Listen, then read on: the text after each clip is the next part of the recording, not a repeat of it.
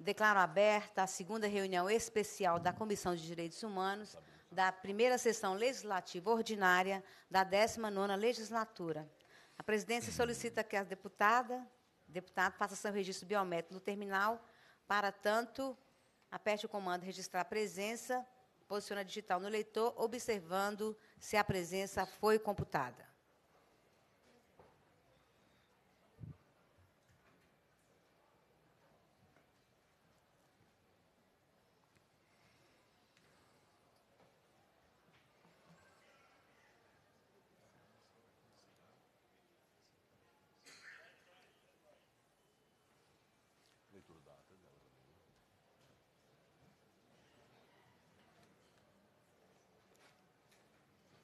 A presidência, nos termos do parágrafo 1 do artigo 132 do Regimento Interno, dispensa a leitura da ata da reunião anterior, considera aprovada e solicita a sua subscrição.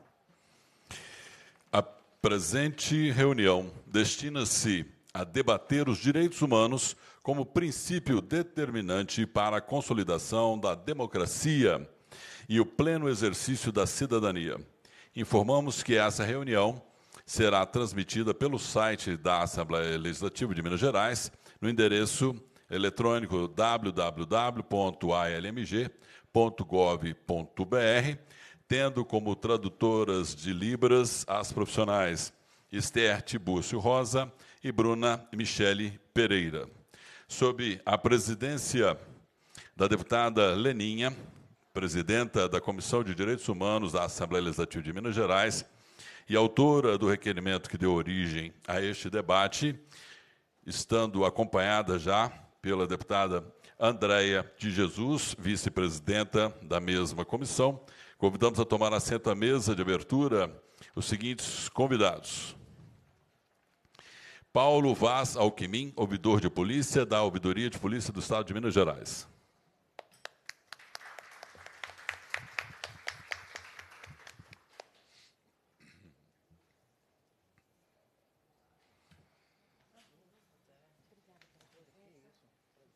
Senhora Paloma Bozon Cairala, delegada de polícia.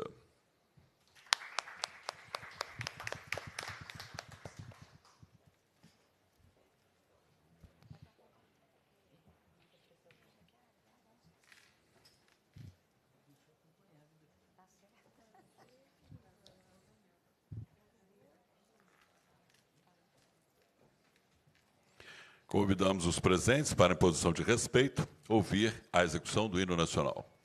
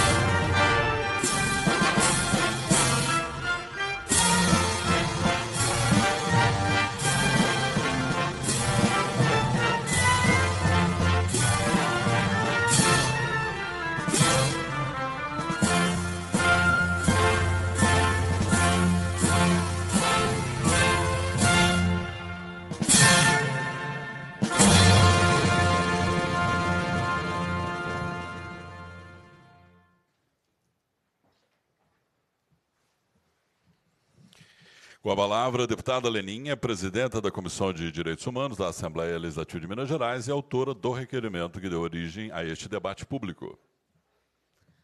Boa tarde a todos presentes nesse auditório, boa tarde aos que compõem a mesa conosco e os que nos acompanham pela TV Assembleia. Em primeiro lugar, nós, nesta tarde, gostaríamos muito de agradecer à presidência, a pessoa do nosso presidente da Assembleia, o deputado Agostinho Patrus, que criou as condições para que pudéssemos realizar o primeiro debate público da Comissão de Direitos Humanos num momento tão importante né, do país, do Estado. Então, por que, que nós precisamos falar de direitos humanos? Nós estamos mergulhados numa gigantesca e grande crise econômica, política, social. Se instala uma conjuntura que expulsa hoje mais de 13 milhões de desempregados nesse Brasil se instala uma crise no mercado de trabalho, sendo com mulheres com filhos pequenos e jovens são as maiores vítimas desse quadro. Então, nós estamos devolvendo para as ruas, para as filas do desemprego, 13 milhões de pessoas. No momento que é visível o aumento vertiginoso da população de rua, em todas as cidades mineiras, e aqui falamos de que cada um que acompanha essa audiência percebe o crescimento assustador da população em situação de rua pelo Estado e pelo país afora. Junto desses índices, acompanha o aumento da violência, da marginalização das comunidades carentes, sobretudo com as mulheres, as mulheres negras, trabalhadoras rurais, que enfrentam violência doméstica, enfrentam secas sucessivas, remoções forçadas, estiagem e falta de água. Estamos trazendo para esse debate uma ampliação do conceito, da abordagem e da incidência que nós devemos ter com esse tema dos direitos humanos. Em um momento em que o Estado brasileiro está se ausentando com os desmontes de diversas políticas, nós vemos o crescimento assustador né, dessas populações em todo o país e em todo o estado de Minas Gerais. Estamos falando de uma sociedade que atua de maneira desigual na repartição da renda, que aumenta diariamente os índices de miséria, de violência, violência no campo, da população presente e vivente nas ruas e dos sem-tetos. Devemos falar sobre direitos humanos porque precisamos entender a necessidade imediata de se preservar os recursos naturais, a vida, os modos e culturas existentes nessa sociedade tão diversa e tão castigada pelos grandes interesses do capital, pelos grandes empreendimentos, especialmente os minerários, né, que assola de maneira violenta, criminalizam e adoecem as comunidades que preservam os nossos territórios. Sempre afirmamos que os povos tradicionais, as comunidades, são as guardiãs dessa biodiversidade. E o que aconteceu em Brumadinho, o que aconteceu em Mariana, o que acontece no resto do país, demonstram essa insustentabilidade ambiental, social, de um projeto de desenvolvimento econômico que não leva em conta esses modos de vida, essa biodiversidade e, acima de tudo, o cuidado com as vidas humanas e da própria biodiversidade. Trazer a humanidade para o cerne das construções políticas se faz necessário para mudarmos o paradigma em relação à natureza e o ser humano, é, a partir de construir fato numa democracia comunitária, numa democracia justa, livre e, sobretudo, vital para os dias que nós estamos vivendo. É importante porque nós assumimos pela primeira vez nessa casa a presidência e a co-presidência da Comissão de Direitos Humanos, a companheira Andréa de Jesus do PSOL, duas mulheres negras assumindo pela primeira vez na história da Assembleia uma comissão tão importante e tão cara nos dias atuais. Mas queremos fazer uma condução do debate, elevando a abordagem sobre direitos humanos, e, acima de tudo, antes de elevar, é entender que nós precisamos, inclusive, desconstruir muitas falsas informações sobre que uma comissão, o Centro de Referência de Direitos Humanos, aqueles que cuidam dessa pauta, e por isso a gente traz também as corporações, a Polícia Militar, a gente traz aqueles que, inclusive, têm é, o hábito de ficar repetindo que a comissão cuida somente de bandidos. Nós queremos reafirmar que não é essa a condução que a gente avalia que é importante para os dias atuais.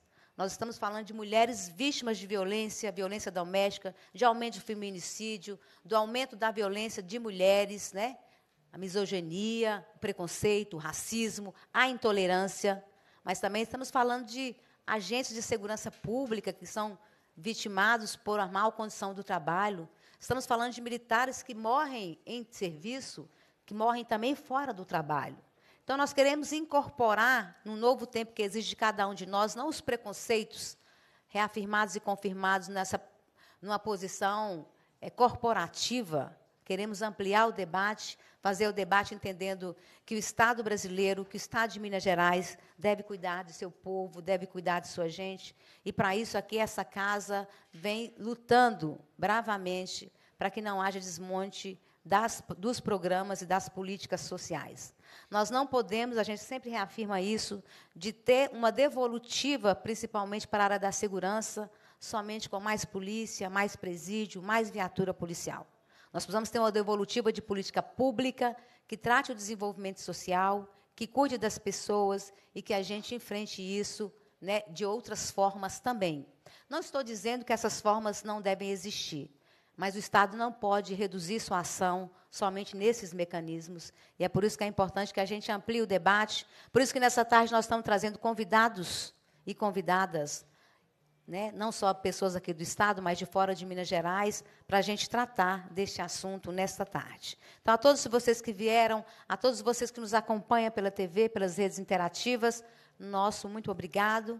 E nós vamos, então, nesta tarde, fazer essa saudação inicial e a gente vai conduzir o debate do qual nós nos propusemos. Muito obrigada. Com a palavra, a deputada Andréia de Jesus, vice-presidenta da Comissão de Direitos Humanos da Assembleia de Minas. Boa tarde a todas e todos. É, eu acho que nesse momento a gente tem que ser muito breve, porque acho que é muito importante ouvir as pessoas, os especialistas que vão falar com a gente, mas, nesse momento, eu queria saudar mesmo a iniciativa da deputada Leninha, uma mulher negra do, do interior de Minas e que tem ensinado a gente muito o quanto é importante a gente fazer um debate junto sobre o urbano e o rural.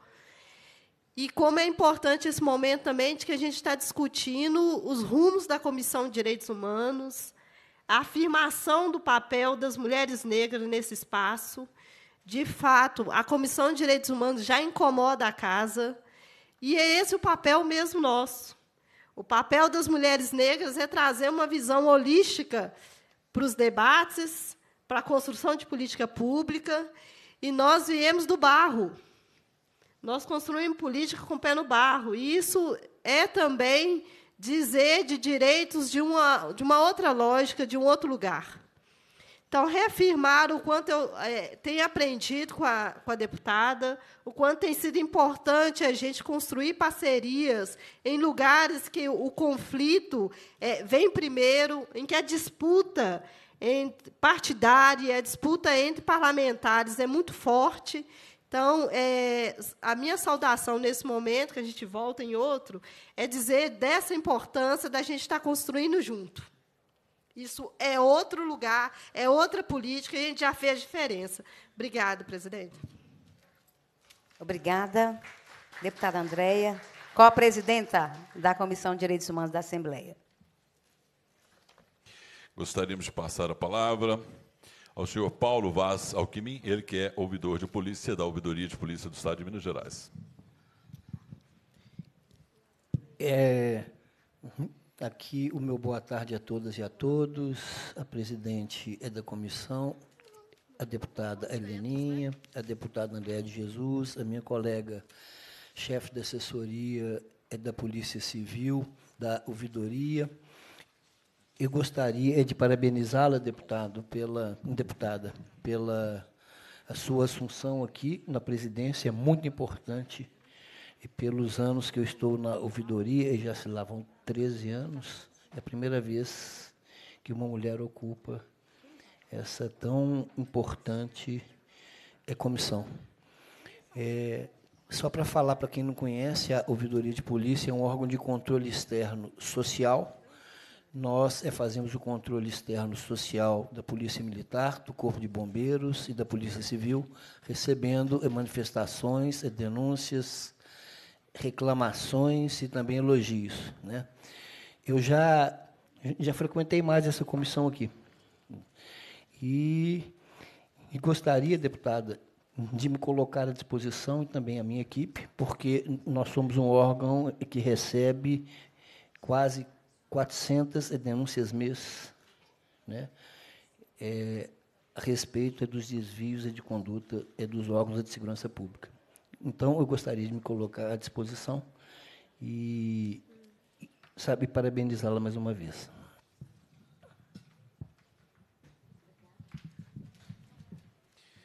Bem, senhoras e senhores, gostaríamos de registrar a presença da deputada Marília Campos, ela que é suplente da Comissão de Direitos Humanos, presente à mesa. Registramos também a presença neste debate da senhora Alba Cristina dos Reis, coordenadora do CRDH, do. Uh, não está dando para ler aqui, Associação dos Bairros Teoflotone.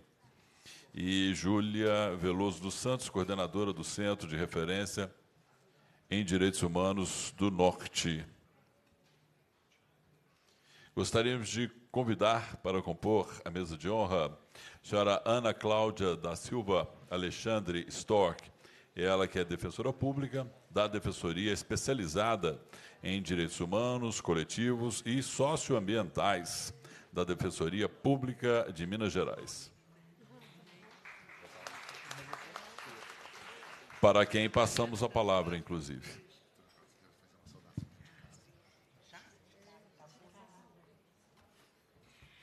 Boa tarde a todos e todas.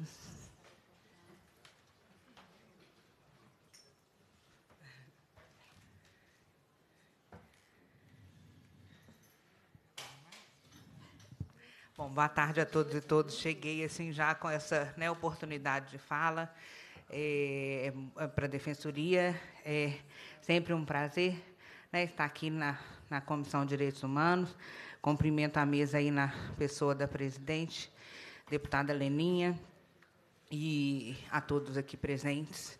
Estamos aqui para contribuir com essa importante é, discussão nesse momento. Né?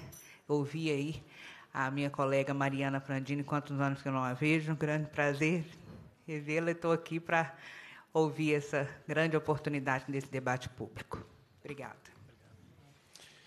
Bem, gostaríamos também de registrar a presença de Fernando Antônio dos Santos Matos, uh, advogado, líder de governança social da Fundação Renova. Bem, senhoras e senhores, neste momento, agradecemos a presença dos convidados da mesa de abertura, que neste momento se desfaz. Convido os ilustres integrantes a tomarem assento nos lugares reservados pelo cerimonial.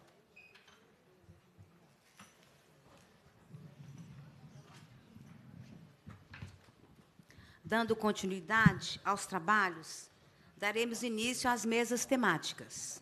É só me organizar aqui. Só gostaríamos de lembrar que os interessados, as interessadas que em participar do debate depois da mesa deverão se inscrever junto à assessoria da Assembleia, podendo formular perguntas por escrito, questionamentos aos convidados, indicando inclusive o expositor que deve responder ao final de cada mesa. Caso a pessoa também queira usar o microfone, nós definiremos o tempo à medida em que os nossos debates forem acontecendo, para que as pessoas possam participar. Então, a primeira mesa de trabalho era desafios para os direitos humanos na conjuntura atual. Nós já havíamos afirmado é, da complexidade que vivemos né, na sociedade hoje, e que a gente sempre reafirma que a Declaração dos Direitos Humanos é uma das declarações mais importantes e belos, né, um belo texto que retrata também sobre a dignidade, igualdade e fraternidade, expressa aquilo que chamamos de um Estado democrático de direito, o respeito a liberdades individuais e coletivas. Liberdades hoje que são seriamente ameaçadas por essa política de criminalização, violência, contra lideranças rurais, LGBTIs, mulheres, professores, jornalistas, militares, agentes de segurança pública, artistas, entre tantos outros, né? Ameaçados por projetos que têm como premissa o punitivismo na resolução dos problemas sociais, com mais ações repressivas, além da permissão para matar por parte do agente do Estado, a partir do argumento frágil de estar sob forte emoção. Somado a isso, o discurso do ódio, intolerância, que se espalhou na sociedade e a banalização da violência. Diante desse cenário, é muito importante falarmos sobre direitos humanos e, mais ainda, precisamos nos organizar para defender os direitos sobre todos os aspectos: o direito à educação, saúde, aposentadoria, a água, água de qualidade, a segurança alimentar, ao, te ao território, a proteção do Estado, o livre pensar, a organização social. Tudo isso dá dignidade ao homem e à mulher, e tudo isso está sob ameaça. Os primeiros 100 dias do governo federal foram para os direitos humanos uma lástima, nenhuma discussão sobre políticas voltadas a enfrentar o feminicídio, ao genocídio da população negra, a violência contra LGBTIs, os imigrantes desamparados.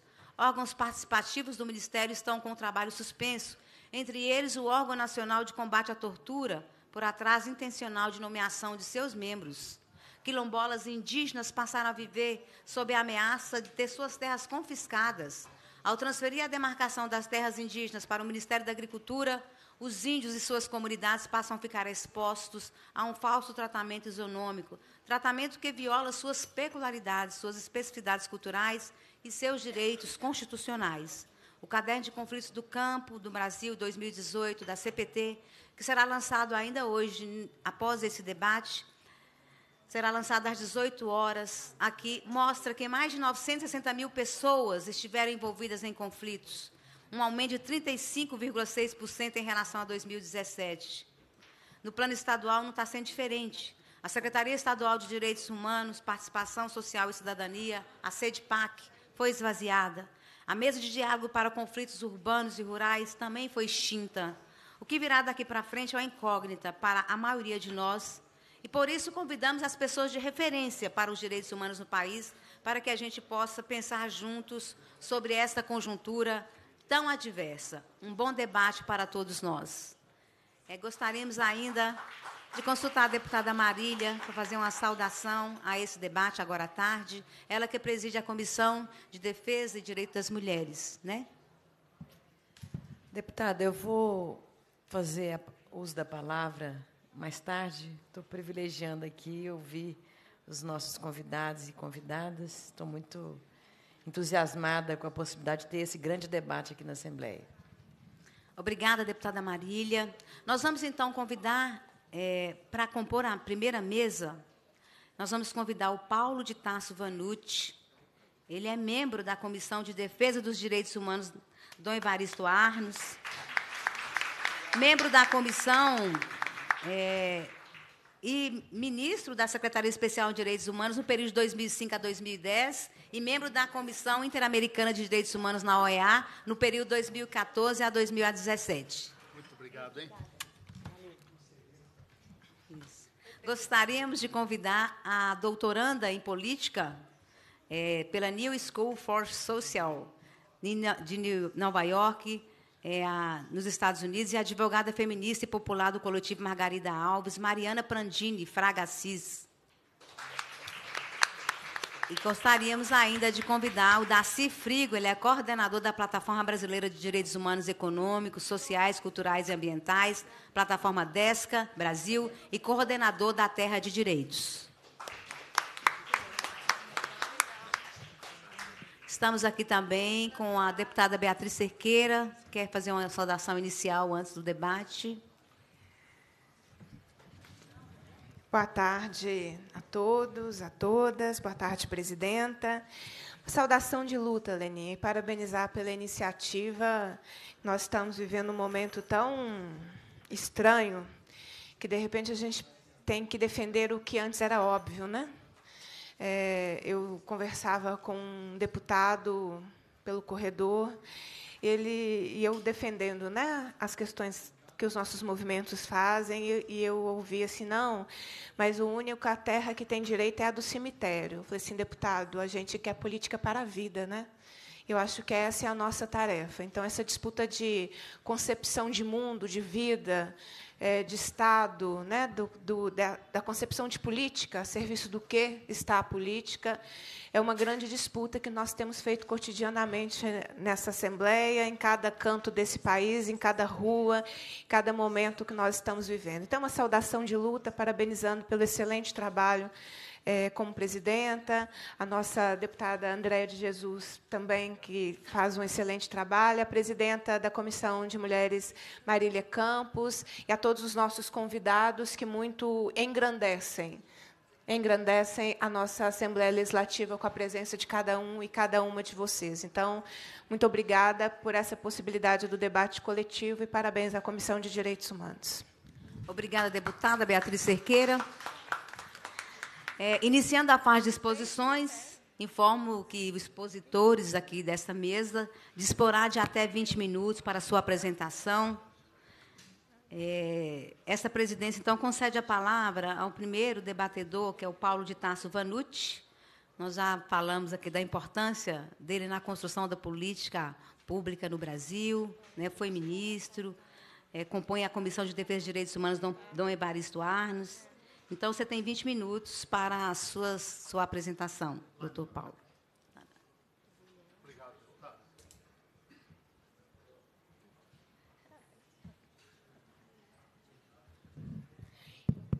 Bom, é com grande emoção que eu participo pela primeira vez num ato na condição de representante da Comissão Arnes de Direitos Humanos é muito bom na idade que eu tenho estar tá fazendo coisas pela primeira vez, começando e recomeçando sempre. E, e, a alegria é de estar no evento com esse tema, ao lado aqui de uma mesa, em que, em primeiro lugar, ela está plenamente aprovada por critérios que têm faltado em tantas mesas, que é o da equidade de gênero, que é a diversidade étnica brasileira, de idades, então, muito bem montada, quer dizer, aqui estão muito bem representados os elementos-chave na construção e consolidação dos direitos humanos no Brasil. No atual momento, em sintonia com o que acaba de ser dito na mesa, também o um momento de resgate dos direitos humanos, de recuperação, de retomada. A emoção de estar ah, num palácio dos Inconfidentes, que evoca o que é a primeira grande, maior contribuição de Minas Gerais ao Brasil, que é o sonho da liberdade, da independência, da autonomia.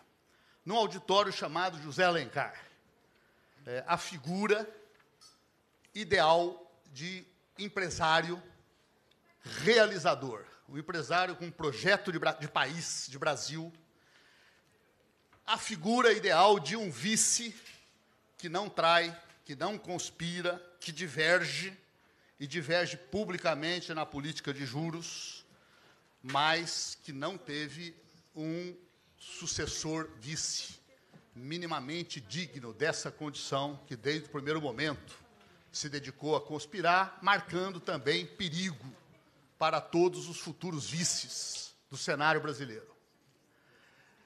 É, e está aqui é também estar tá aprendendo com essa importância de lideranças como a presidenta, a vice-presidenta da, da Comissão de Direitos Humanos, no importante Legislativo Mineiro, que reúne também as sensibilidades é, da força especial que tem nesse contexto de resistência e de resgate,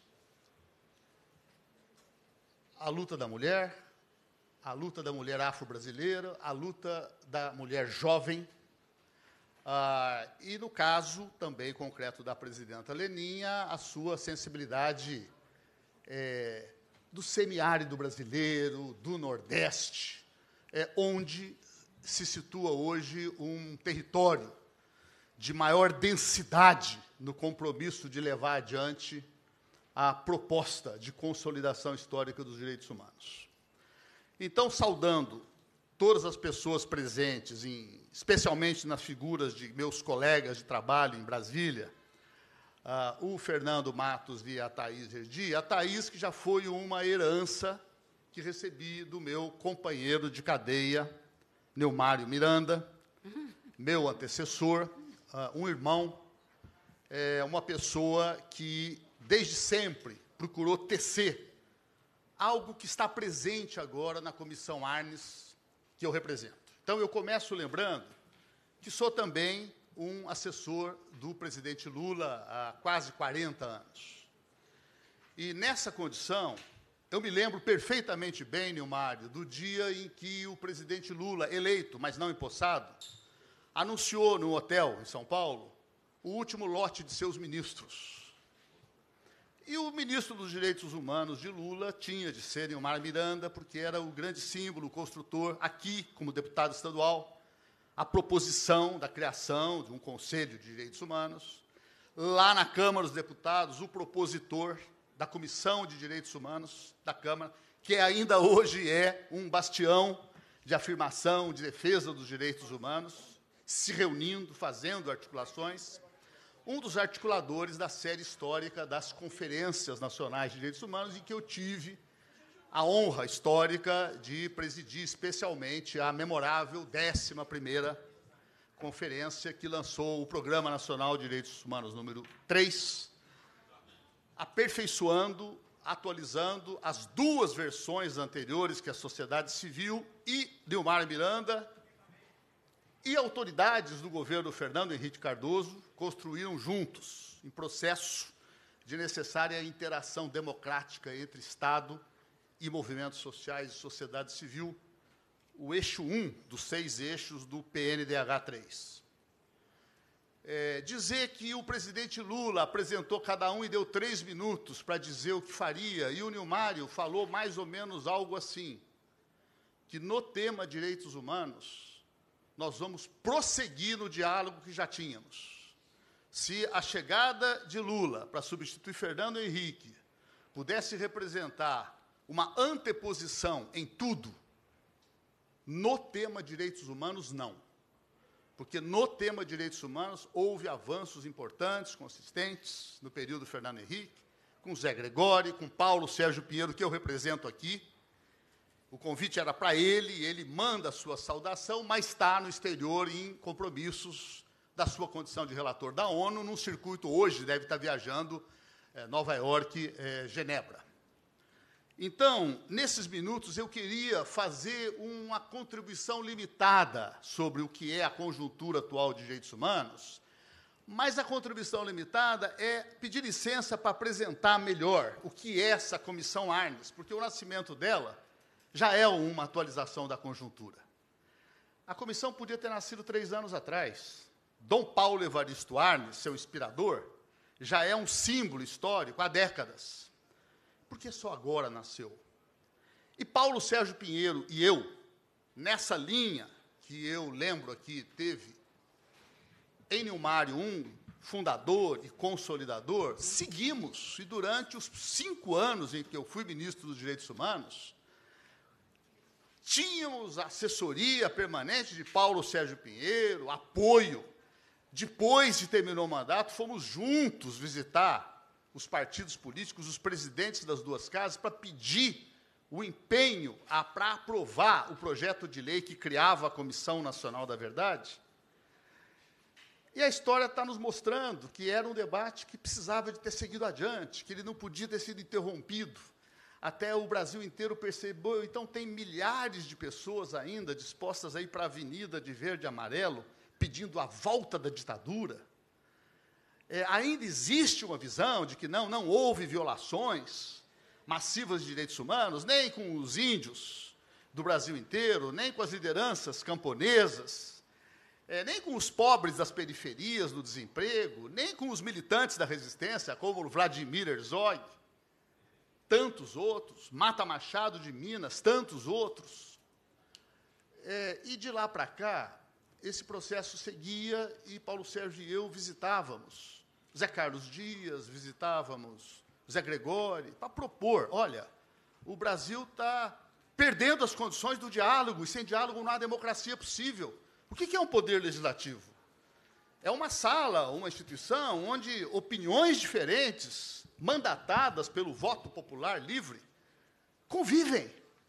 E convivem naquilo que é a regra básica da democracia: reconhecer a legitimidade do dissenso e, portanto, da disputa e, portanto, da luta dentro do pacto geral de que não vamos nos eliminar.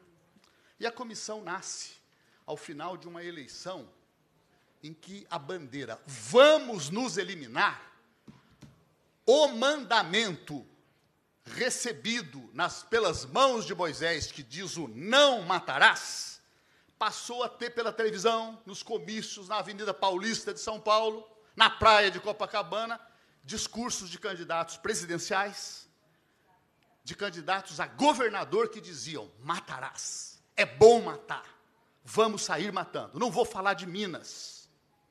Mas no Rio de Janeiro tem um governador que acaba de propiciar um espetáculo de gravar a subida num helicóptero. E agora acabou e começa a ter tiros de cima do helicóptero, violando regras da própria segurança pública do Rio de Janeiro, regras internacionais. E a notícia de hoje, que está em todos os jornais, está no Globo, que ajudou a configurar esses novos governos. A notícia de que um dos alvos de disparo foi uma tenda de evangélicos que os pastores evangélicos, em grande parte pedindo voto para Bolsonaro, eles usavam como uma espécie de abrigo contra o sol escaldante no verão do Rio de Janeiro. Então, esse evento hoje, ele em certa medida, ele é um evento histórico, porque é o Poder Legislativo de Minas Gerais inaugurando uma etapa nova, é uma estreia com essa direção absolutamente promissora sabendo que a construção dos direitos humanos tem de ser um esforço de diálogo, e o diálogo, então, renasceu minimamente no processo de construir a Comissão Arnes.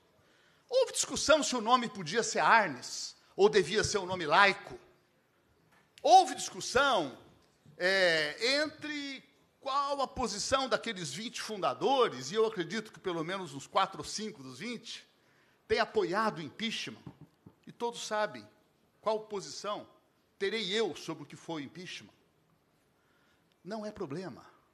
A vida é assim. As pessoas que incorreram em erros gravíssimos terão a chance agora de fazer autocrítica, de reconhecer que erraram. E é preciso unir forças diferentes, e aqui nessa Assembleia Legislativa de Minas haverá forças distintas que na eleição seguinte votarão em candidatos opostos. Isso é regra da democracia. Mas que se juntarão, se somarão na defesa de alguns pressupostos angulares. Quais são eles?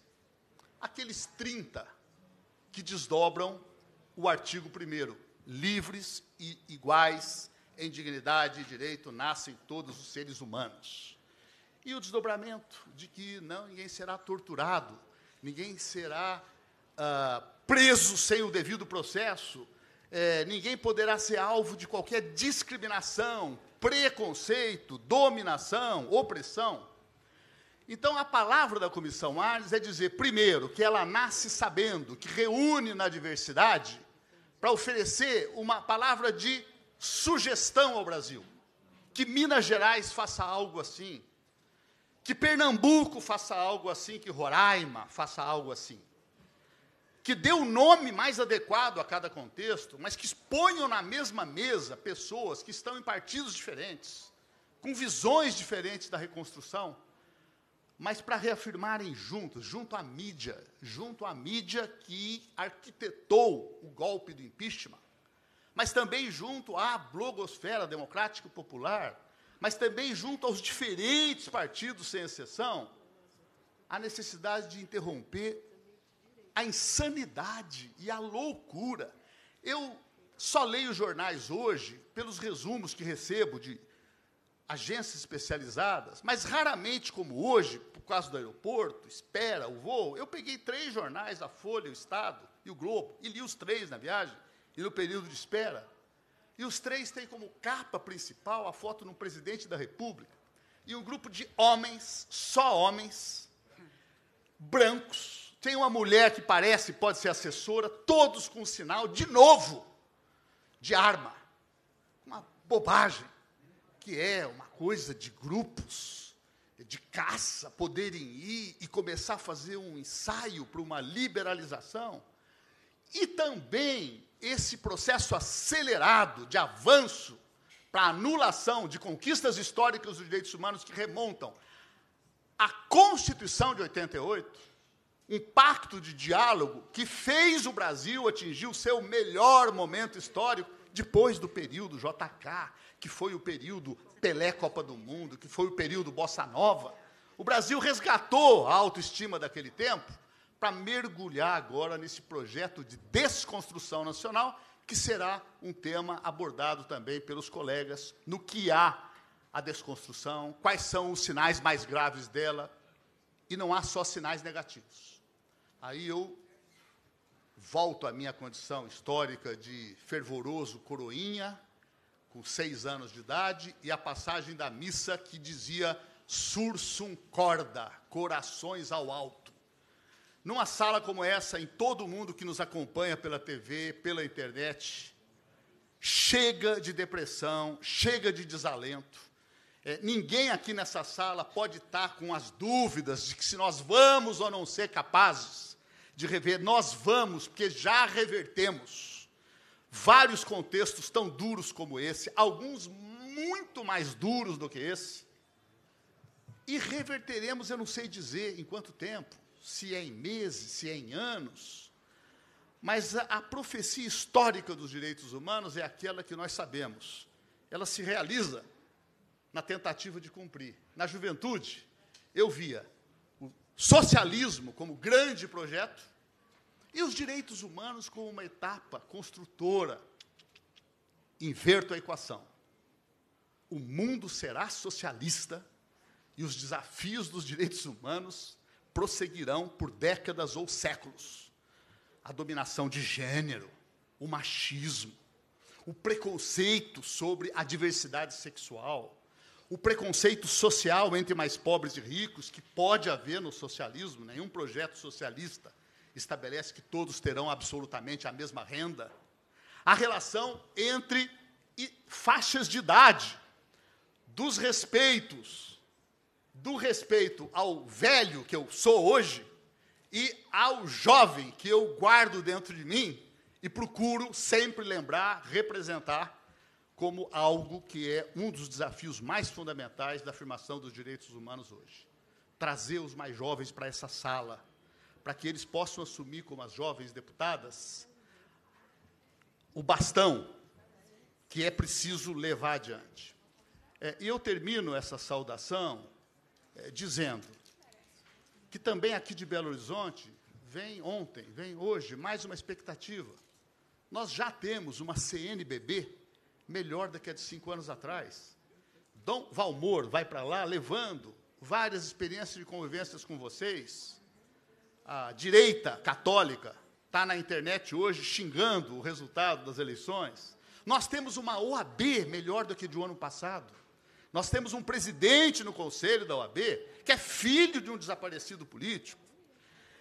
Nós estamos vendo nascer a cada dia a leitura dos jornais mostra uma resistência que agora na universidade pública, na Universidade Federal, deve ter dias grandiosos.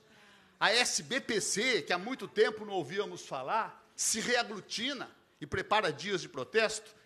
E esse evento, ele tem de ser um evento que reforce essa caminhada. Muitíssimo obrigado.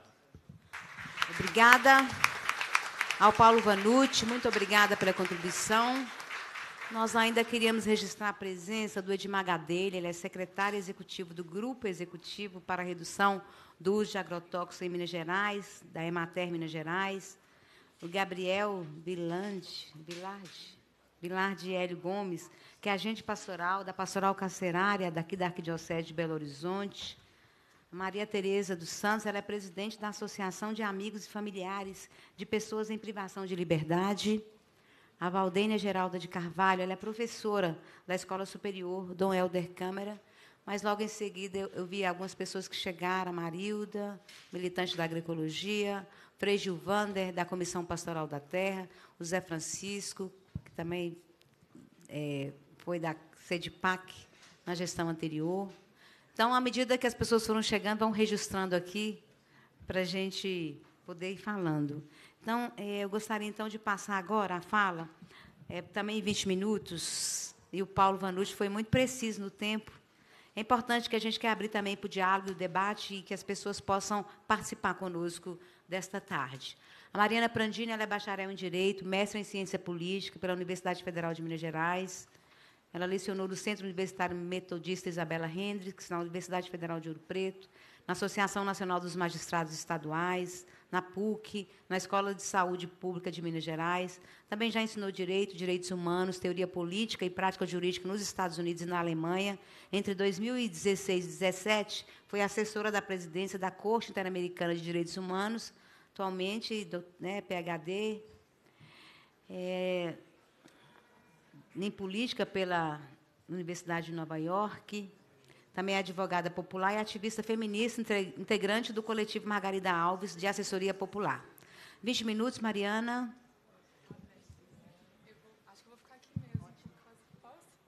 Bom, gente, vou ficar aqui mesmo, porque eu tenho aqui minhas anotações. É, bom, queria começar agradecendo muito ao convite da deputada Leninha é, para estar aqui hoje. É um prazer muito grande voltar a Belo Horizonte, onde eu me graduei, onde passei grande parte da minha vida. É, saudar as deputadas Marília, a deputada Andréia, né, que a gente vem de longa data. É um prazer muito grande estar aqui com você. Né?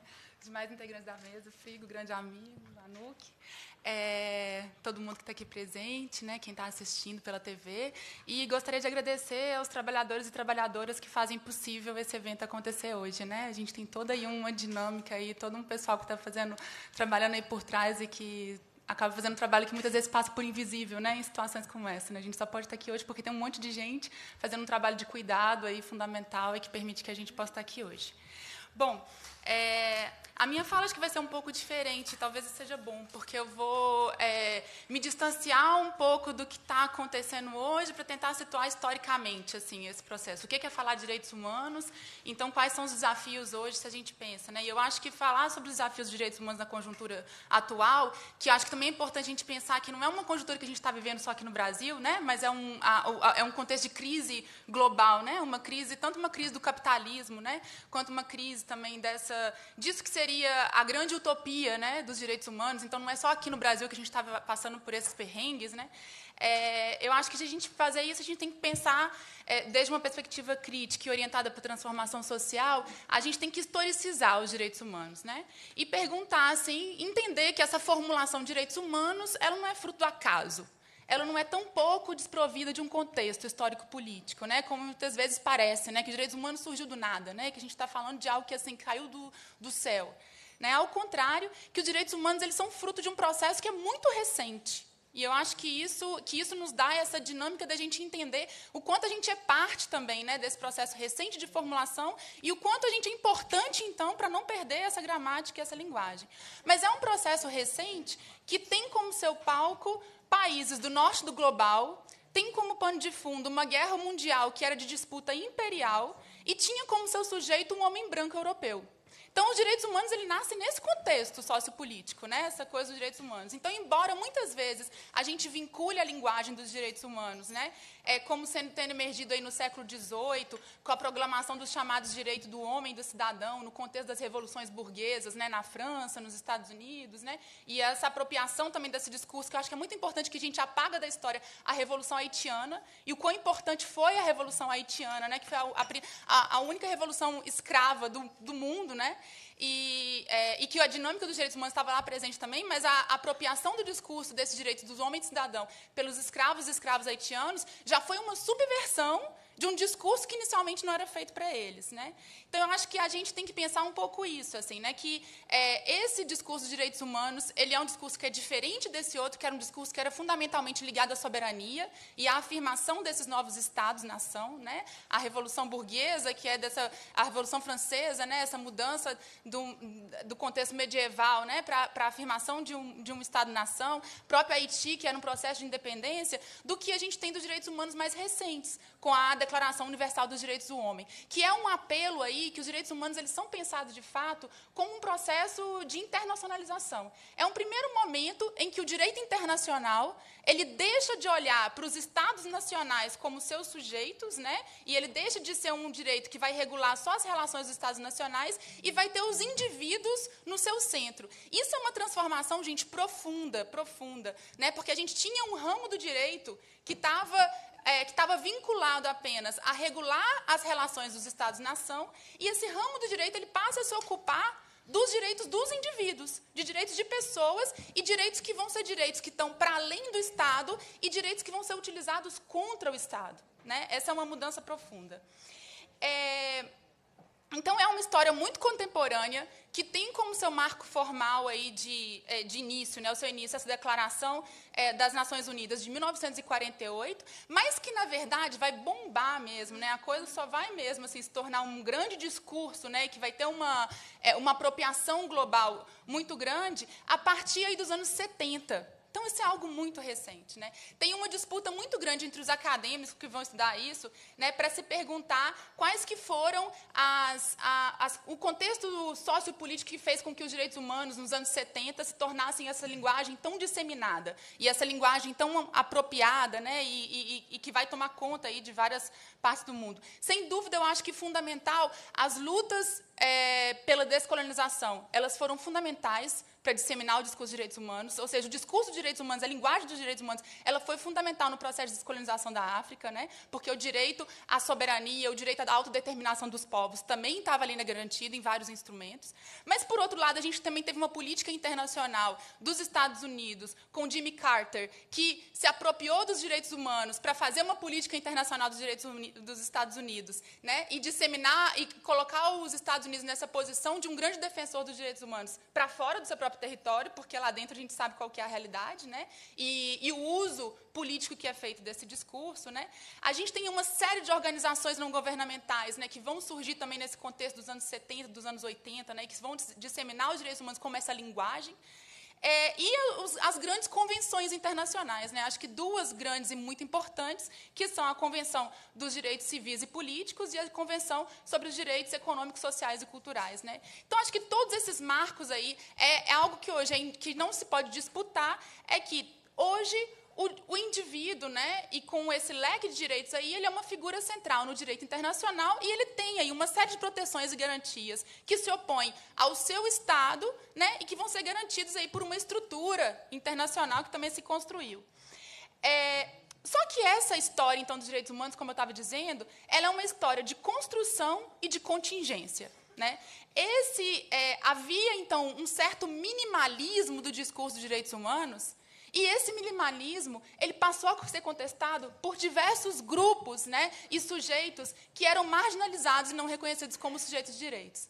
É, como eu disse, ele come, é, é, um discurso que, que, é forjado na Europa, né, que tem como seu indivíduo aí, como sujeito de direitos esse homem branco europeu. E aí eu acho que um grande movimento que todo mundo já deve ter ouvido falar, que é o grande movimento dos direitos das mulheres, também são direitos humanos, né? Direitos das mulheres são direitos humanos. Então as mulheres elas começam a se mobilizar internacionalmente e aqui na América Latina, no Brasil, elas tiveram uma participação gigantesca, assim, né, por meio de organizações regionais, organizações nacionais, né, que vão se articular nesses fóruns internacionais, nos fóruns globais, para poder dizer que aquela, aquele conteúdo mínimo de direitos humanos não era suficiente para dar conta das demandas das mulheres, das violências que as mulheres viviam em suas casas, das formas de discriminação que elas sofriam no espaço de trabalho, né? E, e aí você tem uma série de disputas que são muito interessantes, por exemplo, um encontro que eu acho que é magnífico em 75 no México, na conferência pela mulher que teve no México, que é o encontro da Domitila Barrio de Chungara, uma liderança boliviana das Minas, né? E a Beth Friedan, que é essa grande feminista liberal dos Estados Unidos. Então, a Domitila ela chega lá no México para essa grande conferência das mulheres e a Domitila está articulando os problemas que, ela, que, que, o, que o marido dela, como trabalhador das Minas, passava. Ela estava articulando o problema do trabalho doméstico dela não pago. Ela estava articulando ali o problema do acesso à água e acesso a recursos naturais dos povos indígenas dela. E para ela, tudo aquilo ali era direito das mulheres. Enquanto a Beth Friedan via o problema da emancipação feminina e da possibilidade da dona de casa trabalhar fora, porque era uma mulher branca, de classe média estadunidense, né, a Domitila via um monte de outras coisas aí que ela articulava também como direitos humanos das mulheres. Né. E eu acho que aí a gente vai ter uma série de outros grupos, como eu disse já, né, é, o processo de, é, de, de, do fim né, de contestação ao apartheid na África do Sul, ele foi fundamentalmente articulado a partir da agenda dos direitos humanos. Né, e uma articulação que está para além das fronteiras do território nacional. O processo de descolonização dos países na África também, o discurso de direitos humanos muito presente. E aí a gente vai ter uma série de outros grupos que antes não estavam nessa pauta dos direitos humanos que vão, à medida, contestando e subvertendo esse discurso. Né? Eles vão se apropriando dessa linguagem e transformando-a fundamentalmente de modo a se incorporar. Né? Os direitos dos povos quilombolas, das comunidades tradicionais, dos povos indígenas, né? É, das, da comunidade LGBTQI. Então, eram sujeitos que o, o discurso de direitos humanos não tinha sido pensado para eles. Né? Mas ninguém acreditava, ninguém pensava que a gente ia pegar, e aí, para usar, acho que uma expressão da Audre Lorde, que é uma feminista que eu admiro muito, né? o que a gente fez, ela, na verdade, ela acho que ela é, ela é, contra essa estratégia, mas eu acho que é uma estratégia interessante, que é a gente se apropriar né, das ferramentas do Senhor para destruir a casa do Senhor. Né? Como é que a gente faz isso? Então, é se apropriar dessas ferramentas aí, né? dessa linguagem dos direitos humanos, que se tornou uma linguagem hegemônica, uma linguagem mundialmente aceita, para construir, para conseguir derrubar né, essas estruturas de opressão e de dominação. E aí o que é muito triste ver é que é, que para a gente a gente chega, né, nesse momento então agora em que a gente tem todos esses grupos e sujeitos marginalizados, né, que historicamente estavam fora né, desse escopo do que era inicialmente pensado aí como esse projeto europeu de direitos humanos, né, e aí os povos colonizados, as mulheres, a comunidade LGBTQI, os povos indígenas, as comunidades quilombolas, as comunidades afetadas pela mineração. Acho que é muito importante né, essa agenda da gente poder responsabilizar as grandes empresas, né, as multinacionais, por violações de direitos humanos nos grandes empreendimentos, né? E nas, é, nesses crimes, desastres, como aconteceu em Mariana e Brumadinho, né? Então, os, o que foi feito aí foi questionar não apenas o que dos direitos humanos, mas também para quem, por quê, desde onde a gente vai fazer. E aí o que, a gente o que, que a gente está enfrentando hoje, né? É que quando finalmente a gente se apropria dessa linguagem e a gente começa então a produzir transformações a partir de dentro do sistema, né? Aí essa linguagem já não pode mais ser utilizada. Aí ela nos é retirada. Né? Aí já não pode mais, a gente já não pode mais falar de direitos humanos, porque aí já foi longe demais. Enquanto direitos humanos era só o direito do cidadão, do homem, branco, classe média, defender a sua propriedade, ok, aí está bem direitos humanos, né? Vida, liberdade e igualdade, desde que né, isso não sirva para subverter as relações de poder que estão colocadas na sociedade. Então, eu acho que, para a gente pensar os desafios, um dos pontos, eu acho que fundamentais, é que a gente não pode abrir mão da linguagem dos direitos humanos. Né? E tampouco da prática dos direitos humanos, porque eu acho que é fundamental a gente também retirar os direitos humanos das instituições, dos espaços institucionais, e pensar que os direitos humanos eles são uma prática cotidiana. Que cada um de nós aqui pode e deve ser defensora de direitos humanos. Né, que cada um de nós aqui, que direitos humanos não é, um, não é algo que está para fora da porta da minha casa, ou que está dentro do presídio, ou direitos humanos é o que está com a mulher que foi violentada pelo marido e que vem buscando. Não, direitos humanos é de cada um de nós. assim Cada um de nós tem que ser cotidianamente defensora de direitos humanos. assim Acho que isso é fundamental. É, e mais do que nunca, né, eu acho que a gente precisa também fazer essas vinculações das lutas que a gente está fazendo aqui com outras lutas que estão acontecendo em outros lugares, com lutas de outros povos, com outras de lutas de outros grupos. Por quê? Porque, como eu disse, os direitos humanos eles têm esse caráter internacionalista. E hoje a gente precisa muito desse internacionalismo, porque o que a gente está vendo é um nacionalismo regressivo né, e recrudescedor de formas de dominação e de violências que estão aqui no nosso território. Né? Então, acessar, fazer as conexões com essas lutas né? e entender que a gente é parte de um movimento maior que está para além das fronteiras do nosso país é fundamental. E isso não quer dizer, gente, acho que a gente sempre tem uma grande tensão, isso não quer dizer abrir mão da nossa soberania nacional, por exemplo, em termos do nosso do que, a gente vai fazer com o nosso petróleo, do que, a gente vai fazer com os nossos recursos naturais, não. Mas é pensar do, internacionalismo enquanto prática emancipatória, enquanto conexão de lutas assim que tem, porque o, o o capital é global. Isso é uma outra coisa que eu acho que a gente precisa ter clareza né, e de entender que a gente está vivendo um momento de neoliberalismo financiarizado, então que o capital é global e que as lutas, então, para enfrentar elas têm que ser igualmente globais. Assim, não dá para a gente pensar um, do ponto de vista é, provinciano e de que o que está acontecendo. Não, a gente tem que entender a dinâmica. Né? O governo que está aí hoje, ele foi altamente financiado por, por dinheiro que vem de fora de grupos de direitos que estão articulados de um modo em uma articulação transnacional. Assim. Então, é preciso que a resistência também ela tenha esse caráter, né? ela tenha esse caráter transnacional. É, e eu acho que é, que é dizer e, e, é, e é dizer que a linguagem dos direitos humanos, o que ela faz é, é, nomear ações que são simplesmente erradas, são ações inaceitáveis, são inegociáveis. Ou seja, os direitos humanos é como um patamar mínimo né, de convivência entre nós. Né? Então, isso é inegociável, é algo que está fora de barganha. O que os direitos humanos fazem é trazer uma série de proteções e retirarem do espaço da política.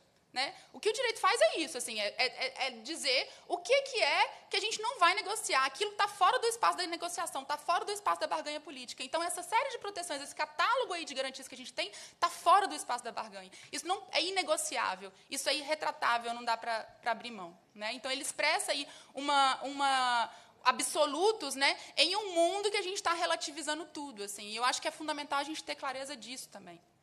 Mas, ao mesmo tempo, e aqui eu queria deixar só uma provocação, eu acho que a gente não pode também se limitar à linguagem dos direitos humanos. Assim. Eu acho que é isso que eu estava dizendo. Os direitos humanos eles expressam absolutos que são inegociáveis, né, que a gente não vai abrir mão, que não podem ser barganhados, mas direitos humanos também eles não podem dar conta de todas as nossas lutas. Assim, eles não podem ser tudo dentro da, da expressar todos os nossos anseios e todas as nossas necessidades. Nem tudo pode ser expresso pela linguagem dos direitos. Né? E, e eu tô, tenho que estar tá falando né, uma advogada, então assim, estou falando um pouco até contra mim, assim, na verdade, né, deveria tudo se transformar, mas não, assim, nem tudo pode ser expresso nas linguagens dos direitos, assim. Então eu acho que é preciso a gente também retomar em um vocabulário que talvez tenha ficado perdido, né, uma certa domina, numa, numa certa prevalência dos discursos de direitos humanos, que é a demanda por justiça social. É preciso a gente falar de opressão, é preciso a gente falar de dominação. É preciso a gente falar de economia política. É preciso da gente falar de desigualdade. É preciso de falar de crise do capitalismo. Né? Então, nem todas as injustiças podem ser traduzidas numa linguagem de direitos humanos. E é preciso a gente compreender, então, quais são as limitações. Porque eu acho que quando a gente também transforma tudo em direitos humanos, fica muito fácil descartá-los, porque eles tornam algo quase que banal. Né? Se tudo é direitos humanos, né, fica muito difícil da gente dizer isso aí é o que é, o que é negociável. Né? Então, acho que é fundamental a gente compreender assim, quais que são os pontos que a gente quer defender, o que, que é o absoluto do qual a gente não vai abrir mão e o que, que é que vai ser processo de disputa política nossa. Era um pouco essa minha contribuição. Obrigada. Obrigada, Mariana. Vou conceder a palavra à deputada Andréia para fazer uma observação breve coração que estava aguentando de falar que a Mari foi minha professora né, de sociologia jurídica assim que eu entrei no Isabela Hendricks, nesse processo todo, assim, de anos é, discutindo cotas e depois consegui ingressar na faculdade por um programa de política pública, né, que me garantiu chegar lá e fui recebida pela professora Mari, que também me ajudou a construir, me construir como sujeito político na luta pelas ocupações e pelas mulheres. Obrigada. Muito bem, Andréia. É um prazer mesmo ter né, essa mesa, como disse o Paulo, uma mesa bastante interessante e com contribuições, com certeza, né, não só da da parte teórica, mas de pessoas que vivem lutam né, nesse país por direitos humanos. E aí eu queria citar o Douglas também. Douglas está aqui, militante da causa dos direitos humanos. A Marilda, só para corrigir aqui, a Marilda Quintino Magalhães, ela é da, associada do CEDEPS, que é o Centro de Documentação Eloy Ferreira da Silva. Acrescentar. Isso. Acrescentar. Então, a gente vai agora também, com 20 minutos, ouvir é, é o terceiro convidado dessa mesa, que é o Darcy Frigo. O Darcy ele é advogado. Em 2001, recebeu o prêmio Robert F. Kennedy, em Washington, pela assessoria jurídica prestada aos trabalhadores rurais no Paraná.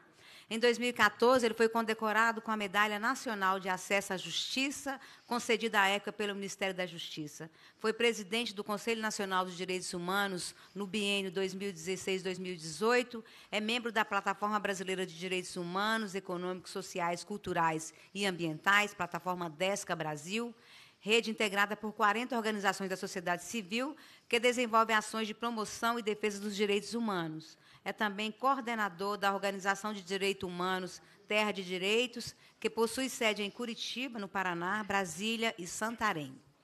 Dá-se com a palavra. Bom, boa tarde a todos e todas. Em nome da deputada Leninha, queria, e também da Andréia de Jesus, queria eh, agradecer o convite né, de estar aqui com vocês hoje para debater esse tema nas correrias da vida, mas é, essa é a, a principal tarefa dos defensores e defensoras de direitos humanos. Todo esse currículo que a gente lê ali, mas na verdade o currículo mais simples nosso é que nós somos defensores e defensoras de direitos humanos. E é isso que interessa aqui é, para a gente dialogar sobre o tema. É, eu diante do desafio, me coloquei justamente a questão de que se nós não temos direitos humanos, o que nós vamos ter no lugar? Né? Direitos humanos ou o quê? Né? É a barbárie que nós vamos ter? Então, essa, essa talvez seja a questão que eh, se coloca no momento e a gente talvez eh, nem na ficção, em nada a gente poderia imaginar uns quatro, cinco anos atrás que a gente viveria o que a gente está vivendo é, neste momento. Né? Então, a gente talvez agora vivendo esse, esse momento tão grave e, e tão difícil, é, em que, vamos dizer assim, se, se ataca, inclusive, a, a, a ideia de defesa dos direitos humanos, a ideia da existência dos direitos humanos, a gente precisa também olhar para além dessa grande nuvem de fumaça que eh, não permite, inclusive, a gente enxergar muito longe, e logo ir pensando que projeto de mundo, que projeto de país, que projeto de vida nós vamos construir para frente. E eu quero, justamente para não aborrecê-los e, e para as pessoas também que estão nos assistindo, para que elas não, não se sintam, vamos dizer assim, nesse momento, inclusive, é, amedrontadas por uma enxurrada de informações negativas em função do contexto. Eu quero terminar a fala depois, justamente dizendo uma palavra no sentido de que projeto nós temos que pensar para esse futuro. Será que nós não precisamos pensar justamente num projeto político de economia, do cuidado, de política que possa, de fato, estar baseada na solidariedade e no respeito ao outro? Então, vamos pensar um pouco nessa ideia e eu vou transcorrer aqui ah, algumas anotações que eu fiz, justamente para trazer alguns elementos sobre o momento que a gente está vivendo no país a partir da experiência de vida.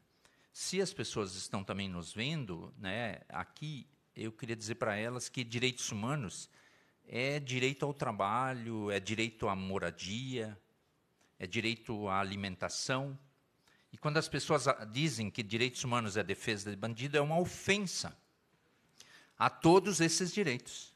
Porque uma pessoa que, que acha que tem direito à saúde, educação, moradia, trabalho, ela não, não poderia nem sequer ser atacada. Ainda que eu, como defensor de direitos humanos, tenho que defender que qualquer ser humano que comete um erro e vai ser punido pelo Estado em função desse erro, ainda assim ele não possa ser submetido pela Declaração Universal dos Direitos Humanos, pela nossa Constituição, por toda a lei, ele não pode ser submetido a nenhum tipo de violação de direitos humanos. Mas estamos aqui, então, para as pessoas, inclusive as pessoas que acham que direitos humanos é algo distante, é algo, vamos dizer assim, que a gente não consegue é, atingir. Não, os direitos humanos são aquilo que estão na nossa integridade física, a gente ter uma vida digna, é a gente ter um lugar para morar, ter comida na mesa, ter trabalho. Então, nesse momento, nós temos uma violação em massa de direitos humanos, porque temos 13 milhões de trabalhadores sem trabalho. Eles não podem ter renda.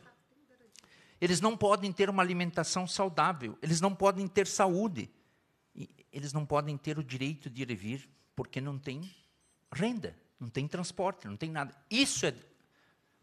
A gente poderia dizer que também são direitos humanos, mas a gente precisa de liberdade.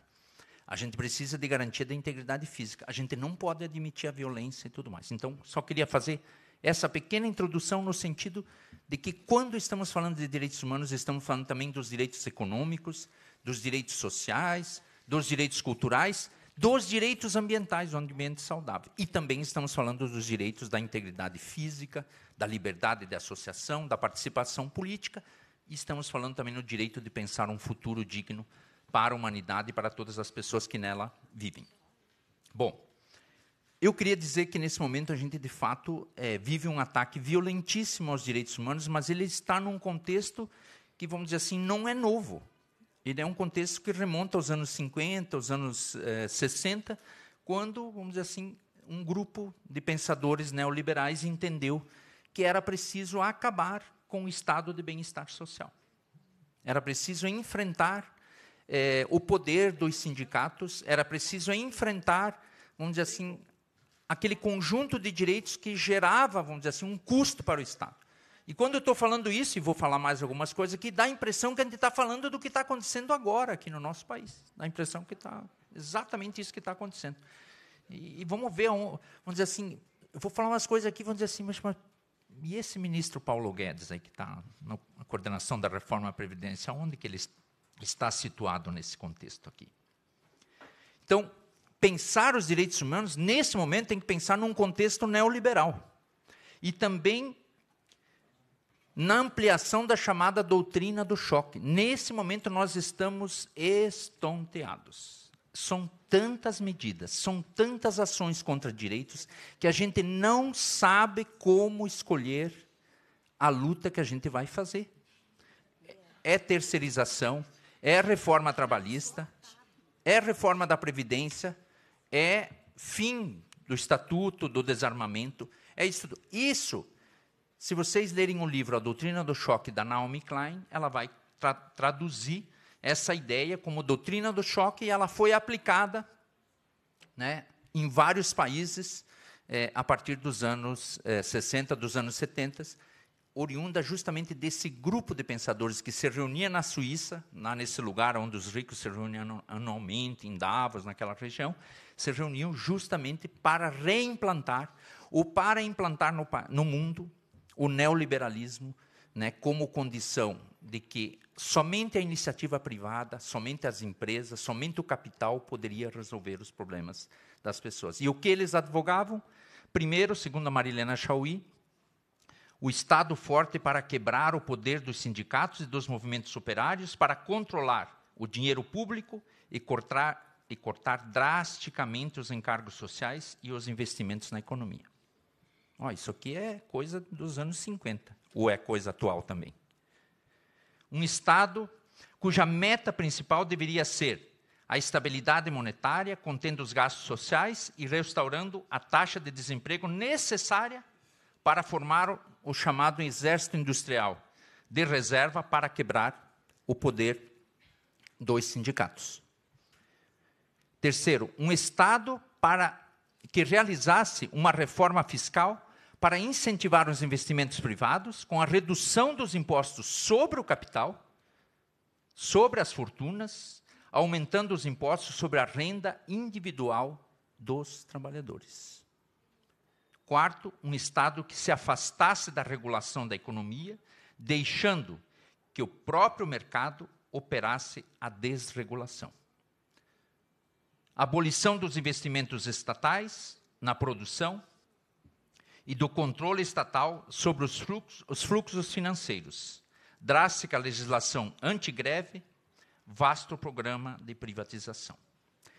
Essa receita ela foi aplicada no dia seguinte que o Pinochet deu o golpe no Chile. Então, o grupo do Hayek eh, e outros economistas da escola de Chicago, eles chegaram para o Pinochet e disseram assim: agora que você tirou o Allende e todo o seu, seu time aqui do, dos socialistas no poder, nós temos uma receita.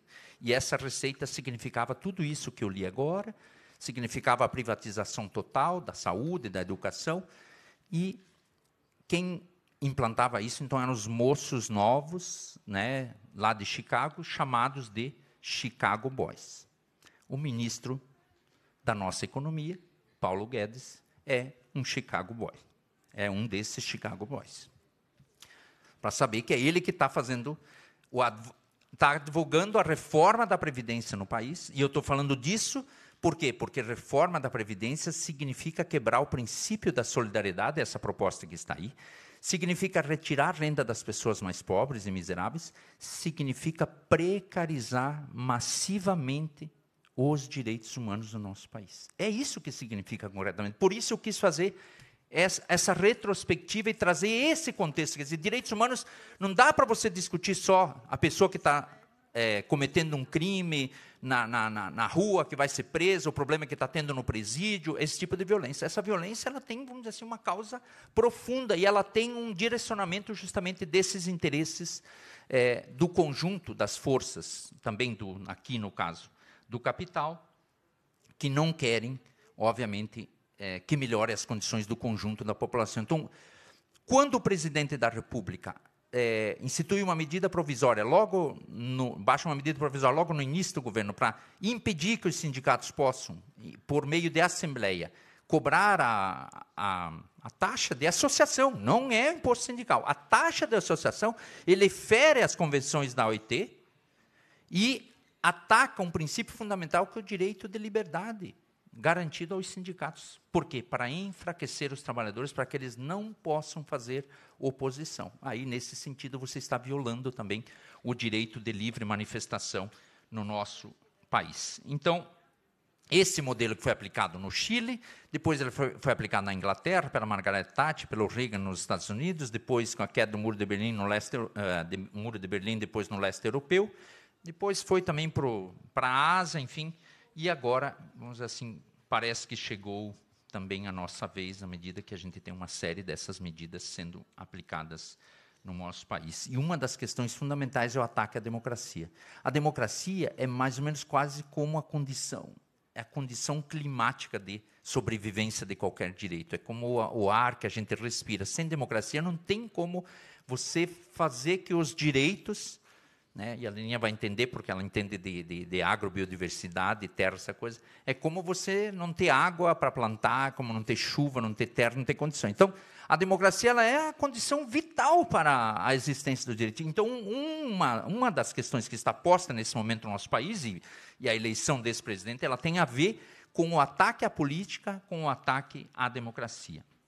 E o, o Paulo Vanuc já falou aqui, houve o desmonte é, da Constituinte, do Pacto Constituinte, e ele se desmonta, ele começa com o ataque à presidenta eleita, com o golpe à presidenta eleita, Dilma Rousseff, e na sequência ele, esse, esse processo ele se desdobra com a emenda constitucional 95, e eu faço questão justamente de é, é, fazer uma ênfase muito grande nessa questão, porque o, a, a, a, emenda constitucional 95 ela é inconstitucional, porque ela ataca, vamos dizer assim, um conjunto de direitos e estabelece um congelamento dos gastos sociais para gerar superávit para o sistema financeiro durante 20 anos. Isso não existe parâmetro em país nenhum. Então, nós elegemos um presidente que ele sequer pode, nesse momento, aumentar o orçamento para poder, vamos dizer assim, até aplicar em gastos sociais, porque essa emenda aqui foi um presente para ele. Um presente, ele dizia, bom, eu já não quero mesmo aplicar nada.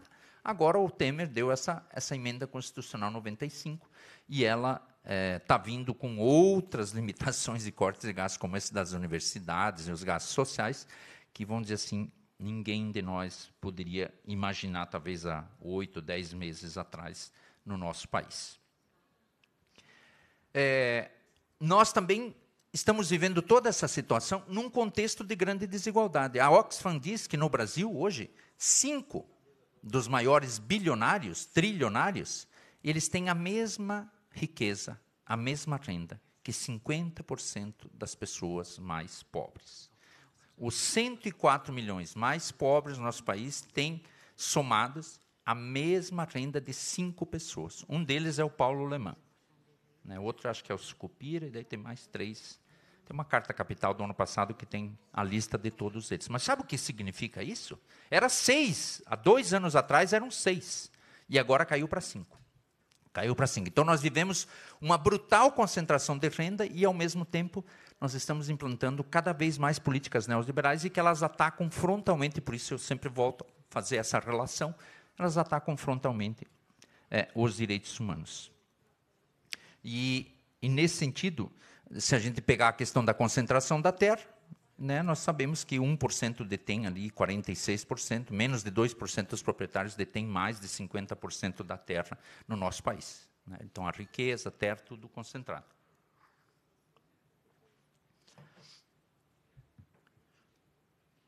Então, esse processo todo, ele tem gerado, vamos dizer assim, um ataque é, maciço àquilo que nós tínhamos como garantias para termos direitos humanos no nosso país.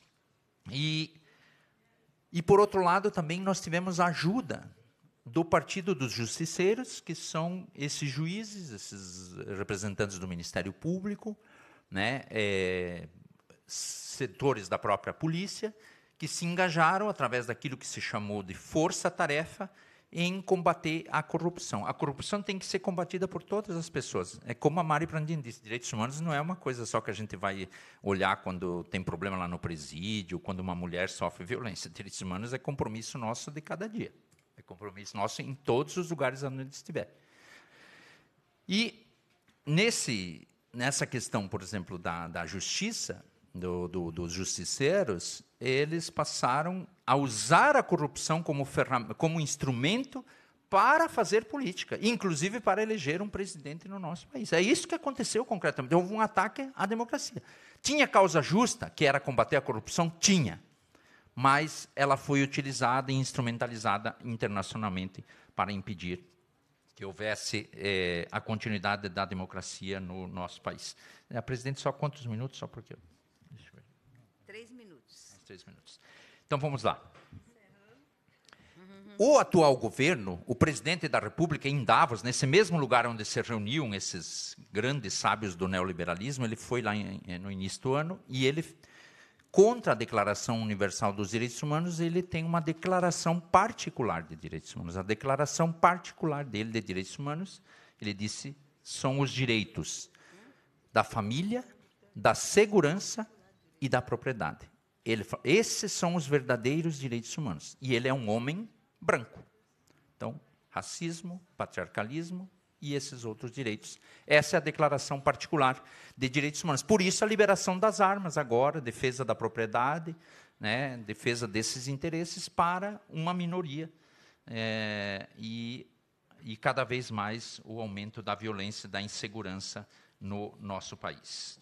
A, a edição da SMP 870 para controlar a atuação das organizações da sociedade civil, a criminalização do ativismo, seja a defesa do meio ambiente, a defesa dos direitos humanos, ela, ela está acontecendo.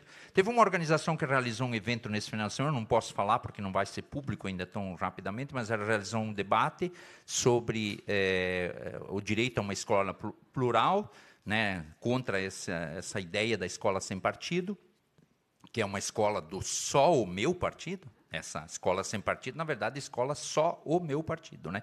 É do partido único desses interesses. E a polícia chegou no local, perguntando o que, que estava acontecendo e que ela tinha uma lista no Facebook de pessoas que iam participar e queria saber se ia ter tumulto e tudo mais. Então, a medida provisória 870, ela propõe um, um, tipo de controle. Agora, aqui, a polícia, através do comando da polícia, enviou os policiais para aquele local para saber o que estava acontecendo lá. Bom, isso é, é ditadura militar, isso é estado de exceção.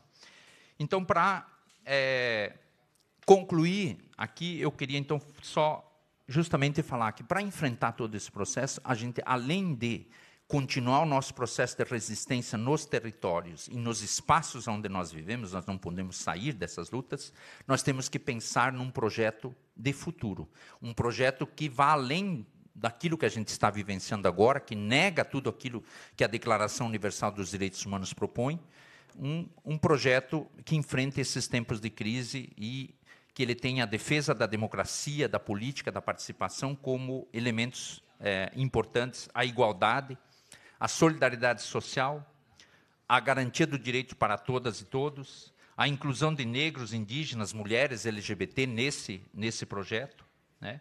É, pensado na linha de uma economia do cuidado que gere trabalho e investimento na saúde, na educação, na agroecologia, no trabalho criativo, digno, na cultura, na proteção do meio ambiente, né, na biodiversidade, e que enfrente justamente o ódio e a negação daquilo que é o Pacto dos Direitos Humanos, que no, no, nosso país é o pacto que está escrito na Constituição de 1988 e as suas atualizações. Muito obrigado. Muito obrigada ao Daci Frigo pela contribuição neste debate. Eh, nós vamos passar para a fase, a, deputada Marília Campos também vai se posicionar, fazer uma pergunta. E logo em seguida a gente tem três inscritos. Eu gostaria, inclusive, de perguntar ao pessoal da TV Assembleia se é melhor os inscritos usarem aquele microfone ou aqui em cima. É o de cima, né? É, depois da deputada Marília, a gente vai ter Júlia Veloso, Alba Cristina, Fernando Antônio e Douglas Miranda. Então, depois da fala da Marília, a gente convida vocês a usarem é, o microfone aqui em cima. É importante também a pergunta que vocês fizerem, se for destinada ao deba aos debatedores que estão aqui na mesa, já podem também indicar é, com quem vocês querem dialogar sobre as questões colocadas por vocês. Então, com a palavra, a deputada Marília Campos. É, deputada Leninha, deputada Andréia e todos os nossos convidados, convidadas presentes aqui nessa audiência, eu agora farei uso, não só para fazer a pergunta, uso da palavra, mas também para fazer a consideração inicial que eu não fiz. É, primeiro, eu queria é, parabenizar e agradecer por essa oportunidade de estar participando desse debate. Já foi dito aqui que a gente vive numa correria tão grande, são tantos os cortes, e a cada momento a gente está participando de uma audiência, de uma luta, e que às vezes a gente perde um pouco a capacidade de reflexão. E é um momento que exige não só muito da gente, é, de fortalecer a luta pela resistência, mas de fortalecer a nossa reflexão para não apenas ficar correndo atrás dos fatos, mas da gente ser capaz de vislumbrar o que, que a gente tem que fazer, não apenas para barrar esse retrocesso, mas para pensar em alternativas para a gente poder disputar a opinião. Né?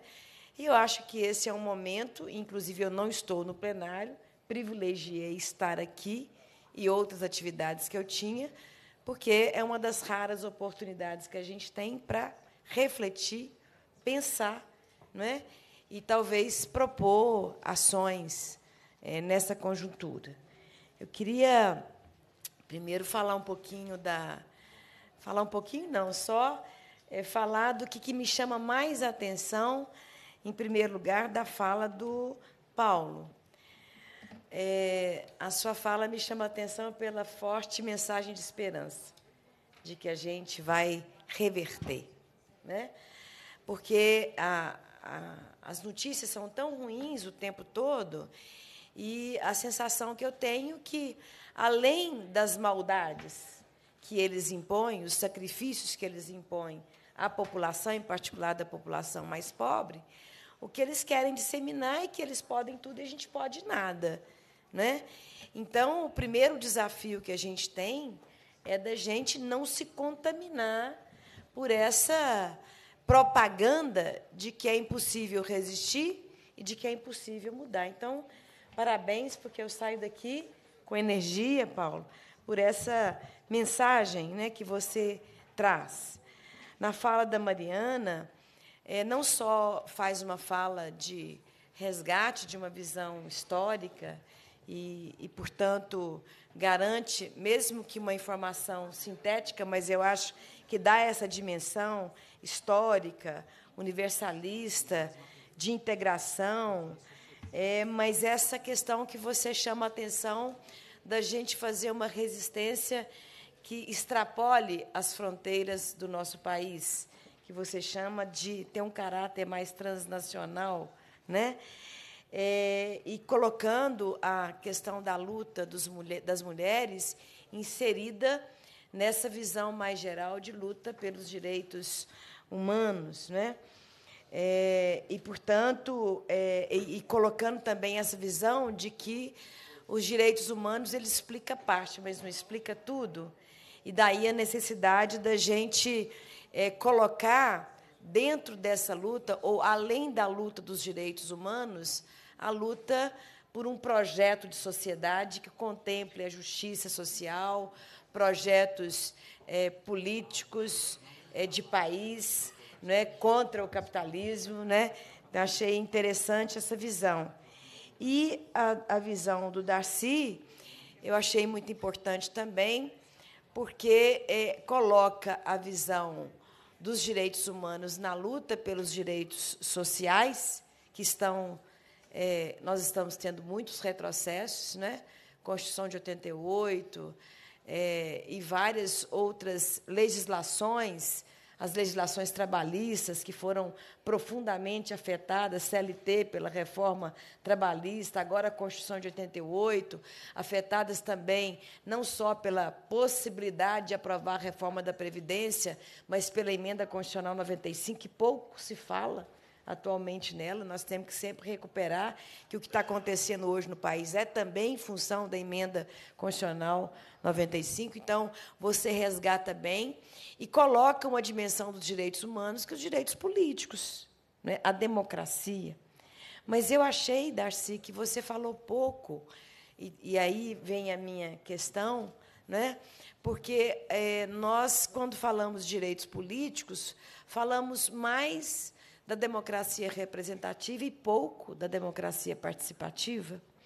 E o direito à cidadania, né, ele implica, na minha opinião, é fortalecer a participação popular, que hoje, no último ato desse governo, no último não, né, mas um dos atos né, que esse governo é, tem feito é, é acabar com os conselhos acabar ou tentar acabar com a democracia participativa. Né? É, então, eles tentaram no processo eleitoral, não atra através da criminalização da política, através é, de todo esse debate que fizeram do novo, contrapando ao velho e tal, eles tentaram enfraquecer a democracia representativa, né?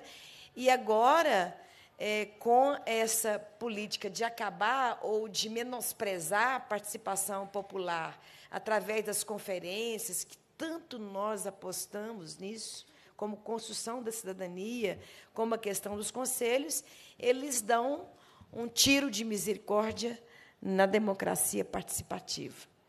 Então, eu queria que vocês falassem um pouco mais dessa questão dos direitos humanos no aspecto dos direitos políticos e aí sugeri, deputada Andréia e deputada Leninha, que talvez fosse importante, dentro desse ciclo de debates, mais de reflexão, talvez, é, talvez promover um debate é, de direitos humanos no aspecto da democracia. Talvez fazer uma mesa assim, democracia política, a representação, representa, a democracia representativa e a democracia participativa, direitos sociais, né? É, talvez fazer mesas que aprofundem mais esse debate, para que a gente é, tenha uma riqueza maior, não só na reflexão, mas para a gente começar a aprofundar propostas. Né? Qual é a democracia representativa que a gente quer? Qual é a democracia participativa que a gente quer? Nós tivemos um modelo, no governo Lula, no governo Dilma, né? o que, que faltou? Né? Porque se a gente também está tendo retrocesso, certamente a gente não consolidou uma visão de democracia representativa e democracia participativa. Então, eu queria mais pontuar né, e deixar como proposta para a comissão né, que talvez a gente possa continuar, eh, dentre as várias audiências que a Comissão de Direitos Humanos faz, é, talvez é, concentrar um pouco nesses debates de reflexão, que eu acho que ela pode dar uma grande contribuição é, nessa casa, não só na reflexão, mas na formulação de novas políticas. Obrigada. Obrigada, deputada Marília Campos. Nós estamos falando que ela fez uma boa mediação entre as falas, né? E acho que é importante também a gente. Nós estamos aqui no debate também para construir desdobramentos, questões que podem ajudar a iluminar o nosso caminho aqui na Assembleia, nessa perspectiva de parar um, o que nós estamos fazendo para refletir sobre a realidade que nós estamos vivendo. E acho que é por isso que nós estamos justificando, inclusive, nossa ausência no plenário. E obrigada à deputada Marília Campos, que também está ausente do plenário para participar conosco aqui desse debate. Então, é fundamental que a gente registre isso. E aí, a Alba Cristina, ela não, ela só vamos registrar a presença dela. Ela é coordenadora lá do Centro de Representantes de Direitos Humanos do Mucuri. Ela é da Associação dos Bairros lá de Teoflotone, presente também nessa audiência. Mas a gente então convida a Júlia para fazer uso da palavra. Estou entendendo que os debatedores vão destacar, né, vão é, captar as questões que vão ser trazidas pelo debate. Depois a gente passa para cada um deles, para além de responder, também a gente fazer as considerações finais. Os participantes da nossa segunda mesa já se encontram presentes, né? E pelo nosso horário aqui, como a gente organizou, a gente tem a Júlia, que é também coordenadora do Centro de Representantes de Direitos Humanos, lá do norte de Minas, é da Caritas Brasileira e da cidade de Montes Claros. Depois da Júlia, em seguida, é o Fernando. A gente só fala a ordem para vocês se organizarem para vir aqui à frente. Fernando Antônio dos Santos Matos, ele é advogado, ele é líder de governança social da Fundação Renova. Depois tem o Douglas Miranda, alegria de saber que o Douglas agora é assessor, né? agora, não sei desde quando, da deputada Marília Campos, nossa companheira aqui também da Comissão né, de Mulheres. Depois do Douglas, o Gilvander, que é assessor da Comissão Pastoral da Terra aqui em Minas Gerais. Então, a ideia é de dois a três minutos para as questões de cada um, para depois a gente retornar aqui à mesa. É, boa tarde a todos e todas. Primeiramente, eu queria agradecer né, a oportunidade de trazer esse debate aqui, de participar desse debate aqui é, nesta casa, ah, eu sou Júlia, representante do Centro de Referência e Direitos Humanos do Norte de Minas, um equipamento social criado na gestão passada pelo Nilmário Miranda ali, que está na, na plateia também. E tudo isso que foi discutido aqui, eu quero trazer apenas uma provocação, né? porque a conjuntura não é favorável, isso já foi colocado, temos muitas preocupações, muitos desafios pela frente. Essa crise global que os direitos humanos enfrentam, é, ela, a gente tem que contextualizar ela nos nossos locais de trabalho, no nosso, onde a gente vive. E, como representante da região norte de Mineira, eu fico muito preocupada sobre a continuidade dessa política pública que são os centros de referência de direitos humanos. Né? Então, eu trago essa provocação para a mesa também, principalmente para as deputadas que estão aí. É, como que a gente faz para tornar essa política é, como uma política de continuidade mesmo, porque somos equipamentos sociais que recebemos demandas importantes, somos portas de entrada, estamos ali na ponta, né? estamos em contato direto com é, a população, com as, as, populações em condição de vulnerabilidade social, e a manutenção dessa política é essencial para que as violações de direitos humanos elas sejam contidas né, nessa conjuntura grave que a gente vive. Então, é mais essa provocação mesmo, como tornar isso uma política pública continuada aqui no Estado de Minas Gerais. Muito obrigada.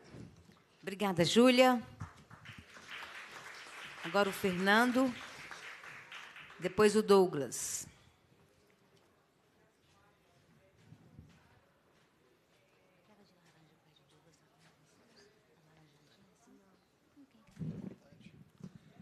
Boa tarde a todos e a todas. Gostaria de saudar essa mesa que nos proporcionou um, uma reflexão importantíssima sobre não só a conjuntura atual dos direitos humanos, mas sobre o seu contexto histórico, sua evolução e presenciar hoje é essa a intenção da minha provocação.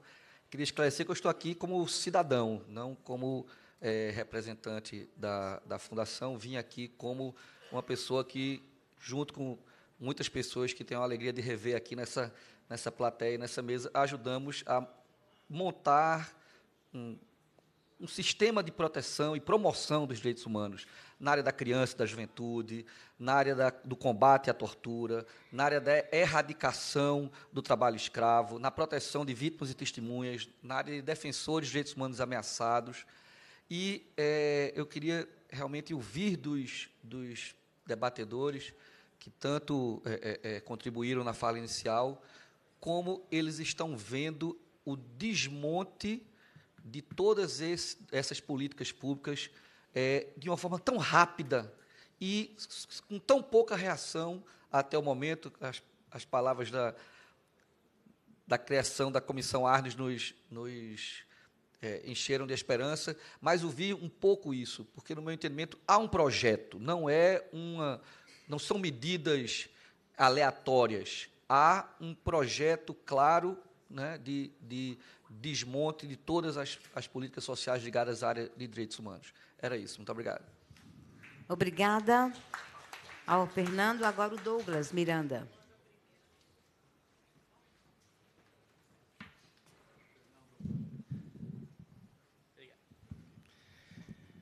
Então, boa tarde a todas e a todos. É, momento importante para discutir nessa casa, né? a casa que vem se demonstrando bem forte nos debates dos direitos sociais, direitos humanos e direitos econômicos, enfrentando os retrocessos.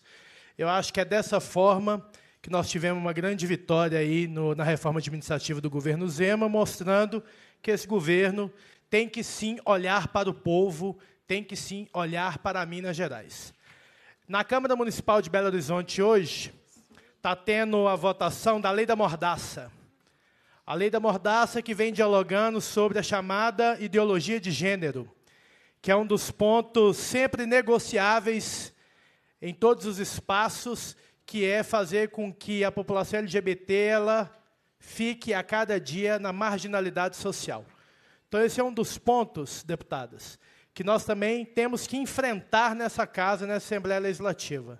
Porque a escola sem partido, que quer fazer com que os professores não dialoguem, não construam e não façam o debate, não só da sexualidade, mas também da vida das pessoas, quando a gente observa que o índice de suicídio ele aumenta quando as pessoas têm que permanecer dentro dos seus armários, porque a heteronormatividade social faz com que as pessoas não se identifiquem como sujeitas ou sujeitos dessa sociedade.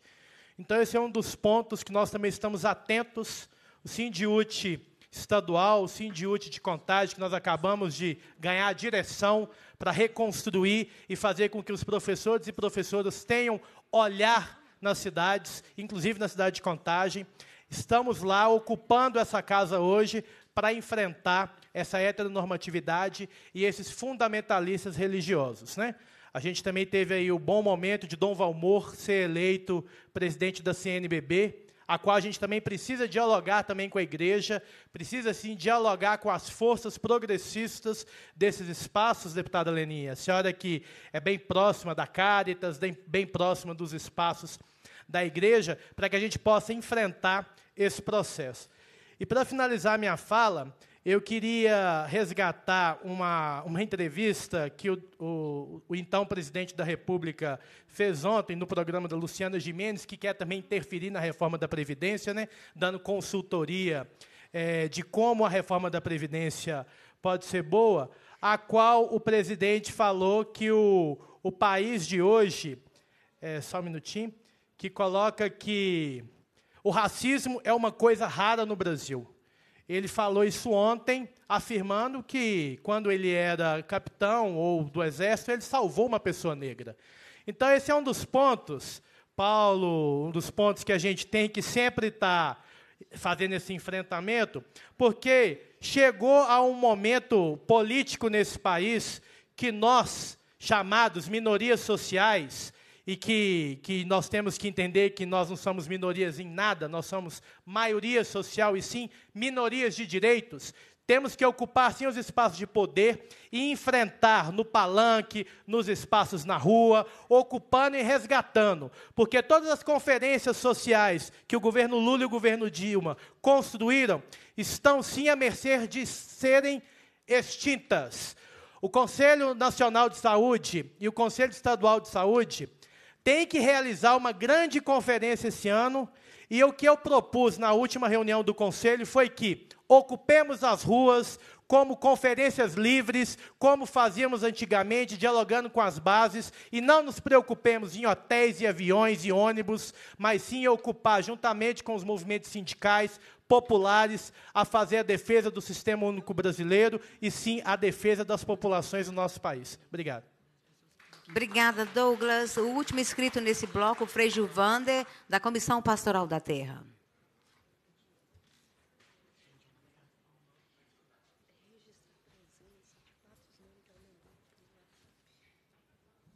Boa tarde a todos e a todas. Que beleza ver o Darcy Frigo aqui, Mariana Prandini, o Paulo. Que beleza, os nossos queridos deputados, a Leninha e a André de Jesus, ter promovido isso aqui que faz bem para o nosso espírito e para o nosso corpo, né? E ter a participação da nossa querida Marília Campos, de todos aqui, né?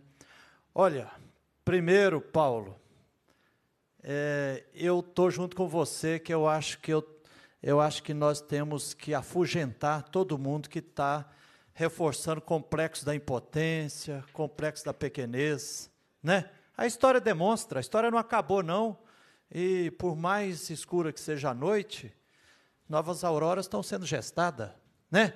Exemplo disso, ontem, dia 7 de maio, a Conferência Nacional do Brasil e eu incentivo aqui as pessoas a lerem e a colocar em prática, expediu uma mensagem ao povo brasileiro, uma nota profundamente profética.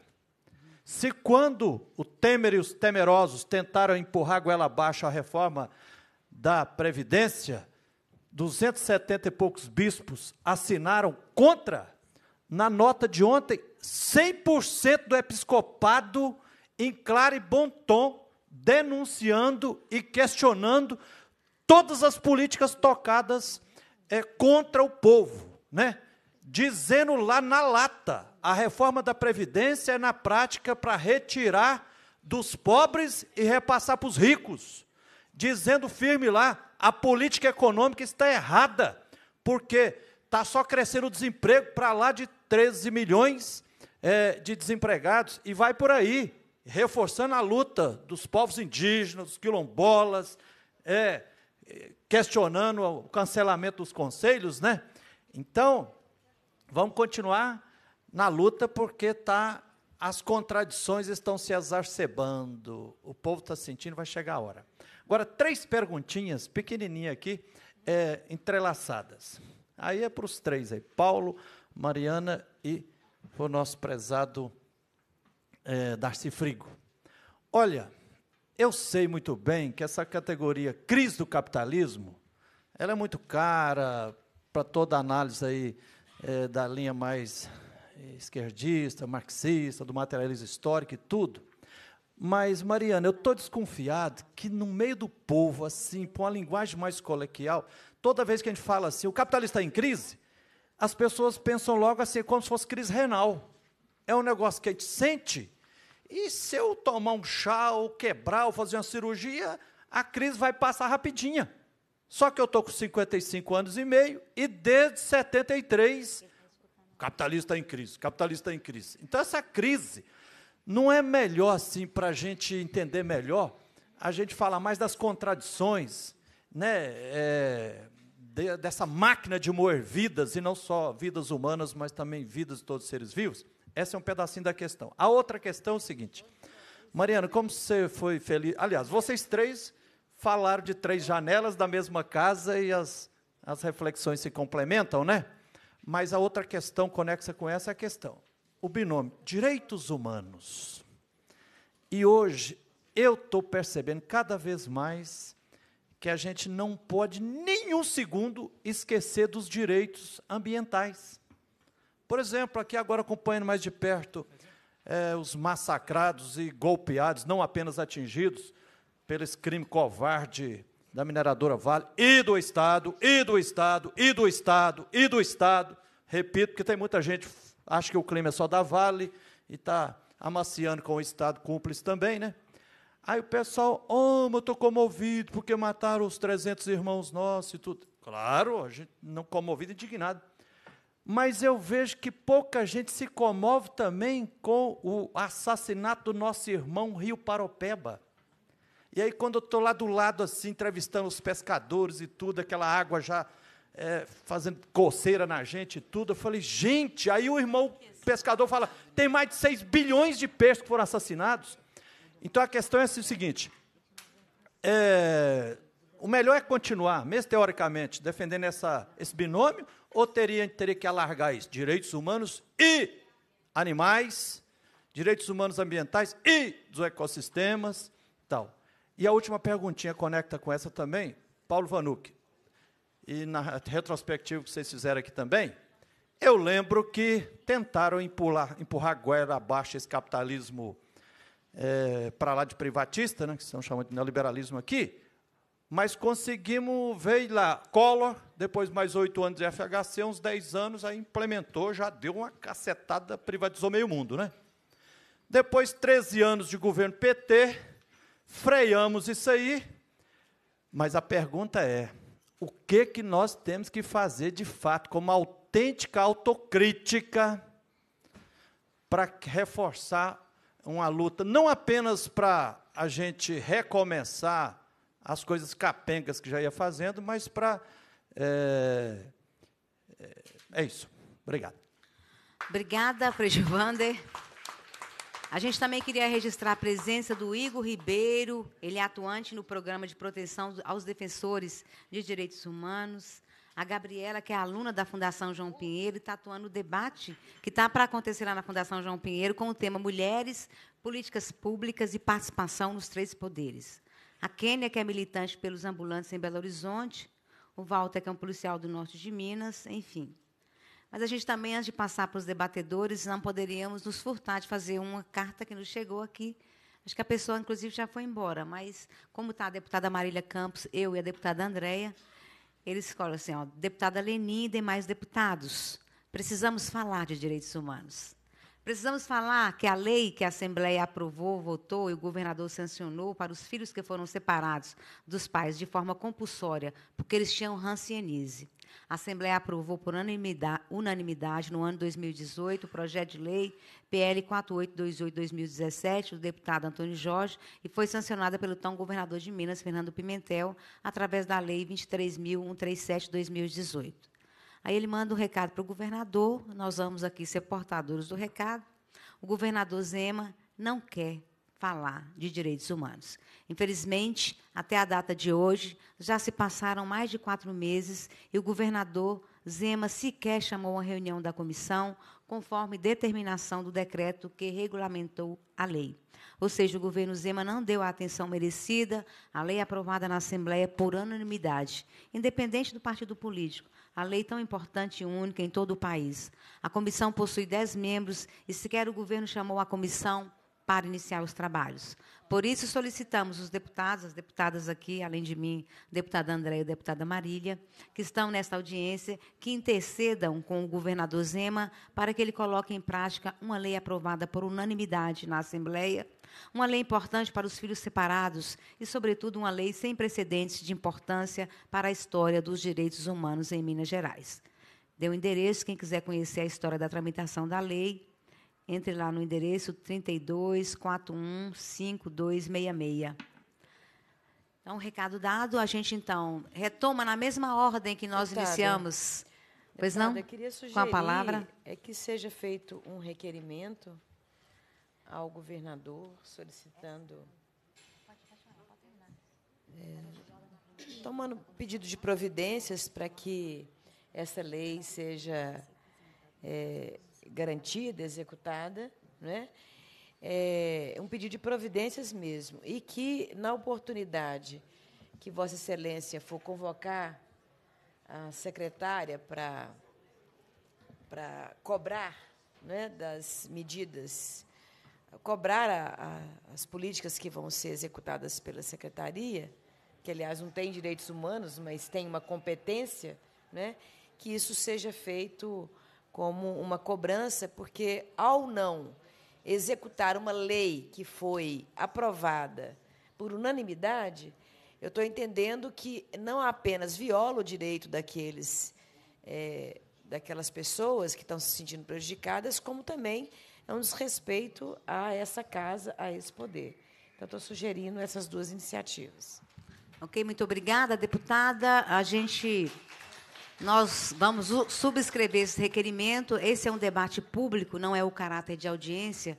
Quando a gente realiza audiência, na mesma audiência, quando tem quórum, nós aprovamos o requerimento apresentado. Mas nós estamos fazendo um compromisso aqui, deixar registrado, nós podemos subscrever a deputada Marília, a Andréia e Leninha, na primeira reunião da Comissão de Direitos Humanos, as sugestões dadas aqui para a gente tomar né, pedidos de providência e de esclarecimentos junto à secretária. Nós vamos é, para a parte de posicionamento após é, a intervenção do plenário, e nós vamos seguir a mesma ordem, Paulo, Mariana e Darcy. E a gente aproveita e pede para vocês fazerem as considerações finais. A gente encerra esta mesa desse debate público para a gente instalar a segunda mesa que a gente convocou para agora à tarde. Muito obrigado, deputada. Bom, faço a minha intervenção final e e também considerações, é, começando uh, por agradecer a oportunidade e dizer que cheguei aqui, é, como sempre, com a minha missão, a missão de todos nós aqui, é de acreditarmos na mudança. Uh, quem em direitos humanos, em algum momento, fica pessimista é porque ainda não entendeu bem Quer dizer, o projeto dos direitos humanos é o projeto mais alucinado que existe de acreditar no progresso da sociedade humana. Eu sei hoje que do meu cristianismo fundador ao marxismo, da minha militância e ao freudismo, que aprendi sobretudo com a minha companheira psicanalista, existe uma dúvida sobre o ser humano. O ser humano é esse ser totalmente dotado de amor, de desprendimento, de generosidade. O ser humano é o homem lobo do homem? Ou ele é as duas coisas? Há uma divisão no indivíduo. O indivíduo é rigorosamente divíduo. Ele tem vida e morte, ele tem amor e ódio, ele tem egoísmo e generosidade, eros e tânatos. E direitos humanos é a aposta mais alucinada, porque quando nós dizemos que o bandido criminoso ele acaba de assassinar uma criança de seis anos depois de estuprar, e mesmo assim ele tem direito a defesa, ser julgado, a oportunidade, nós estamos dizendo alguma coisa que vai muito na contramão de milênios de talião, olho por olho, dente por dente, que está na Bíblia, que está lá no, no código é, de Hammurabi, né? quer dizer, as, as coisas. Então, nós estamos construindo uma nova humanidade. E, nesse sentido, o retrocesso que o Brasil vive hoje, outros países vivem, existiram o tempo todo. Vocês lembram de um retrocesso que foi de 39 a 45? Sem aquele retrocesso, não haveria Declaração Universal dos Direitos Humanos. Foi daqueles seis anos de 60 milhões de mortos, 6 milhões de judeus, por serem judeus, em que ao final de seis anos esse horror terminou com o horror de duas bombas atômicas lançadas sobre civis em Hiroshima e Nagasaki, sem nenhuma necessidade, porque Berlim tinha se rendido em maio. A rendição japonesa não passaria de setembro. E as duas bombas são jogadas como recado para a União Soviética na Guerra Fria que nascia ali repartição do mundo. E foi desse horror que nasceu o sistema que nós estamos construindo. Então, aparecer um Bolsonaro ou um Witzel, quem quer que seja, tentando regredir e fazer voltar a essas forças do ódio, é a repetição de um ciclo histórico, e os ciclos históricos, eles se repetirão sempre. Então, quando eu vou para uma plenária mais popular, de massa, com a nossa tarefa de sermos animadores, eu sempre gosto de reafirmar o que eu já falei aqui. Só que numa plenária as pessoas interrompem para aplaudir. Essa geração que está aqui reunida, ela é absolutamente vitoriosa. Não tenho nenhuma dúvida, ela foi capaz de promover uma mudança nesse país que era absolutamente improvável. Um retirante nordestino, discriminado, condenado à morte desde muito cedo, vai, vira líder sindical, cresce, forma central sindical, partido, ganha eleição, governa e inclui políticas como fome zero, como a inclusão escolar, combate à desigualdade racial, etc que são processos históricos irreversíveis. Isso ninguém apaga. Ele pode aprovar lá em Brasília o fim de todas essas políticas. Elas permanecerão vivas na energia da sociedade, no coração de cada um de nós, até serem retomadas concretamente, porque a história sempre foi assim. E se eu falo, voltaremos a vencer, e as pessoas então aplaudem, eu interrompo os aplausos para dizer, e voltaremos a perder de novo. E voltaremos a vencer, e voltaremos, porque isso é a maré de um oceano. Se a natureza pulsa na maré, nos ventos, nas estações, por que, que o ser humano não pulsaria? Ele teria uma reta única, um movimento uniforme, só de progresso? Não. Agora, em cada ciclo como esse, agora, de derrota, de ataque, nós desenvolvemos músculos que nós deixamos tornar flácidos no período de vacas gordas. Uhum. Em vacas gordas eu tenho caneta, eu tenho contatos, eu tenho alianças, e agora esse reaprendizado, ele nos recoloca no caminho, que eu agradeço muito também, as palavras da deputada Marília Campos, porque ela retoma uma discussão e a democracia participativa. Então, nesse sentido, eu termino dizendo que estamos num evento institucional. Aqui quem se pronuncia é a Assembleia Legislativa de Minas Gerais. E a Assembleia, ela saberá, como ninguém, qual relação com o governo estadual, com o executivo estadual, com o judiciário, para que os conselhos em Minas Gerais sejam mantidos, para que eles sejam criados. Se existe esvaziamento pela asfixia financeira, não, é um conselho que existe na lei, eu não posso mudar, mas eu não tenho mais verbas para as passagens, que é lá a, a senha da ministra Damares. Então, não se reúne porque eu não tenho dinheiro. E depois veio o decreto mais abrangente para acabar com tudo. É um ciclo que, inegavelmente, nós vamos superar, repito, não sei se é em poucos meses. E eu não queria não podia terminar também pedindo a sensibilidade, a intervenção do Poder Legislativo de Minas Gerais para um tema dos direitos humanos que nós não podemos nunca mais deixar de abordar. E até agora não abordamos, nem eu, que sou jornalista.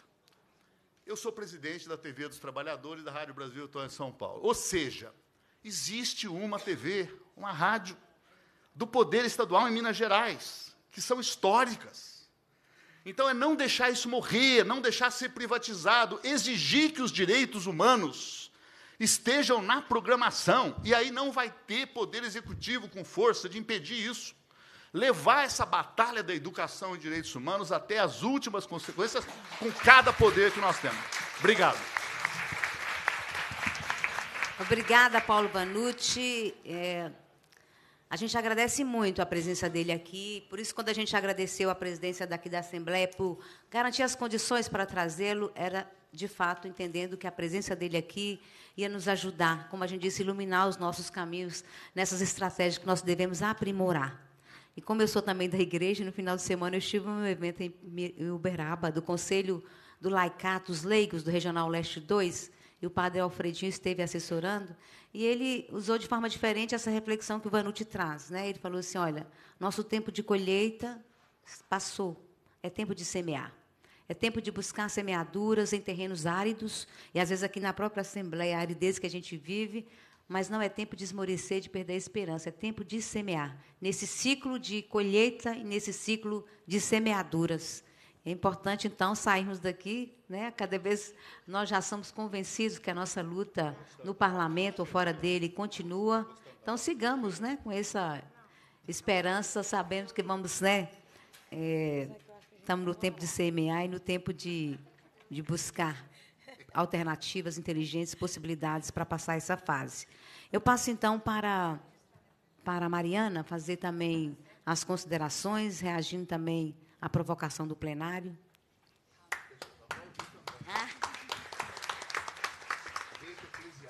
Bom, vou tentar é, responder aqui as questões, as colocações, provocações.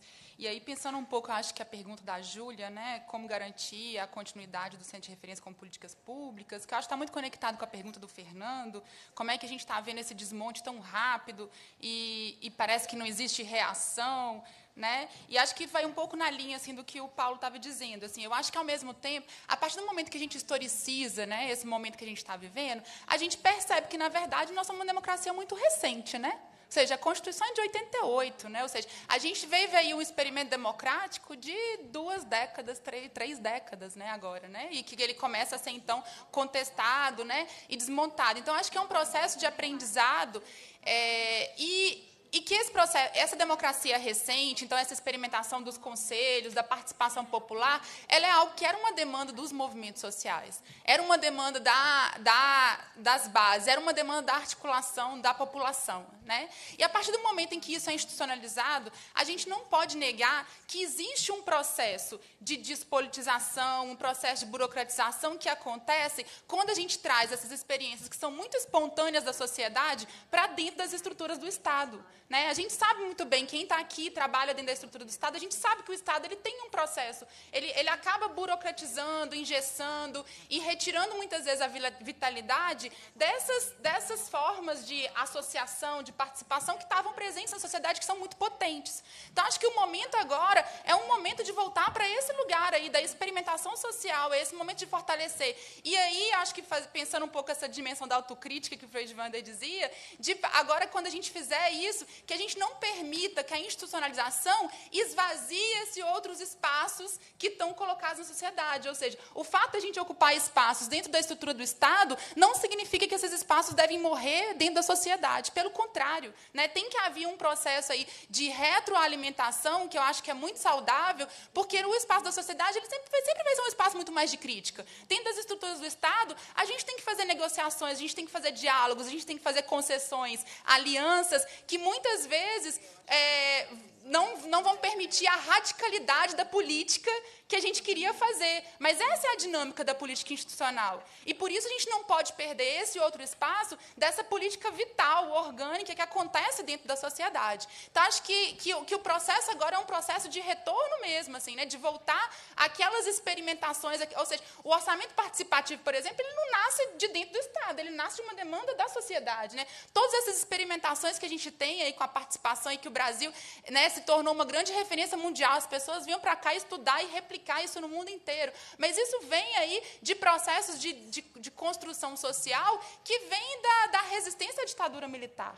Né? Então, eu acho que é da resistência que a gente vai fazer agora nas ruas, a resistência que a gente vai fazer nas comunidades, a resistência que a gente vai fazer do lado de fora da estrutura do Estado, é que vai nos permitir aí visualizar novas formas de ocupação desse Estado. Né? Eu acho que vai ser preciso a gente entrar para o Estado para transformá-lo também fundamentalmente. Né? Eu acho que isso também se perde um pouco cami no caminho à medida em que a gente ocupa as estruturas de poder. E isso não é porque é bom nem ruim, não. É inerente né, à estrutura do Estado fazer isso. Né? Ou seja, é inerente. Assim, acho que não existe assim, esse processo de burocratização, esse processo de, é, de, uma, de, de disciplinamento né? Isso acontece com qualquer instituição. Vai acontecer quando a gente vai para a escola, a gente passa por isso, né? se a gente é hospitalizado. Né? Ou seja, isso faz parte dessas instituições. Aí, né?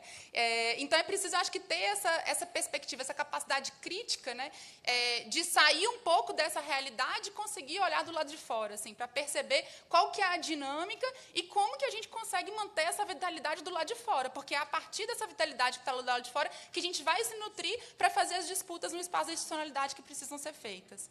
É, e aí eu queria comentar é, sobre a, a, questão da ideologia de gênero que o Douglas aponta, né, que eu acho que também assim é um elemento fundamental assim para a gente tá entender a gente entender o que está se passando, não apenas no Brasil, mas como no mundo, e entender que isso também não é uma invenção de agora, ou seja, não é uma invenção de um grupo de pessoas aqui não, mas é algo que vem lá, gente, dos anos 90, né, de articulações do Vaticano dentro dos processos da ONU e dos debates sobre direitos sexuais e reprodutivos dentro da conferência de Cairo, a conferência de Beijing né? e uma oposição articulada, né? muito fundamentada, com produção teórica, é, e, e, que aí existe aqui, eu acho, no Brasil, uma, uma coincidência, né? uma apropriação né? por alguns setores é, evangélicos da, dessa discussão da ideologia de gênero, né? então que é uma que é uma grande invenção, né? que é uma grande é, criação de que a gente estaria subvertendo o que é a natureza da mulher, a natureza do homem, estaria subvertendo o que é a família né? tradicional. Né?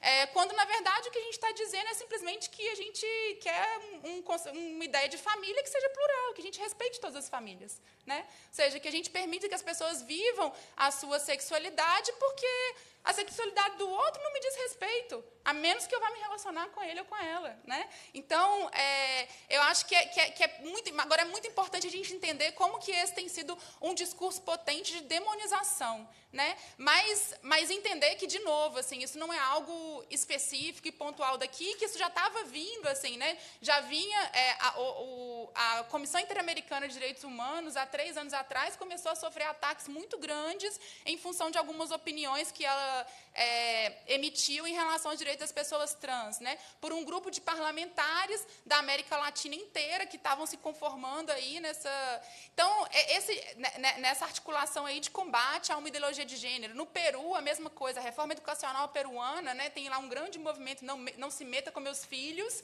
que também é a mesma coisa da, da escola sem partido daqui. Então, acho que entender assim, as coincidências desses discursos, né, como que eles se articulam, que eles estão se articulando regionalmente e, na, e internacionalmente, né, para a gente pensar, então, como é que a gente como é que a gente se opõe a isso, né? Qual que é o, o contradiscurso que a gente vai fazer?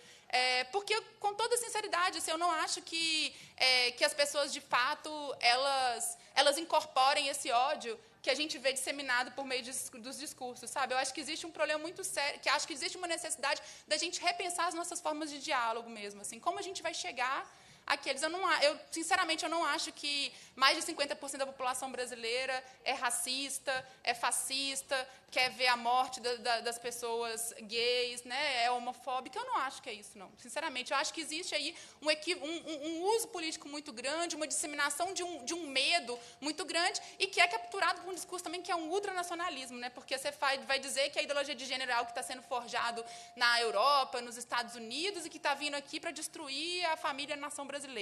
Né? Então, acho que, é, acho que aí, de mais uma vez, vem o nosso papel como defensores de direitos humanos na cotidianidade para desconstruir essas coisas, né? Para mostrar assim, na, nas coisas mais comuns do dia a dia, como que as pessoas elas são na verdade muito mais solidárias, elas são muito mais abertas, elas são muito mais acolhedoras do que esse discurso quer fazer parecer. E é, e aí, com relação ao Frei de Vander, totalmente de acordo, Frei de Vander, sobre essa necessidade da gente repensar o paradigma humanista dos direitos humanos, né? E da gente parar de lidar com a natureza, né? Com seres não humanos, como mera, meros instrumentos a nosso, a nosso benefício. Né? Eu acho que é fundamental essa virada biocêntrica, é fundamental que a gente entenda que, o, que os seres não, não, não humanos também são portadores de, e que eles têm um valor moral em si, assim como a gente demanda o valor moral para a gente, porque eu acho que isso é fundamental, inclusive, do ponto de vista até mais estratégico, para a própria manutenção da vida humana, assim, porque se a gente não parar esse processo de destruição, nem para a gente vai ser possível mais. Né? E aí, quando eu falo da crise do capitalismo, é, acho que você tem razão que a crise talvez não dialogue, mas é pensar que eu acho que a gente chegou num momento hoje é, que, o, que é, é, a ideia de que o capitalismo está destruindo as próprias condições, as, as condições de sua própria reprodução.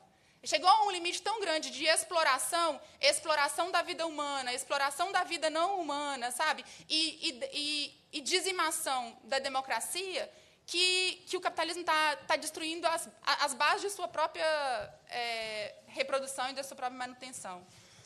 E para então para terminar terminar eu acho que eu acho que é isso assim é, é, a gente não não se desesperar a gente ter lucidez e tranquilidade né para não não ler demais gente mensagem de, de WhatsApp não não lejam não leiam notícias. Eu acho que esse, esse mundo de hoje tecnológico também tem colocado a gente num constante assim né ansiedade, assim, é uma tensão constante que parece que o mundo está desabando a todo momento, assim, né? O mundo está desabando a cada cinco minutos que você abre o seu telefone e vê uma mensagem aparecendo, né? Então acho que é ter tranquilidade de pensar que que é um processo histórico, né, da gente sentar e parar nesses momentos para refletir, né, e ter a capacidade de que se a gente chegou até aqui, se a gente conseguiu, se estão querendo destruir tudo isso, é porque isso fez muita diferença é porque a gente já conseguiu muita coisa. E que eu acho que. É, e que não é capaz, assim, existe um processo na história que eu acho que a gente não vai dar voltas atrás, a gente vai dar passos atrás. Eu acho que a população é, negra, periférica, que hoje chegou nas universidades brasileiras,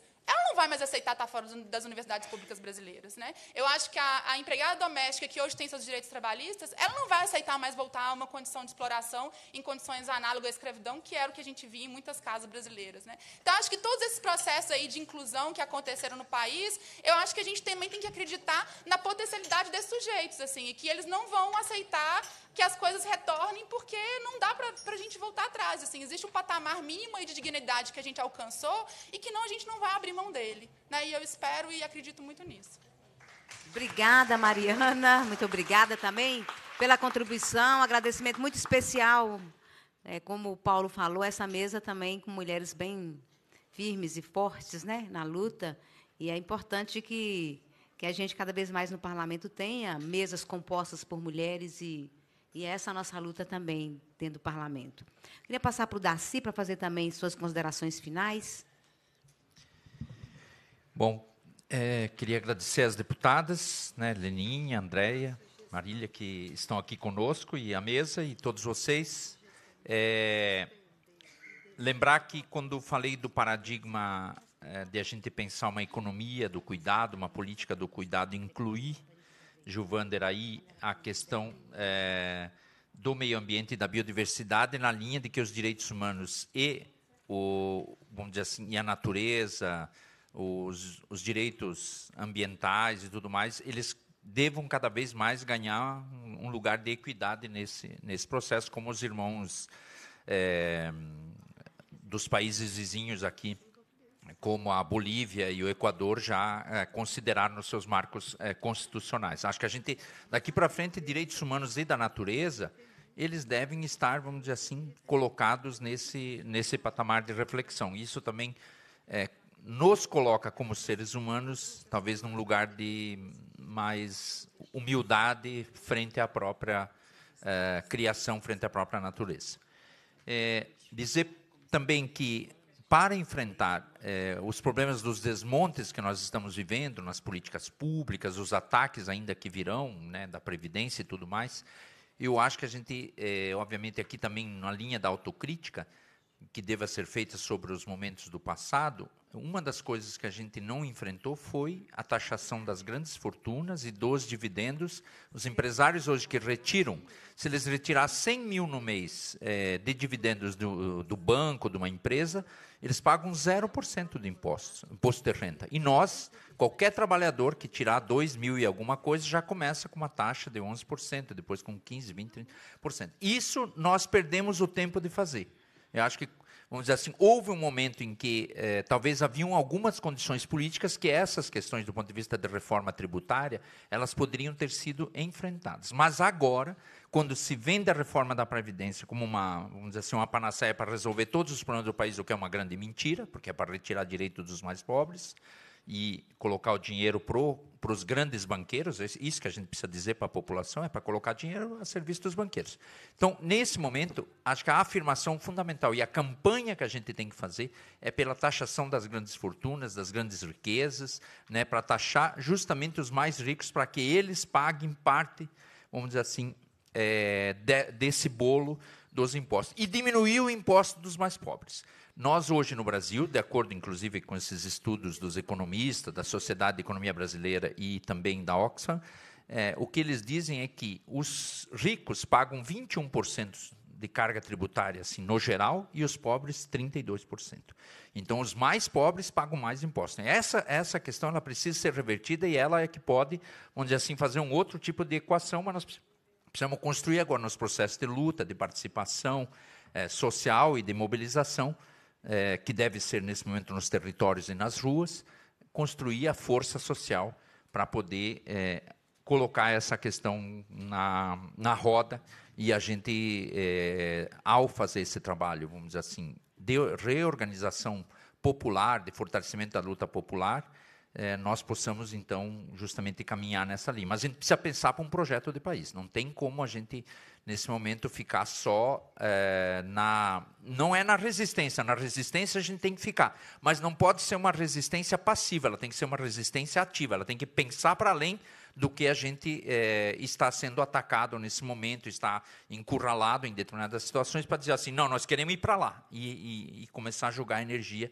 para esse projeto que eu falei aqui de economia do cuidado, que em vez de tirar dinheiro da saúde, da educação, né, da agroecologia, de todas essas, essas políticas, devia de colocar mais dinheiro, mais investimento público. O produtivismo já está condenado. O mundo não precisa mais, vamos dizer assim, de uma economia produtivista necessariamente para poder salvar a humanidade. Ele precisa agora de trabalho, ele precisa de distribuição de renda para poder garantir direitos para todas as pessoas. E, por fim, eu queria deixar para a Comissão de Direitos Humanos aqui é, dois livros: O Racismo e Violência contra Quilombolas no Brasil, que é da Terra de Direitos e, e da CONAC, e o Vidas em Luta, que é do Comitê Brasileiro de Defensoras e Defensoras de Direitos Humanos, né, como é, materiais de subsídio justamente para fortalecer a luta daqueles é, defensores defensoras de direitos humanos que nos territórios e nas ruas continuam, é, vamos dizer assim, sempre no estado de exceção.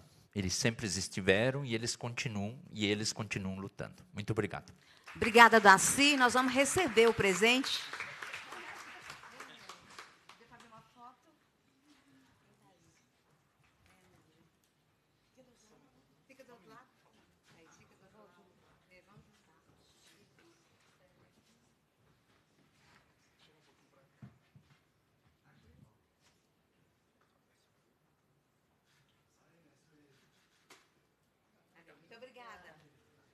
Obrigada, Aldaci. A gente, antes de.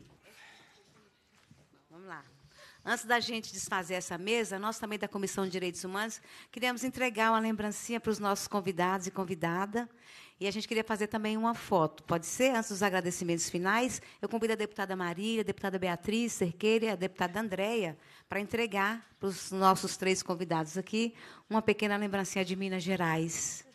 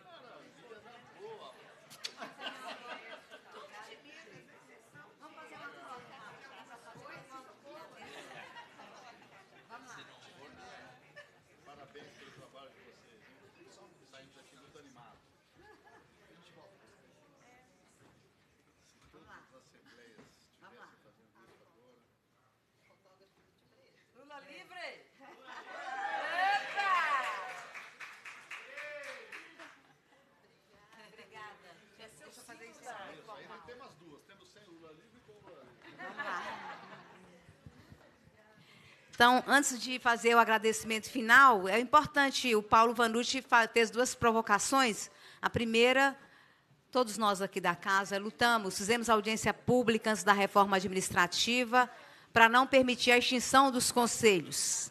Fizemos audiência pública, colocamos emenda na reforma, para que, inclusive, lá na reforma aparecia somente política de direito humano, escondendo a diversidade que nós temos no Estado, das mulheres, da igualdade racial, do gru o grupo LGBTI, e por aí a gente lutou aqui. Então, não foi uma luta só do, da comissão, e a gente conseguiu manter, inclusive, a, a Comissão é, de Povos e Comunidades Tradicionais já teve a primeira reunião este ano, Né? Então, nós estamos muito atentos, lutando para que os conselhos, o Conceia, o da criança e do adolescente, todos esses conselhos aqui em Minas Gerais, eles continuem funcionando. Conseguimos aprovar na reforma, estamos conseguindo garantir, inclusive, reuniões desses conselhos. E, por último, ele deu um recado sobre os nossos meios de comunicação estatal. Né? Teve muita audiência aqui por conta da Rádio Inconfidência, a TV Minas também. Então, a gente, acho que é uma dica importante para a gente pensar como é que utiliza essas ferramentas de comunicação para garantir a educação para o direito humano. Então, todos vocês, muito obrigada. Nós vamos desfazer essa mesa. E eu passo a presidência da segunda mesa para a nossa co-presidente, a deputada Andréia de Jesus, do PSOL. Andréia vai conduzir, né, com a nossa presença aqui, essa segunda mesa. Muito obrigada.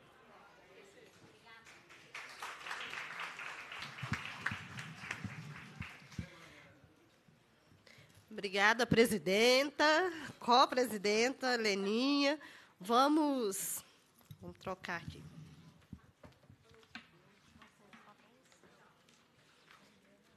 Chega para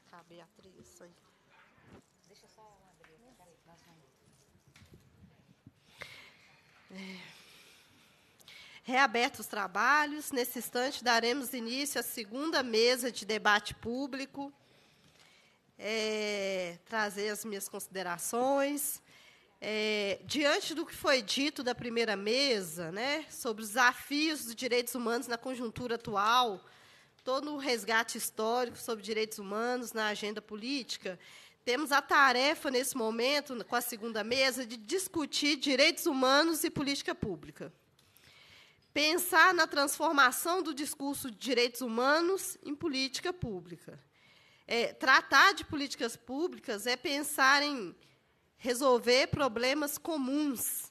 E aí eu já faço um parêntese aqui da responsabilidade do Estado brasileiro de responsabilizar aqueles que descumprem os tratados internacionais, que observam as recomendações e as condenações do Estado brasileiro em relação a, ao tratamento de tortura, é, o Estado brasileiro, nesse momento, precisa agir para dar resposta a tudo isso. E a questão é que, se pensarmos no ciclo da vida das políticas públicas, é, o atual cenário político, temos uma questão muito complexa, que é um cenário de transformação do Estado em empresa. O novo modelo de governo que traz uma expertise, um espírito empresarial para o setor público, precisa necessariamente obter uma maior eficiência, de, propõe uma maior eficiência do Estado, que deveria ficar cada vez menor e parecido com uma empresa, né, que entrega um produto e transforma todos os mineiros em um produto para ser explorado. É, quando o governador de Minas Gerais anuncia tolerância zero contra as ocupações, Estamos diante de um governo que não reconhece um problema comum, que é a ausência de política pública habitacional. A resposta para os conflitos fundiários é, sim, apresentar um direito à moradia, o direito a acesso à terra, como política de Estado, é, é, que trata o direito à moradia adequado como um, um caso de polícia, né? Será que o governo que trata as ocupações como um caso de polícia vai dar conta de tomar e implementar uma decisão em prol de uma solução de um problema público? É, a agenda pública existe e resiste desde sempre. Estamos em marcha, os movimentos sociais, com, os, com as comunidades tradicionais, a redução do Estado através do cancelamento de programas governamentais, da privatização de empresas, de organismos públicos, da suspensão e corte de gastos públicos, da abertura da economia através da redução e do desaparecimento de tarifas, é, através de processos de desregulamentação, da formação de novas instituições autônomas, como, e aí a pergunta já fica para aqueles que vão debater com a gente agora. Como garantir a eficiência de administração pública e garantir os direitos humanos? Nós vamos debater direitos humanos diante de um cenário que está dado, um governo neoliberal. Então, dentro dessa proposta neoliberal, como enfrentar esse cenário e garantir a efetividade dos direitos humanos? O empoderamento dos sujeitos dos direitos humanos. Como garantir a autodeterminação e a autorrealização do sujeito, dos povos, das culturas e a possibilidade de exercer poder, que é o que a deputada Marília trouxe mais cedo. A participação política demanda uma estrutura mínima. Eu preciso comer. A gente só avançou no debate sobre direitos humanos porque a gente passou a se alimentar. Comentava com a deputada Leninha que o primeiro governo Lula ele tomou posse dizendo que até o final do mandato todo brasileiro teria três refeições. Isso fez diferença. Não, não defendo a política econômica adotada pelos governos passados, porque eu tenho divergência, venho do pessoal e tenho divergência, mas eu estou dizendo que direitos humanos, para a gente lutar, a gente precisa, sim, de ter alimento na mesa. Isso é primordial até para as demais lutas. Mais pessoas em sua trajetória podem ocupar esse lugar que nós estamos ocupando hoje. Eu, Leninha, Beatriz, que viemos das lutas, mas a gente precisa também debater qual o sistema econômico e político que a gente está aqui para defender. Qual o desenvolvimento humano, desenvolvimento econômico, quais os sistemas econômicos a gente pode debater. E isso é direitos humanos. A escolha do modelo societário que eu defendo é direitos humanos. E aí, os tratados internacionais vêm na linha de garantir que o Brasil, que é signatário de vários tratados, ele tem a obrigação de respeitar nenhum dos órgãos pertencentes ao Estado deve violar direitos humanos por meio de ações ou de omissão. Obrigação de proteger. Os órgãos pertencentes ao Estado devem evitar que particulares, empresa, sindicato, pessoas, grupos religiosos, associação, partidos violem os direitos humanos. O Estado tem a obrigação de garantir obriga o Estado a organizar todo o aparelho governamental de forma que as pessoas possam exercer seus direitos, que possa ser subdividida em quatro obrigações: a obrigação de prevenir violações de direitos humanos, a obrigação de investir é, nos casos de violação de direitos e a obrigação de responsabilizar os atores intelectuais e materiais de violação de direitos, direitos humanos e de reparar os direitos violados das vítimas. Obrigação de cumprir e tomar medidas. O órgão de governo deve realizar ações tendentes ao cumprimento das obrigações internacionais em matéria de direitos humanos. Por fim, gente, essa mesa fará um esforço fundamental para que possamos pensar como garantir a execução de políticas públicas de promoção e defesa dos direitos humanos. E ainda quero trazer um, em resposta até às várias manifestações da mesa anterior, que nós, a, dia 13 de maio, é dia considerado da abolição da escravatura. Enquanto a gente não tiver efetivação dos direitos humanos, não tem o que comemorar. Nós temos uma abolição incompleta e vamos, sim, não só debater a discriminação, a, o racismo, a violência contra o corpo das mulheres, mas é imprescindível a gente também discutir a grana, orçamento. E é isso que eu venho me esforçando para trabalhar, porque ao longo dos anos me chamam sempre para ir para as mesas falar de discriminação racial. E nós, o povo negro, vai começar a falar de orçamento. Não? Eu quero entender de economia, eu quero falar de economia, porque o nosso povo está ficando de fora, porque tem uma narrativa branca que nos coloca de fora e não reconhece que as comunidades tradicionais têm um outro sistema de economia que é supremo esse sistema de economia que estão dizendo que agora está em crise. Está em crise porque ele é ilegítimo. Né? Ah, o sistema econômico que, que mantém há séculos não é prioridade nos governos que nos antecederam e muito menos nesse governo que assumiu agora. para a gente, a presidenta, a presidência convida a tomar assento à mesa os seguintes convidados. Nilmário Miranda, formou-se em jornalismo na Universidade Federal de Minas Gerais. Em 79, quando eu nasci.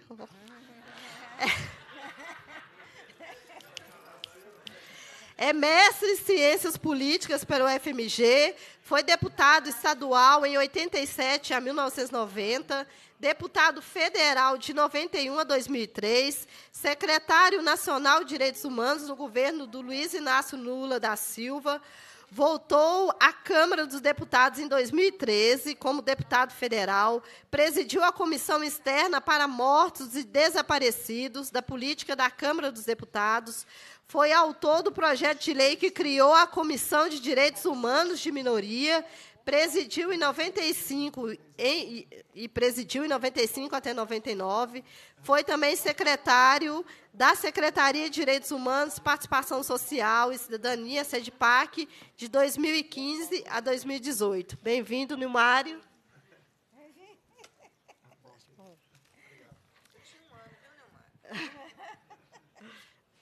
É, doutora Cláudia Sprange, graduada em Direito pela Pontifícia Universidade Católica do Rio de Janeiro, em 1988.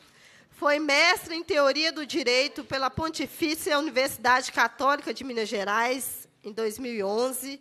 É, em especialização em Direito Penal, Processual Penal, pela Universidade Gama Filho, em 96 desde o ano de 89, é promotora de justiça do Estado de Minas Gerais, tendo exercício titularidades nas comarcas de Ervalha, Itambu,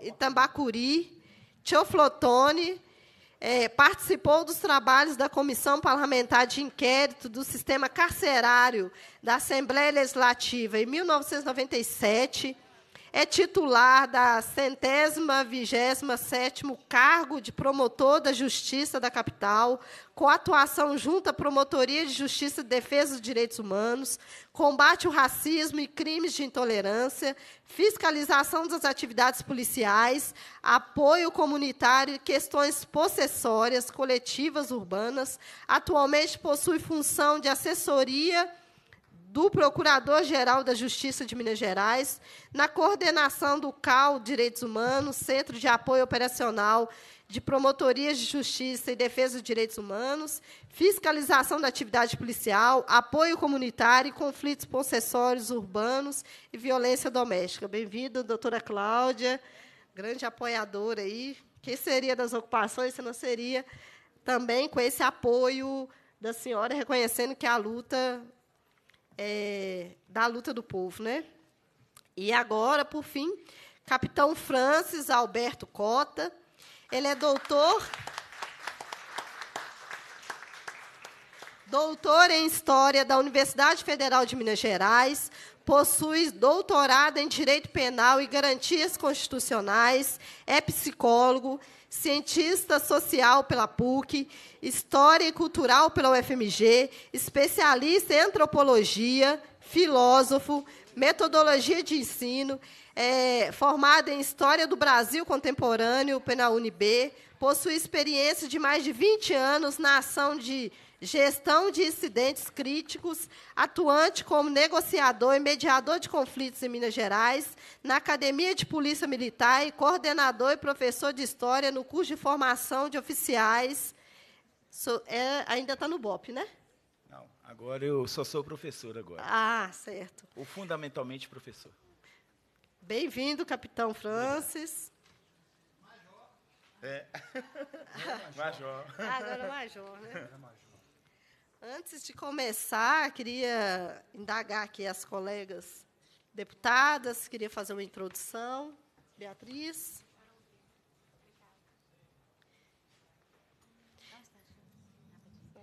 Não é uma introdução, mas eu não poderia de publicamente aqui.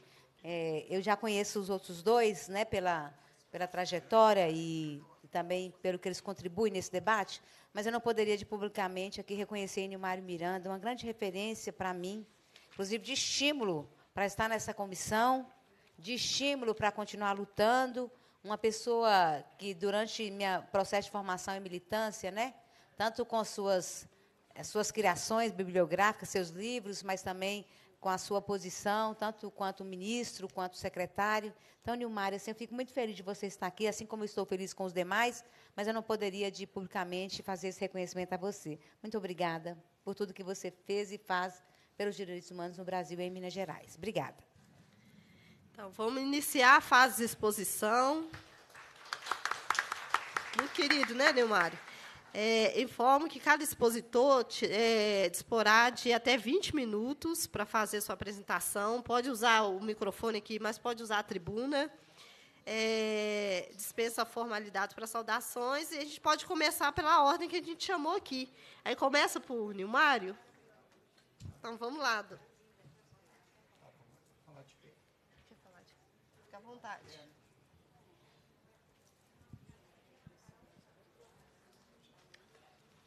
Falar de pé, né? Que o Darcy Ribeiro, um dia, estava numa reunião desse tipo aqui, falas importantes, né? Aparentemente tem mais nada a dizer. E aí, todo mundo falando sentado, na hora que chamou, ele deu um pulo e falou, vou falar de pé. Demagogo, fala de pé. Ele não era demagogo, né, Paulo? Imagina. Darcy Ribeiro, demagogo, jamais. Ele falou no sentido grego da palavra. Então, demagogo, fala em pé. Não sou Darcy Ribeiro, é claro, não tem a, a, importância dele. Mas antes de, de qualquer coisa, eu queria fazer uma homenagem aqui.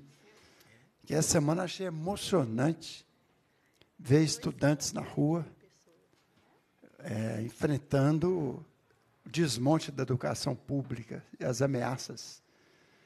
Sobretudo Rio de Janeiro e Bahia. Parece que foi no Brasil todo, mas eu vi nesses dois. E achei, fiquei muito emocionado. Então, queria fazer essa homenagem aqui aos estudantes, à volta deles, às ruas. Não, não que eles não tivessem participado desses anos, mas nesse governo agora, foi a primeira vez que eu vi. E lembrar o papel que os estudantes desempenharam historicamente no Brasil. Né?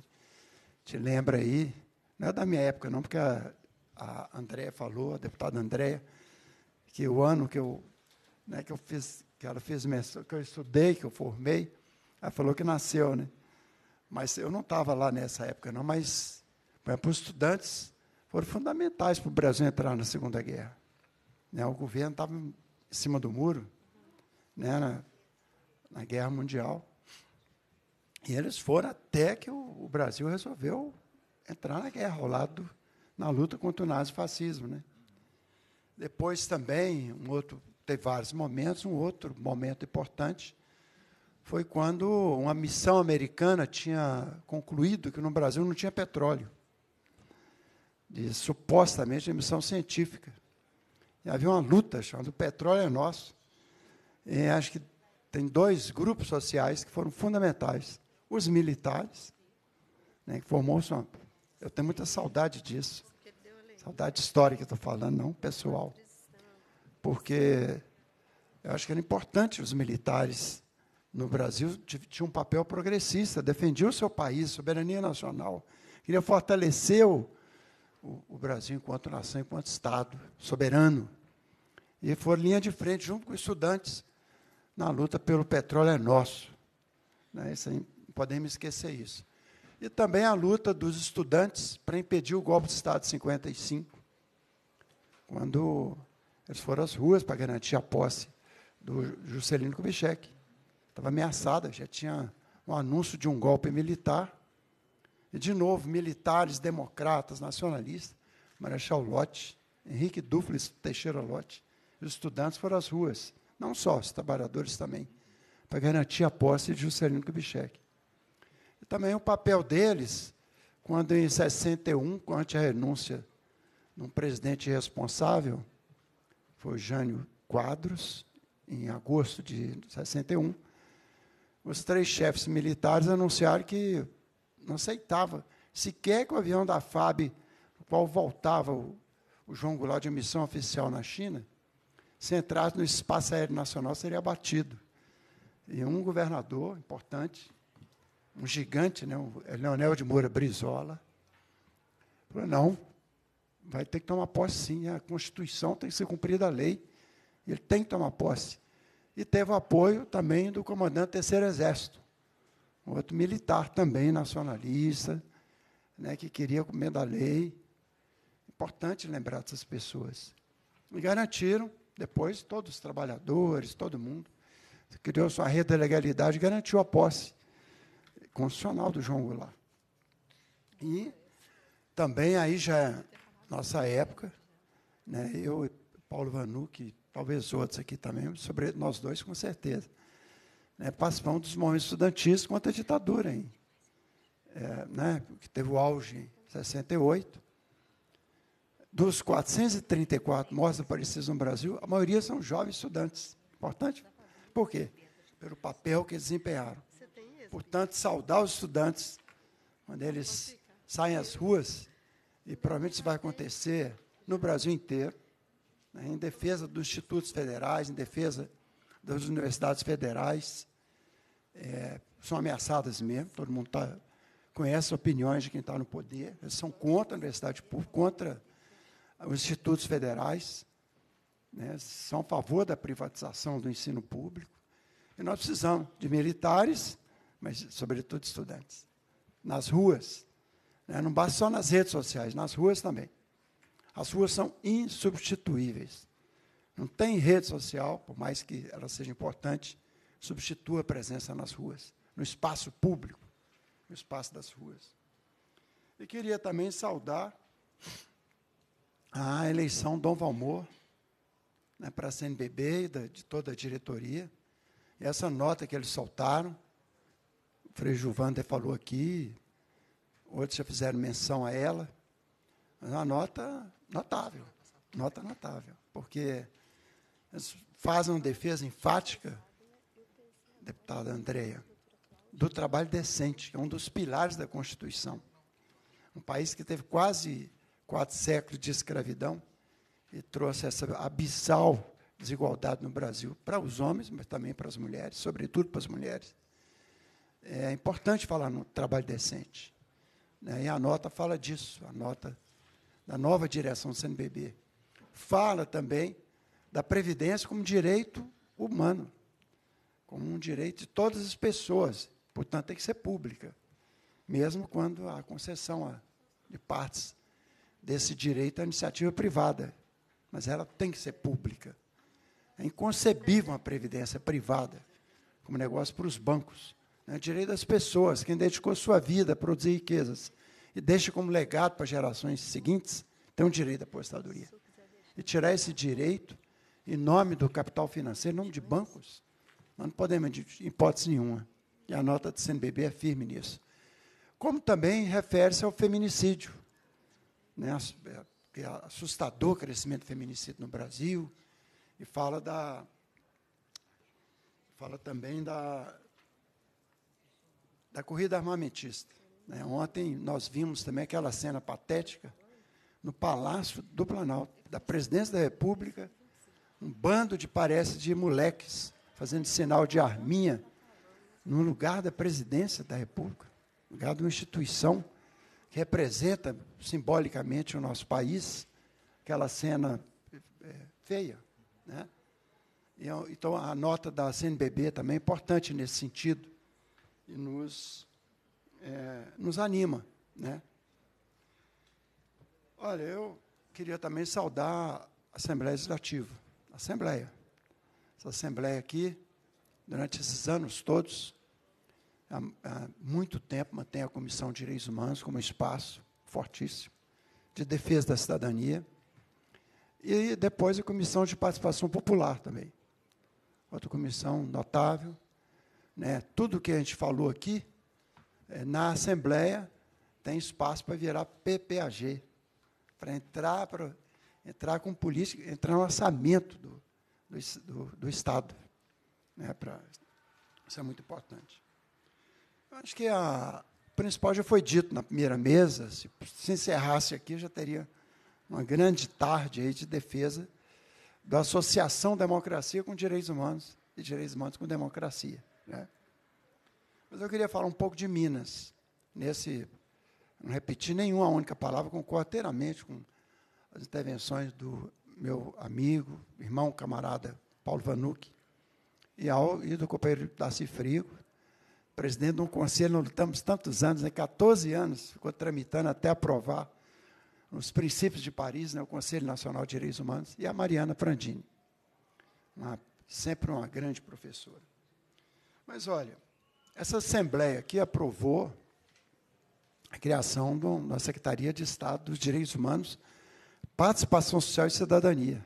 Na época, a pessoa pergunta, por que, o nome tão grande? Por que, não só a Secretaria de Direitos Humanos? Eu falei, não, sempre defendi que devia ser Direitos Humanos, Participação Social e Cidadania. Que a cidadania é a expressão dos direitos humanos quando ela chega nas pessoas. Não é só anunciado. Uma declaração universal, que é um, que é um documento fundamental, nem, só, nem da Constituição também, foi a melhor Constituição da história do Brasil. É quando ela vira política pública é que, é que expressa com cidadania. Chega à vida das pessoas. Né? E sem participação social não é isso. Nós já vimos muitas constituições serem passarem décadas de vigência sem modificar a vida de ninguém, porque não teve participação social. O que garante a Constituição com a cidadania, o vínculo com a, com a política pública é o. Eu, eu acho que nós erramos nisso, nesses anos. Que nós não conseguimos, nem a nível nacional, nem em Minas, é, traduzir as grandes conquistas em leis infraconstitucionais. Leis que tornassem. Porque ó, o roteirinho é esse: princípio, Declaração Universal e todo o sistema universal. Depois, está na Constituição. Aí vem as, as leis ordinárias, infraconstitucionais. E depois dela, a política pública. Esse é o roteiro. Para consolidar e dar permanência às conquistas.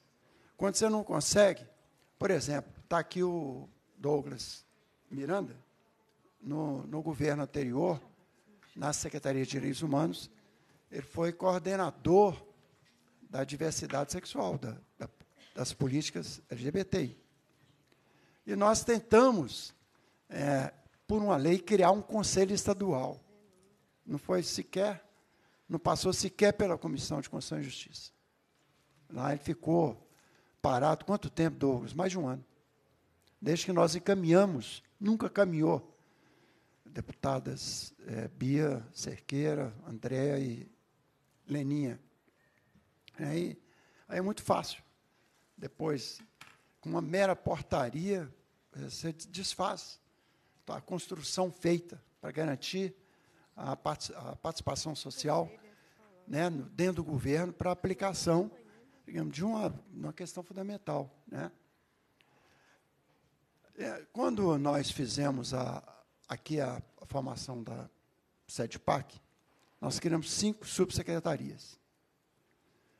Uma delas era de chamada secretaria de, subsecretaria de participação social. Acho que nunca teve isso em Minas.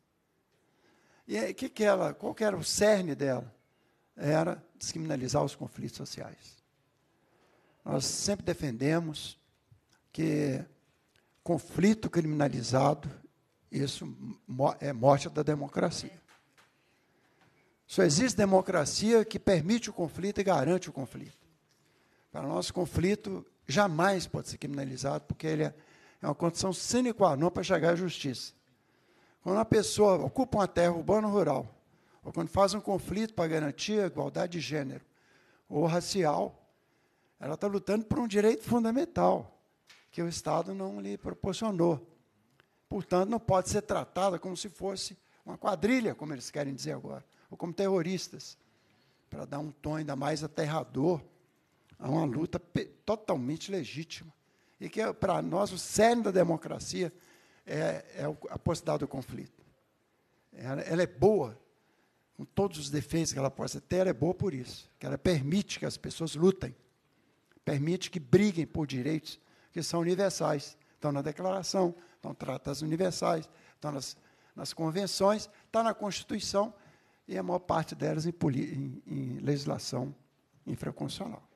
Portanto, se é direito, a pessoa tem que ir para a luta mesmo. E, e, nós não podemos aceitar. E conseguimos em Minas. Quando começou o, a Secretaria de Direitos Humanos, né, no passado, nós tínhamos 150 mandados de integração de posse transitados em julgado em Minas. É, 95% deles não foram cumpridos. Por quê? Nós instalamos uma mesa de diálogo. Estava lá a polícia militar, aí o, o capitão, agora Major Francis, é um, também representou tantas vezes a polícia militar, não só ele, que é uma instituição. Nossa polícia militar aqui, ela concordava conosco, sempre concordou conosco, que é, conflito social não é questão de polícia, é questão de política social, nunca de polícia.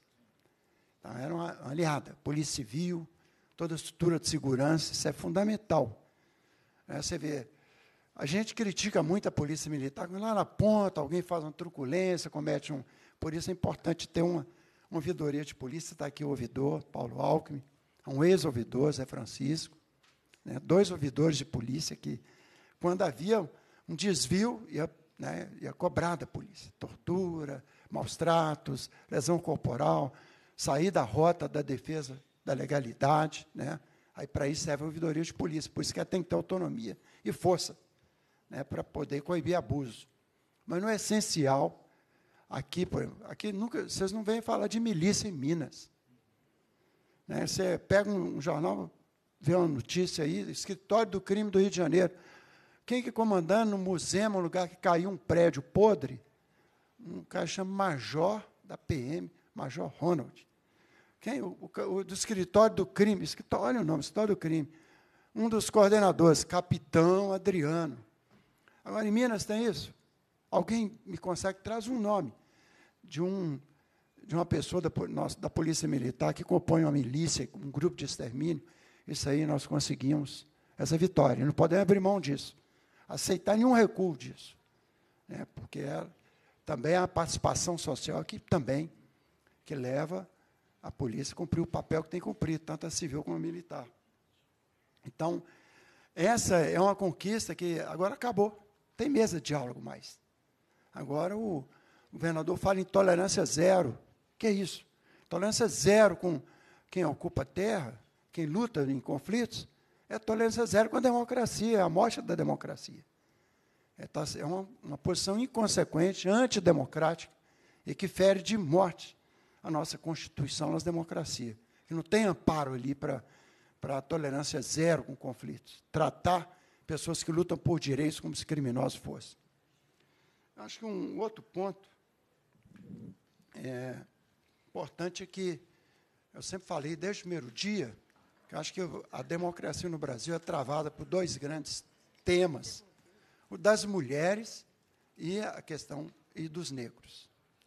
É, onde teve a escravidão, isso deixou um legado maldito para o nosso país, de desigualdades e de desrespeito às pessoas, de, da supremacia baseada na cor, de uma, uma questão étnica é interferir numa bandeira fundamental dos direitos humanos.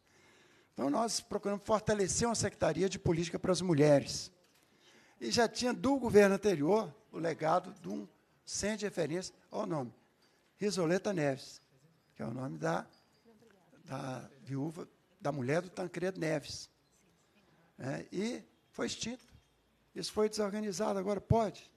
É, uma instituição que já vinha de governo anterior, nós procuramos para a Secretaria das Mulheres criar uma rede de proteção. Né? A Polícia Militar tem 25 núcleos no Estado de patrulhinha Maria da Penha. E eu participei, eu pessoalmente, de formação de centenas de oficiais de policiais, homens e mulheres, para serem formadas para defender a, a, as, as mulheres contra, na violência doméstica. Para serem formadas, como interferir, independente ter ou não ter a patrulhinha Maria da Penha, mas nas 25 regiões, cobria praticamente todo o Estado. Nós, que, nós não podemos abrir mão disso, deputadas, de, de ser um retrocesso grave na Polícia Militar, recuar dessa posição avançada. Quantos prêmios nós já demos de direitos humanos a, a Polícia Militar por ter, pela, por, se organizar, por ter se organizado para combater a violência doméstica, sobretudo a violência contra as mulheres. Outra questão que eu vi também como retrocesso é a estrutura do combate ao racismo, é que a questão das mulheres é fundamental. E quando a mulher é negra, a, o agravo é duplo. Ela sofre por ser mulher e por ser mulher negra, que aí é, é muito mais pesado. E nós procuramos trazer aqui também.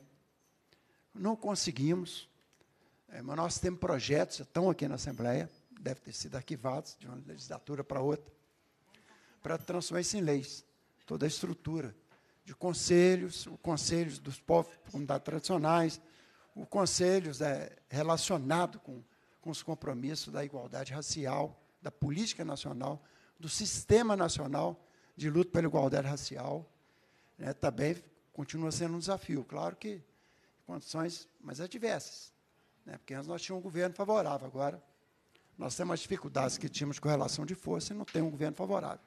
Pelo menos não deu nenhuma sinalização que isso é importante. E vimos ontem um, um presidente da República, talvez o presidente mais ignorante da história do país, dizer que está de saco cheio desse negócio de racismo no Brasil, como se não existisse. É, que é um, o, como que um presidente da República pode falar isso?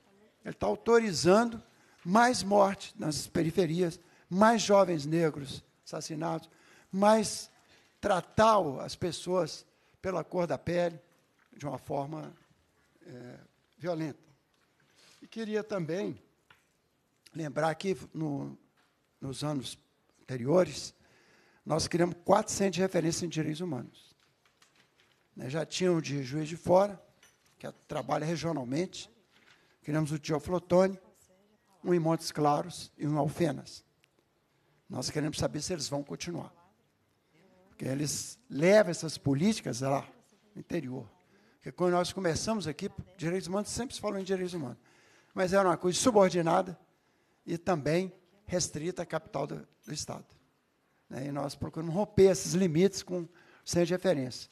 Até sugiro, deputada Leninha, que convide esse centro de referência para do, do, os quatro centros de referência para virem aqui, para dar-lhes força, dar visibilidade, para apoio, inserir de novo, começar a preparação para inserir no PPAG, inserir no, no orçamento anual o apoio a eles, com tornar praticamente obrigatória a manutenção e a, e a força deles.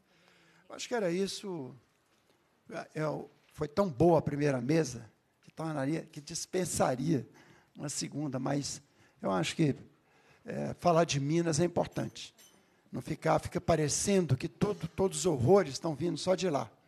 Aqui também horrores, pela omissão e pela ação de um governo que até hoje não disse qual o compromisso que tem com os direitos humanos, a não ser quando desmontou, né, acabou com a sede PAC, voltamos ao estágio anterior, que direitos humanos vai na, na reforma deles, uma subsecretaria, uma posição subalterna, não tem orçamento, não tem pessoal.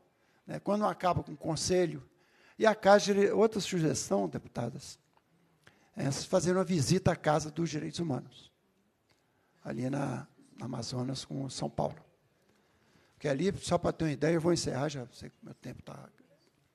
Ali, no ano de 2017, ali houve 992 reuniões reuniões de, que lá funcionaram de forma intensa, 41 colegiados.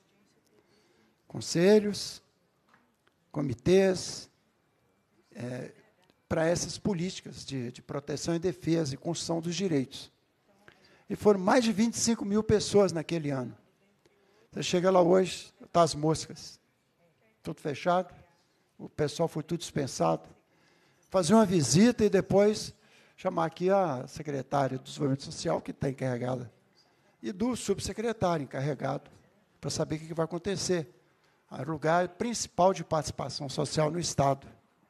Também é uma, uma sugestão para a gente defender e, e, e, procurar manter as políticas de direitos humanos mais incompletas, mais é, insatisfatórias que fossem, eram políticas de direitos humanos, de implementação de direitos humanos. Então, eu encerro usando uma frase, depois eu falo quem que é o autor. Né? Ele falou com toda pomposidade, como presidente da República. É, não há democracia sem direitos humanos, nem direitos humanos sem democracia. Quem falou isso foi Fernando Henrique Cardoso. É, para mostrar que uma pessoa que implantou uma, uma linha neoliberal, mas para mostrar que direitos humanos não é coisa da esquerda. Podemos aceitar nunca isso. Ser voltado para a esquerda, um partido ou dois partidos políticos. Direitos humanos no Brasil, pela nossa Constituição, pela adesão a todos os pactos, tratados e convenções, e pela tradição desses anos pós-ditadura, é um dever de todos, é obrigação de todos, seja que ideologia for. Obrigado.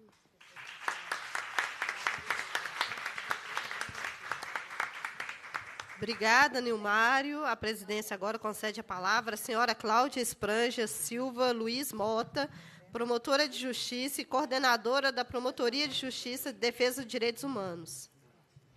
É, aí o prazo é 20 minutos e a gente avisa para ir concluindo. Vou botar até o meu cronômetro, senão não vou abandonar vocês aqui na fala. Boa tarde a todas e a todos. É sempre uma honra estar aqui na Assembleia e debatendo principalmente né, esse tema que nos é caro, muito caro, o tema dos direitos humanos. E parar um pouco, né, uma tarde, uma manhã, para refletir sobre direitos humanos é sempre importante. Seja porque eles são mal compreendidos, e seja porque eles são os nossos direitos fundamentais que estão em jogo. Infelizmente, a falta de debate fez com que é, muitos equívocos se propagassem acerca dos direitos humanos. E muito importante a fala do Nilmário, que justamente ele, ele, ele enfoca essa situação dos direitos humanos. Então, eu, eu vou trazer para vocês um outro, um outro âmbito. É o, o, o Vanush, Vanucci ou Vanush, né? Vanucci. Ele falou muito é, interessante no projeto de direitos humanos. Foi assim que ele mencionou. E eu queria então, porque eu sou da área do direito, né, trazer para vocês que esse projeto de direitos humanos, na verdade, no nosso país, ele é mais do que isso. Né?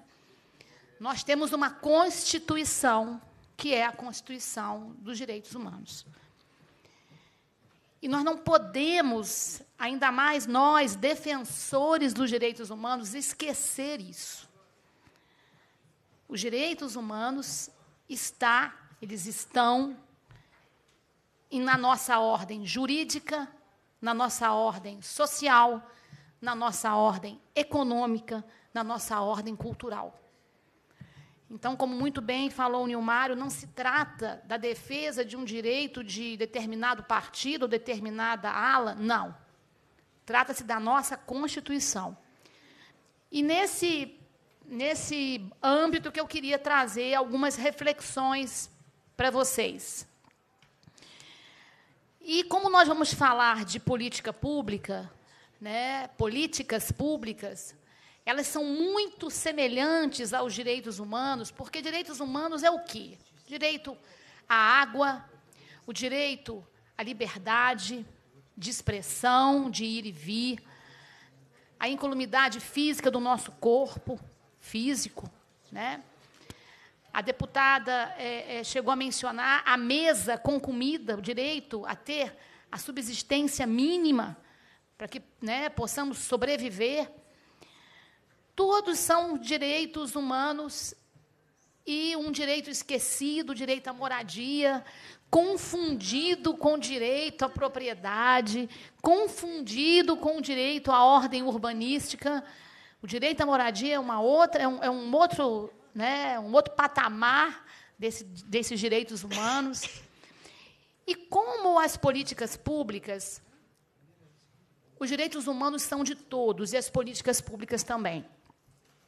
É um outro equívoco que muitas das vezes a gente também incorre, achando que política pública diz respeito a determinada ala, determinada classe. Não. A política pública ela afeta a todos e todas os cidadãos, independente de sexo, cor, religião ou nível social. E a partir né, da instalação do, do Estado Democrático de Direito no Brasil, em especial, falando, como o Nilmário já falou muito da nossa Constituição de 1988, os representantes são do povo. Né? Tem que ser do povo. Então, os representantes, eles são representantes populares, a nível de legislativo, a nível de executivo, e aí eu vou é, é, é, fazer um parêntese aqui, tá?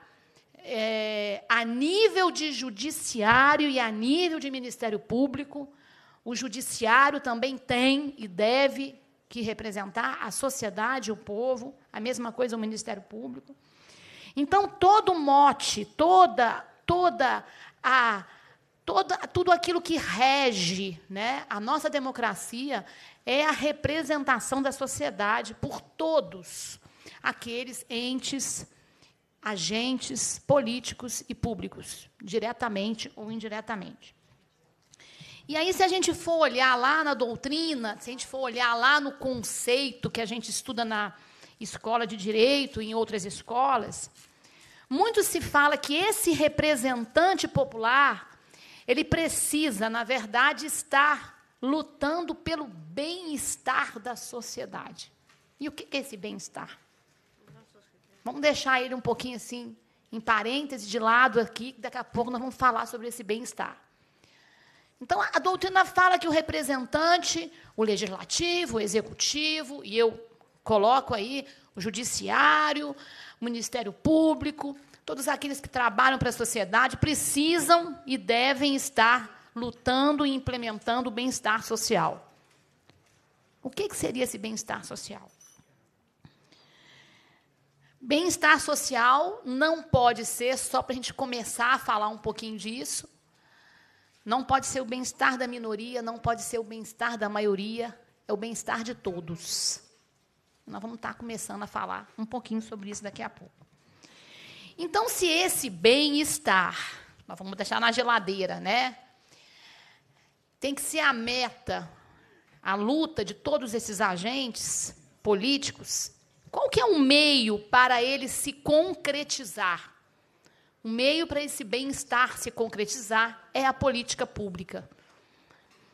Então, a política pública, se você também for pegar lá um manual, né, você vai lá é, é, encontrar, ela é a ação, ela é o projeto, ela é a decisão que vai ser tomada pelo governante, né, pelo agente público, pelo ente público, para assegurar, e não só assegurar, assegurar e garantir a cidadania, o direito à cidadania, esse tal desse bem-estar, que a gente não entende muito bem o que, que é, os direitos, e é para isso que vão ser implementadas as políticas públicas. Eu acho importante a gente falar isso, porque na segunda fase do debate, vocês vão estar trazendo aqui questões polêmicas, né, espero, sobre políticas públicas concretas. Então é importante a gente estar pensando nessa, nesse, nesse, nessa teoria, que não é muito teoria, do que, que significa isso? Porque a política pública ela tem dois lados, ela tem dois viéses, como uma moeda que tem dois lados. O primeiro lado dela né, é a, aquela tão falada vontade política. Né? a vontade política do governante em iniciar discussões, iniciar projetos, né? em estar tá fazendo é, ações, implementando ações. Essa, esse é um lado da política pública. Mas o outro lado da política pública, e o Nilmário também falou um pouco disso, é a governança, é o momento de implementar. Então, muitas das vezes, nós vemos alguns governos com excelentes né, é, é, intenções, aquela, in, aquele inicial da, da política pública, aqueles debates que vão muito bem, a sociedade é trazida, mas, às vezes, falta a implementação e a governança. Então, política pública é esse todo, não é só a vontade política, mas também a implementação. É importante a gente trazer isso. E aí também, né, não estou colando dele não, tá? Mas uma coisa que o Nilmário falou muito, e para mim é de extrema importância para essa discussão. E por isso que esse momento aqui né, é muito importante, é, desse debate, é aquilo que a gente chama da garantia da participação da sociedade. Então, é, é, com a Convenção 169 da OIT, ela é uma convenção muito importante para a população indígena. Em 2004, o Brasil né, é, aceitou ela nos quadros da ordem jurídica brasileira.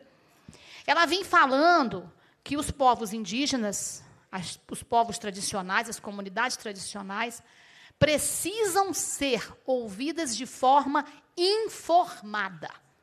Porque participar, por incrível que pareça, não é tudo. É preciso você participar informado.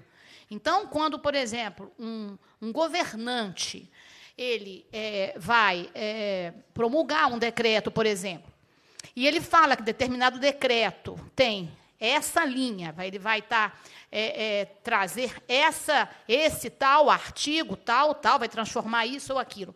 E na hora que a população toma conhecimento desse decreto, ele traz uma outra coisa. Isso não é só falta de princípio de transparência. Isso também é a falta da, da possibilidade da população estar informada sobre aquilo que ela vai lutar ou concordar. Então, hoje, a Convenção 69, nós, nós temos trabalhado muito ela nesse, nessa tragédia de Brumadinho, né, e já estávamos tratando ela também a nível de Ministério Público, no caso de Mariana, mas agora mais nós, infelizmente, temos essa, exper, essa expertise né, que nós não gostaríamos de ter, desses tipos de, de tragédia. Essa, essa informação, essa participação da sociedade civil, sabendo do que ela está ouvindo, sabendo do, o que, que ela vai lutar, sabendo o que está acontecendo, ela é de extrema importância na política pública. Porque como vamos lutar por políticas públicas se não temos conhecimento? Se não estamos, se não está acontecendo o princípio da transparência por parte dos governantes. Então isso é essencial e esse momento aqui é essencial, porque se hoje os direitos humanos não são bem entendidos, né, justamente é por falta dessa participação informada. Não houve a informação necessária e, e, e necessária e importante para que toda a sociedade entendesse do que se trata. E falei desses dois vieses, e para entrar nesse bem-estar, eu queria trazer para vocês uma coisa também que é importante a gente estar tá pensando antes da gente falar dessas políticas públicas mais concretas, né?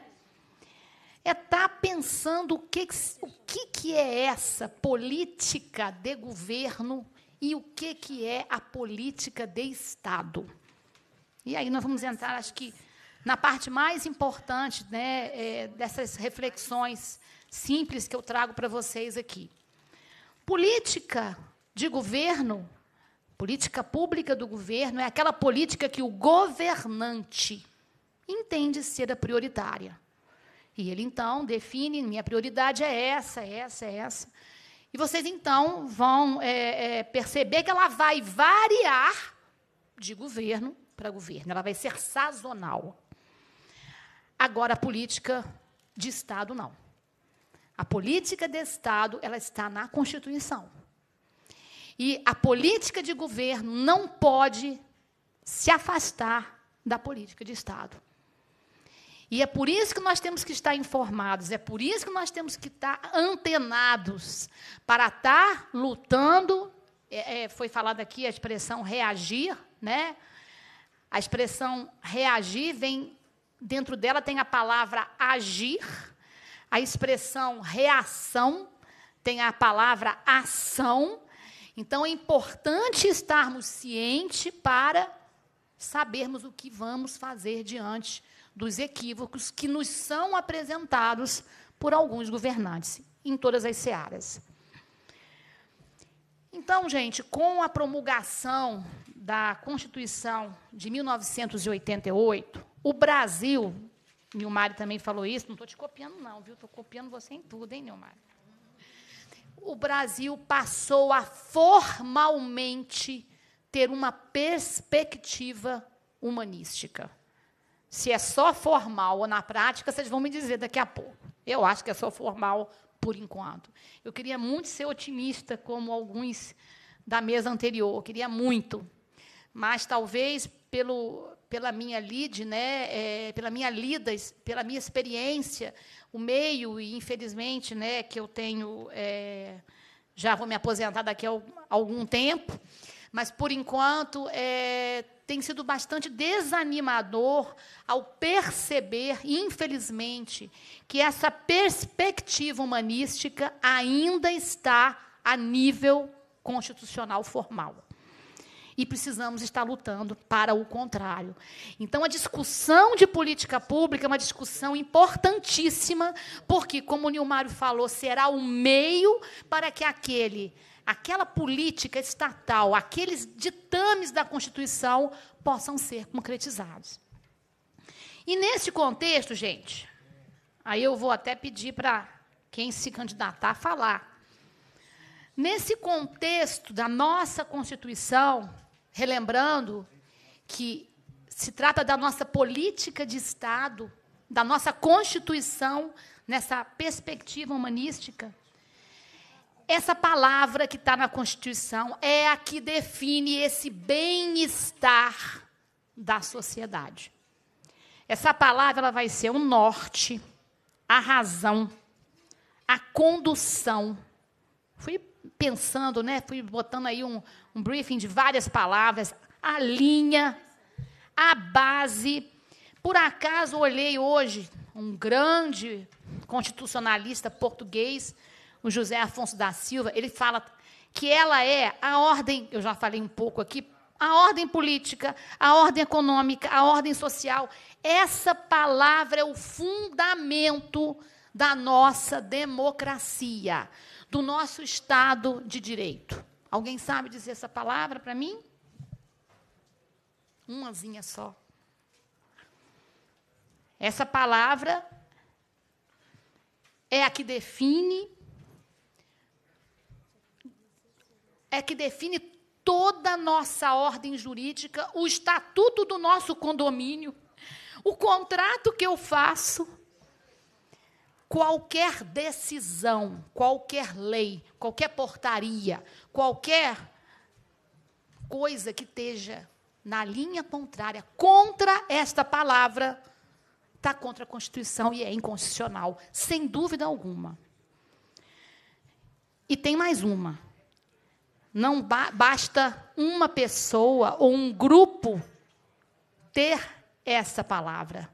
Se, enquanto tiver alguém com essa palavra violada no Brasil, nós não temos a Constituição ainda cumprida.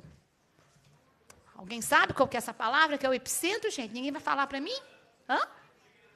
Isso, que bom. Vamos falar junto, gente? Dignidade. Vamos falar igual um mantra, né? a dignidade. Ah, fala um princípio da dignidade. A dignidade, o princípio da dignidade, ela está no epicentro de toda a nossa vida. Então, nós, gente, nós, temos, nós, nós que estamos lutando pelos direitos humanos, sofrendo, nós temos que ter em mente que nós não temos só um projeto de direitos humanos, nós temos uma Constituição que reforça, que nos ampara em toda a nossa luta. O nosso artigo terceiro, eu vou ler para vocês, né? Nós tínhamos que pegar esse artigo terceiro e ler de cor salteado, e, e, e, saber de cor salteado, botar no nosso armário, né? Tá passando pelos WhatsApps aí da vida. O artigo terceiro, ele fala que são objetivos do Estado brasileiro. Vou ler o primeiro, gente construir uma sociedade livre, justa e solidária, com dignidade. Porque não é só construir uma sociedade livre, justa e solidária com dignidade. Garantir o desenvolvimento nacional. Gente, qualquer desenvolvimento nacional? Não. Desenvolvimento nacional com dignidade. Erradicar a pobreza e a marginalização. Ah, erradicar, vou pegar e matar aquela. Não. Erradicar a pobreza, a marginalização, reduzir as desigualdades sociais e regionais, respeitando em todos os âmbitos a dignidade. Promover o bem de todos, sem preconceitos de origem, raça, sexo, cor, idade e quaisquer outras formas de discriminação. Artigo 3 da nossa Constituição. Objetivo do nosso Estado de Direito. Lá no artigo 1, baseado em quê? Princípio da dignidade, que norteia tudo, tudo, toda a nossa ordem. Então, não tenham medo de dizer é inconstitucional. Porque aquilo que estiver violando a dignidade é inconstitucional. É claro que, que tudo isso perpassa por muitos debates e por isso nós estamos aqui. As políticas públicas, eu trouxe até alguns exemplos. Por acaso, hoje de manhã, por acaso, para a gente começar a pensar, deu 20 minutos, mas eu vou trazer esses exemplos rápido. Por acaso, eu assisti hoje o repórter e estava se noticiando a situação de Mariana, que teve um aumento de crime, da criminalidade. É, né, exorbitante após a tragédia. Então, ontem sentaram-se à mesa várias instituições do sistema de justiça para tentar pensar o quê? Política pública para tentar resolver esse problema. E aí apareceram algumas, olha o que nós falamos: ações, projetos, isso tudo é política pública, para tentar minimizar a situação ótimas ações. Vou falar a primeira. Câmeras nos locais em que há, maior probabilidade de ocorrer o delito. É uma ação bacana? É, né? Agora, essa ação, ela vai é, coibir o quê? E ela vai ajudar ao quê? Ajudar a ter provas. Concorda comigo? Provas para futuramente você saber no processo criminal quem que foi que fez, como que aconteceu, certo? Eu tenho dúvidas no Brasil atual, não posso falar isso porque eu não sou socióloga, precisaria de um estudioso para estar falando isso comigo, mas eu tenho dúvidas se no Brasil atual câmeras inibirão qualquer tipo de atuação. Mas aí eu pergunto para vocês e vocês que vão responder depois aqui para mim, né? esse tipo de ação, política pública, será que ela minimizará a, a criminalidade que aumentou de forma fenomenal em, em Mariana? Câmeras. Ah, vamos criar, também houve essa fala, mais presídios. Ótimo, estamos precisando de mais presídios, né? Não tenha dúvida, né? Enfim, né? Pelo menos para poder não ficar, né? É. Tá certa. Mas, enfim, vocês acham que mais presídio é uma política pública que vai minimizar a criminalidade que aumentou em Mariana? Então, gente, política pública precisa disso aqui, ó. A política pública, ela precisa, na sua, na sua, no seu momento de planejamento, disso aqui de se ouvir a sociedade, de se ouvir aqueles que estão ali é, é, é, no cerne do problema. Sem isso, a política pública vai trazer câmera, vai trazer presídio e não vai conseguir minimizar, exterminar e concretizar o artigo 3 da nossa Constituição. Então, terminando, né, e deixando para vocês estarem trazendo aí essas essas né, observações, eu só queria trazer para vocês alguns números, para a gente pensar. Números que vocês sabem de cor e salteado, tá? Mas eu acho importante a gente pensar.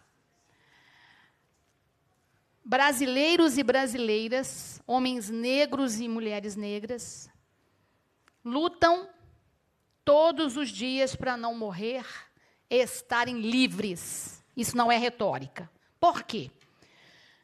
Conforme o Atlas da Violência, no nosso país, ser negro tem um risco três vezes maior de ser assassinado. 64% da população carcerária é de negros.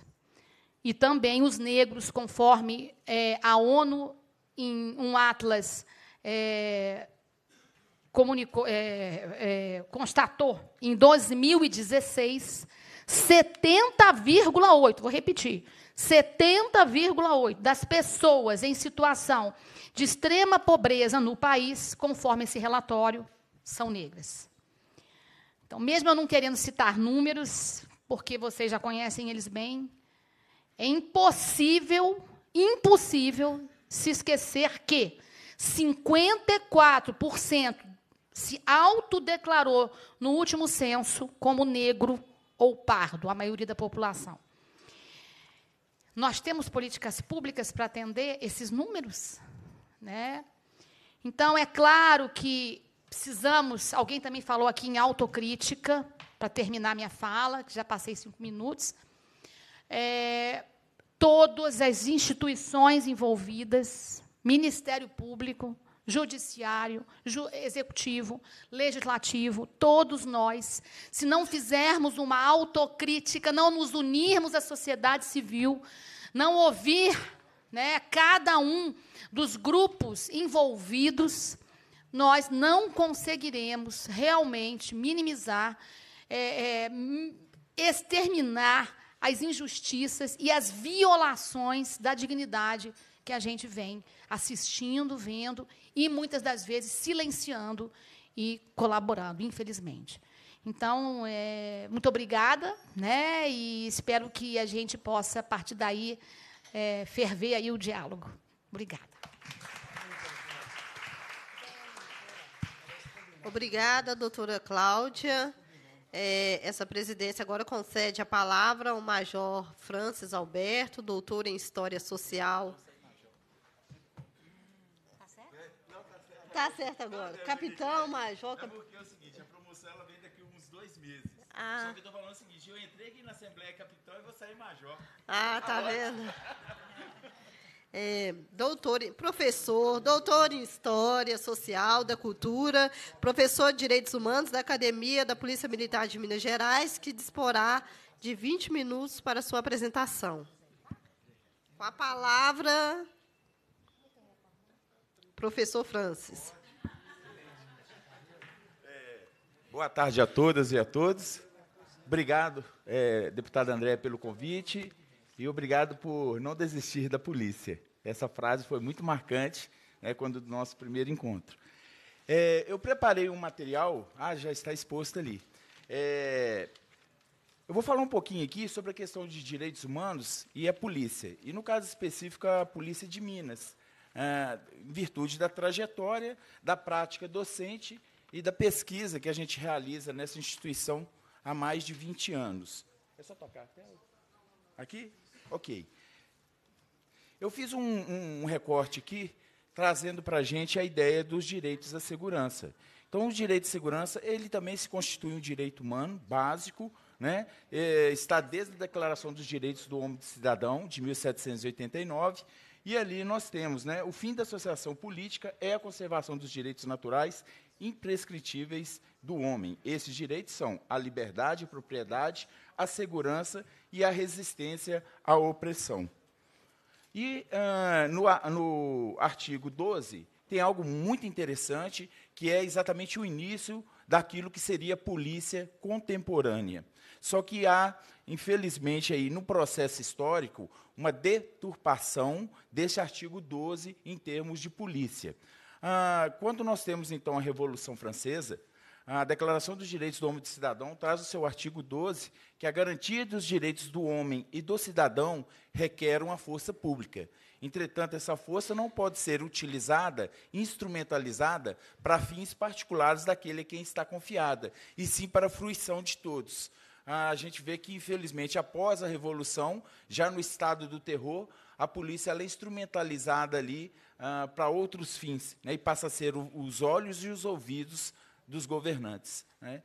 Então, acho que é necessário essa retomada e esse princípio básico em termos da polícia ali, enquanto o quê? garantidora dos direitos do homem e do cidadão, que ela emerge exatamente com esse projeto civilizatório da modernidade. Projeto esse baseado na autonomia do sujeito e que ele não se concretizou, inclusive, nos dias atuais, como foi bem pontuado aqui né, por, pelos meus predecessores aqui e, e predecessoras. A Declaração dos Direitos é, do Homem, foi também colocado, já ela nasce em 1948 e reafirma essa ideia da segurança. No seu artigo 3 diz: todo indivíduo tem direito à vida, à liberdade e à segurança pessoal.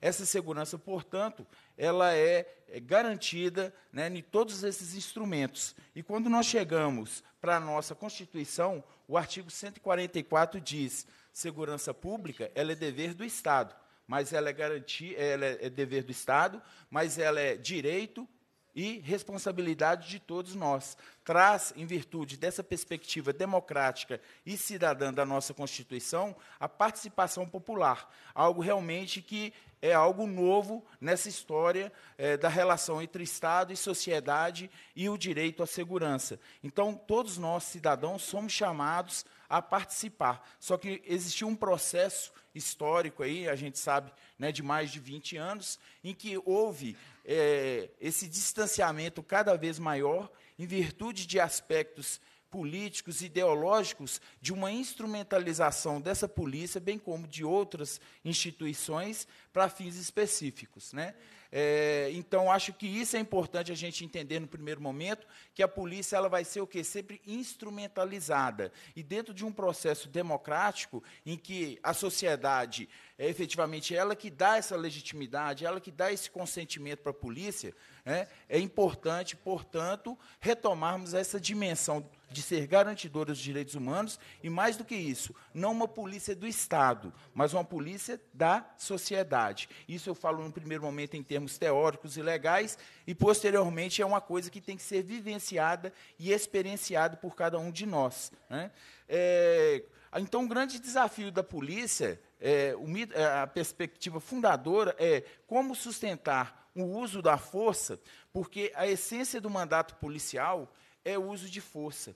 A gente não está falando aqui de força física propriamente dito, né, mas a gente está falando aqui de uma presença, uma demoestação, ah, uma orientação, tudo isso é uso de força. Né, que aí você tem toda uma discussão, né, que eu não vou entrar aqui no tempo, em virtude do tempo, sobre o uso legítimo do uso da força ou da violência, vai depender da matriz teórica e interpretativa que você olha esse aparato de Estado, que para mim ele deveria ser o aparato da sociedade. Né? Então, ela deveria ser uma polícia efetivamente cidadã. Então, acho que esse é o grande desafio, a gente construir uma polícia cidadã, porque o mandato policial ele vem é da comunidade. Né? Quem é que, num, num, contrato social, abre mão da sua autotutela, da sua violência privada e lança para esse ente aí que se chama Estado, e ele reúne todas essas violências privadas e transforma, então, para um mecanismo, um artifício do direito em força. Né? A força ela tem que ser legal, legítima e consentida. Se lhe faltar qualquer um desses princípios, ela vai se transformar novamente em violência. E aí vai ser violência de Estado. E, e, a, e a linha é muito tênue entre força, porque é um artifício, é uma invenção, e violência. Né? Violência é vista, então, enquanto essa, essa ilegalidade, essa falta de legitimidade e a falta de consentimento. Então, essa é a grande pergunta. Né? Como sustentar esse uso da força sem produzir tirania ou opressão, e como produzir esse uso da força sem uma manipulação política ou apropriação por, é, por, interesses particulares. A Jaqueline Muniz, ela se debruça sobre esse tema, é uma antropóloga do Rio de Janeiro, ela trata da questão do mandato policial. E eu penso, a partir também de reflexões, por exemplo, como o professor Anditia Soares, da Faculdade de Direito aqui da UFMG, é, que ela tem que ser uma polícia da comunidade, né, ele tem um corte anarquista, então ele vai pensar nesse, nesse estado aí sendo relativizado e até retirado. Eu acho que esses diálogos eles são extremamente importantes. Né? Nos meus dois livros, o prefácio de um é de um de matriz anarquista e o outro é de matriz marxista. Né? E esses diálogos eles são fundamentais é para a gente, é, como eu disse com a deputada Andréia, muitas vezes sair das trincheiras e dialogar. E, e o, o, professor Nilmar ele foi extremamente feliz, fruto da vivência, da maturidade, né, quando ele disse que o conflito é inerente à sociedade. Né? É isso mesmo, só que este conflito ele não pode se desdobrar em violência. E violência não somente violência física, mas de outras matrizes, né? violência simbólica, violência psicológica, emocional. Então, o conflito ele é inerente, ele é importante, exatamente para a gente chegar nesse, nessa dialética, né? nessa dialética que é extremamente importante. E, e aí, então, essa é uma questão do mandato é, policial. Depois eu posso compartilhar, socializar com vocês a, a, a questão desse PowerPoint, eu posso deixar ele aí. É um negócio muito interessante e que acho que é necessário essa teoria de polícia, vamos dizer assim, ou teoria de uso de força, né? que o uso da força ele tem que ter legitimidade, legalidade e consentimento, ou seja, um consentimento social. Isso faz com que haja que, uma credibilidade na polícia, uma confiança pública. Então, quando a gente fala hoje de é, polícia comunitária, eu acho que o termo ele não é apropriado para a nossa realidade social. Em virtude de quê? Polícia comunitária, talvez ela se dá no Japão, na Inglaterra, em alguns lugares dos Estados Unidos, em que, inclusive, os chefes de polícia, os xerifes, eles são eleitos pela comunidade. A matriz cultural, política, ela é diferente da nossa. O nossa a nossa história, a nossa cultura política, ela sempre foi muito autoritária, né? e, e, e é muito impregnada a nossa sociedade, nas micro-relações, por questões de violência mesmo, né, de formas de dominação. A gente pensa que isso, ah, não, só está no Estado. Realmente, o Estado, se a gente não vigiar, como diz o Eugênio Raul Zaffaroni, né, ele vai se hipertrofiar cada vez mais e vai se tornar um Estado policial. Por isso que esse embate da sociedade civil, organizada ou desorganizada, ela é importante exatamente para fazer frente, que é exatamente esses embates, de forma o quê? Fazer com que ele se recue, porque a tendência dele é aumentar realmente cada vez mais e se tornar um Estado policial. Então, quando há esses embates dos movimentos sociais, as manifestações públicas, né, de todo esse envolvimento, ele vai ali, opa, né, falou, opa, né, bem assim não. Eu acho, portanto, que a gente tem que repensar, inclusive, a escrita né, dos termos. O Estado sempre é com letra maiúscula e a sociedade com letra minúscula. Né? Então, coloca a sociedade também. Isso é fruto de uma cultura política, de uma cultura da dádiva, né, desse patriarcalismo, desse personalismo, né, uma série de fatores que grandes ciências sociais já trabalharam. Então, isso aqui é muito bacana, é interessante, porque tem que ter previsibilidade da ação, ele tem que ser transparente, tem que ser oportuno, apropriado e suficiente. Então, o, o, o policial que efetivamente exercita o mandato policial, e, e para mim ele deveria ser feito em nome da sociedade, para que haja toda essa, essa questão aí, ele tem que permear a sua ação por tudo isso. É, certamente algumas questões virão aqui, né, é, e, e, eu já estou pensando, inclusive, em algumas respostas, mas é sério, porque polícia é um tema, né, e, e, e, é uma grande questão que a caixa preta da atividade policial é a discricionariedade. Né? A discricionalidade é a tomada de decisão que muitas vezes pode ser diferente de servidor para servidor. E o que, que vai fazer com que um indivíduo, ao ver um cidadão sem um cinto de segurança, não realize uma notificação e apenas o oriente? Olha, para sua segurança, coloque o cinto, uma boa noite para o senhor, para sua família, a documentação do carro está tudo ok, tal, e colocou. E o outro falou, olha, o senhor será notificado por causa da falta do cinto de segurança. Qual que é o limite, efetivamente, do uso dessa discricionalidade? Tem a ver com a formação, com a capacitação, com a visão do de mundo desse indivíduo, né? É, de um processo de humanização, eu não sei. É, é, uma caixa preta, é algo que a gente tem que pesquisar muito ainda em termos de, de ciências sociais e etc. Como é que é?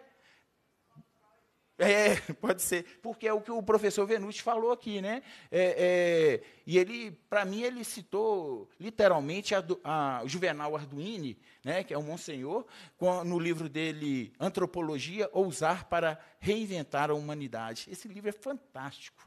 É, ele diz o seguinte: o ser humano é paradoxo. O ser humano ele tem em si a destruição e a criação a violência e, ao mesmo tempo, o amparo, o cuidado. O mesmo homem que beija, ele agride. Né? E aí o homem, é, o homem é a mulher. Então, nós somos paradoxo. Né? Então, como nós fazemos, efetivamente, para que essas coisas boas elas aflorem em diversos momentos? Ok. Mas, voltando, então, é, e tirando um pouco da ideia da polícia como sendo é, o órgão de controle, de resolução de todos os problemas, na verdade, ela está inserida aí dentro de dispositivos de controle social, social, em que os policiamentos eles são de diversas matrizes e diversas instituições, as polícias estão inseridas dentro desses policiamentos, que são os dispositivos de controle social. Então, é, é, não é um monopólio, efetivamente, né? é uma ambição, uma ambição. Então, todas as ações de polícias elas se inserem no campo da segurança pública, mas nem todas as ações de segurança pública são competência da polícia.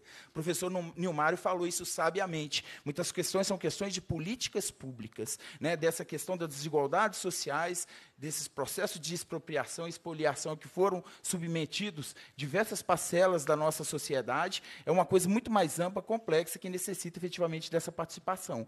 É, e aí a polícia ela atua o quê? De maneira pontual, resolvendo problemas ali, o aqui e agora, né? aqui e agora, portanto, produz soluções provisórias para problemas que são o quê? Pluricausais, né? que ultrapassa a exclusividade e a intensidade das ações policiais. O policial ele tem que entender isso também também. Né? E, e, e eu acho que é isso que muitas vezes levam a algumas questões de querer resolver todos os problemas e utilizando talvez de uma força desnecessária que se desdobra em violência. Né? Eu, eu, eu, peguei essa questão aí da, da Alba Zaluar, eu admiro muito essa professora. Ela é uma antropóloga também, trabalha com, com favelas no Rio de Janeiro, 100 anos de favela, trabalha com essa questão, é uma pessoa que eu admiro muito. Ela colocou essa frase e ela me, me provocou assim, uma certa é, inquietude, assim, um estranhamento, né, porque ela realmente é uma pessoa é, que entende essa temática e trabalha no Rio de Janeiro. Ela fala assim: olha, denunciar a polícia como instituição numa tentativa infantil de afirmar que não se precisa dela é negar sua importância crucial na garantia dos direitos civis ou humanos. Aí eu acho que essa questão da denúncia propriamente dita, né, é, ela, ela, ela, ela, é um instrumento importantíssimo, né, que estão nossos ouvidores de polícia né, e diversas instituições de controle externo. Eu acho que essa denúncia é importante, mas como denunciar. E será efetivamente a instituição? Eu, quando estava fazendo o doutorado, tinha um amigo meu que estava fazendo na ciência política, e eu sempre nessa lide, na crença de que as instituições democráticas elas podem ser aprimoradas né, é, diante de um processo educativo, diante de controles e etc. Ele falava comigo assim, França, você está salgando carne podre. Por isso que eu fiquei tão sensibilizado quando a deputada Andréia, né, eu olhei e falei com ela, olha, é, não desista da polícia, não. Né? Exatamente porque a polícia é composta por seres humanos. Né? O recrutamento é feito na nossa sociedade. Será que efetivamente esses indivíduos eles têm algum grau de psicopatia? Não há uma, uma empatia em relação ao sofrimento do outro? A questão da violação dos direitos? Porque a polícia ela atua no, na, na violação dos direitos né, aqui agora, ou na eminência desses direitos estarem sendo violados. Né, e desde os direitos efetivamente fundamentais até direitos humanos.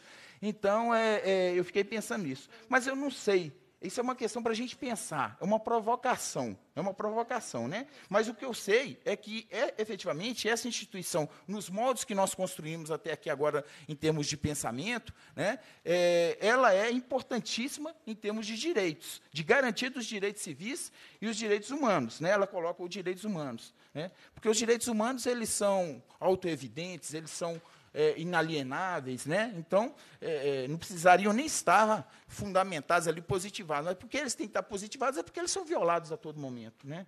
O direito à vida e à propriedade e abdicar de torná-la cada vez capaz de um controle democrático da criminalidade. Ela falou um termo muito interessante, porque é muito recorrente dentro da literatura que trata dessa temática falar de combate ao crime. O crime é um fato social não existirá sociedade sem crime. E o que é o crime? Também você tem todo um processo de construção. Qual que é a, a ação que é penalizável, criminalizável e qual não é? Né? E, mais uma vez, o professor Nilmário é, é, foi pontual. Né? Vamos criminalizar movimento social, vamos criminalizar manifestações. É, crime.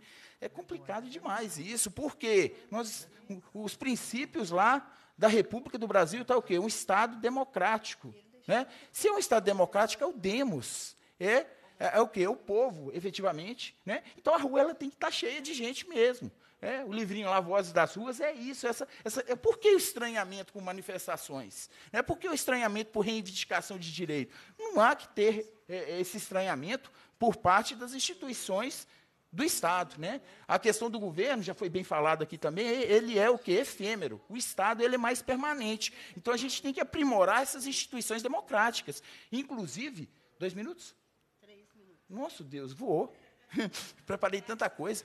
Mas é. Eu sinto que a professora agora sentiu. Mas é o seguinte. É, então, o governo é tão efêmero, o Estado. E, e a questão da segurança pública, ela está no, no, no título 5 da Constituição, que diz a defesa das instituições democráticas. Olha só, segurança pública na defesa das instituições democráticas. Então a coisa está toda alinhada. Ou a gente repensa, reestrutura essa questão da polícia e da relação da polícia e sociedade, principalmente com as, os movimentos sociais e as manifestações. Né? Por quê?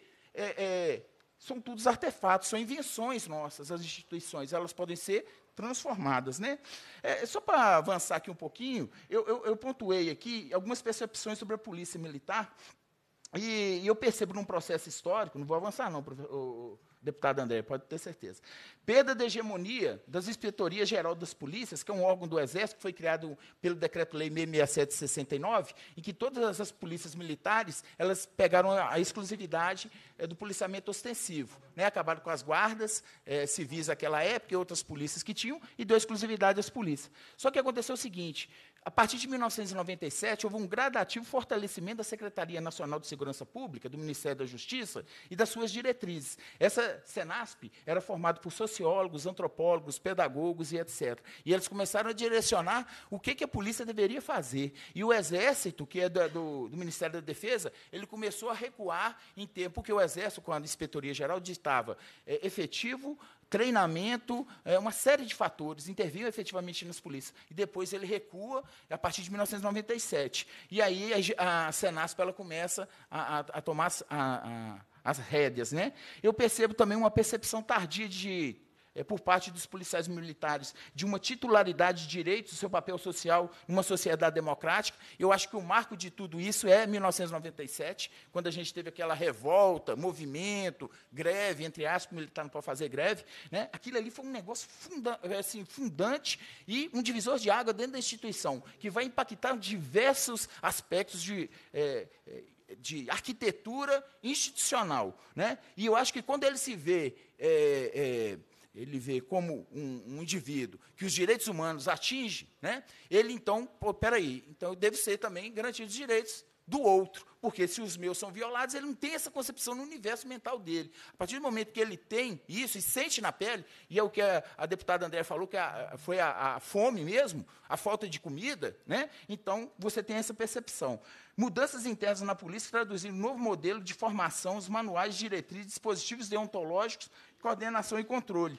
Aqui eu fui fazendo um, um levantamento, não vou dizer, é, em virtude do tempo, vou passar para vocês depois, mas ocorreu uma série de mudanças a partir de 1997. Né? A polícia ela tem que melhorar bastante em termos de se inserir dentro desse processo democrático, mas aqui eu pontuei alguns avanços, eles são extremamente significativos, né, que eu estou na polícia desde 1991, né, de 1991. Aqui eu tinha colocado um pouco essa questão dos militares formados de direitos humanos como reflexo direto desse momento de ruptura, que foi em 98, começou né, é, o Fundo de Amparo ao Trabalhador, o Comitê Internacional de Cruz Vermelha, a própria Polícia Militar. Esses indivíduos eles foram promotores de direitos humanos, está lá num trabalho magnífico do Cícero Nunes Moreira, Impacto do Treinamento de Direitos Humanos, Cotidiano dos Policiais. É um negócio muito interessante, porque ele vai reproduzir isso e vai ser é, transposto por diversos níveis. E aí é o seguinte: à medida que formavam os promotores e multiplicadores, os conteúdos de direitos humanos foram inseridos nos currículos de diversos cursos de formação de praças e oficiais, nos treinamentos, na definição dos mapeamentos de competência, do perfil do profissional de segurança pública, que orienta o recrutamento, seleção e a formação dos oficiais e praças da corporação. Eu vivenciei esse momento. Ou seja, gente, foi a partir de 1999. A gente está falando o quê? De ontem, em termos históricos, né? a deputada que precedeu aqui falou da questão histórica, foi ontem isso. Então, é uma questão extremamente recente em termos de uma polícia democrática, cidadã e que busca esse norte dos direitos humanos. E aí disso se desdobrou esse programa aí que é focado na polícia comunitária, na transparência, nos direitos humanos, na qualidade do atendimento cidadão, na gestão em rede e na participação social. Essas são o quê?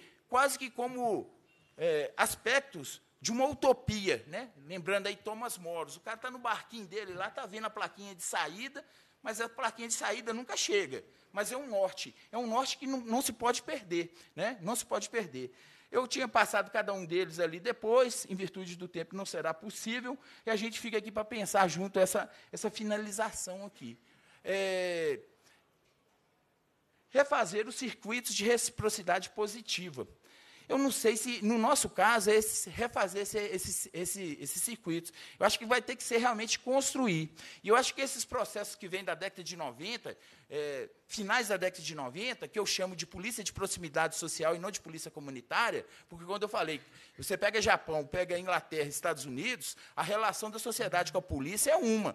Em, em sociedades que nós tivemos momentos de exceção, é, a relação é outra, uma relação de desconfiança. Então, eu falo assim, oh, gente, a partir de agora nós vamos caminhar junto. Mas como é que vai caminhar junto se não há confiança? E como construir isso? Né? Eu acho que como construir isso através dos conselhos, né? falar, falar aqui do, do, do é, a, a participação né? da, da, da, da, comunidade em termos de orçamento e tal. A parte de segurança é a mesma coisa. E aí ela é constitucional. E diz o seguinte: significa integrar a população nas próprias atividades de segurança pública porque a população está isolada e só observando e sentindo efetivamente os efeitos negativos de, de, da violência né, que, que, se desdobra e que tem reflexo nela.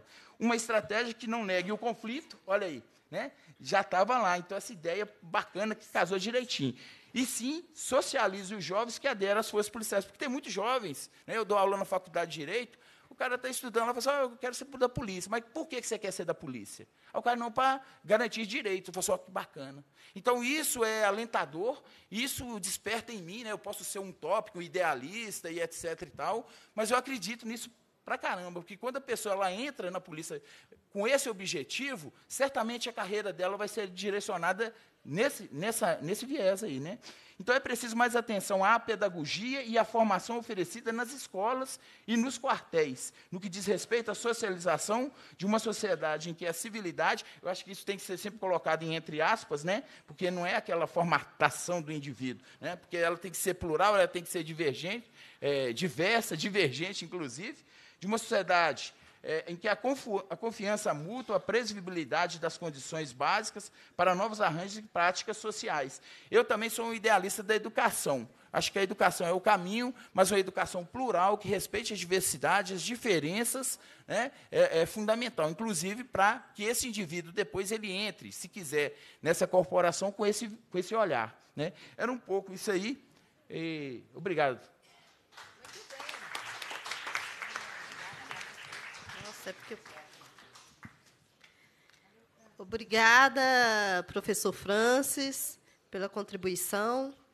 Agora dizer que está aberto para as manifestações do público, aqueles que quiserem fazer manifestar, né, oralmente, pode usar o microfone aqui na parte superior, ou mesmo. Tá, só um instante. É, é, usar a fala, o participante deverá informar o nome, a entidade que representa e, quando for o caso, para efeito de gravação dessa reunião. A gente já tem alguns inscritos aqui. Depois os inscritos voltam para a mesa, se for pergunta ou comentário. É, e eu vou falando os nomes aqui, se a gente puder já ir adiantando. Quem quiser fazer a pergunta aqui do alto. É Igor Ribeiro Sam Martins, técnico social do Programa de Proteção aos Defensores e Defensoras de Direitos Humanos. É, Dona Maria Tereza dos Santos, presidente da Associação de Amigos Familiares de Pessoas Privadas de Liberdade. E depois a Marilda, do CEDEFS.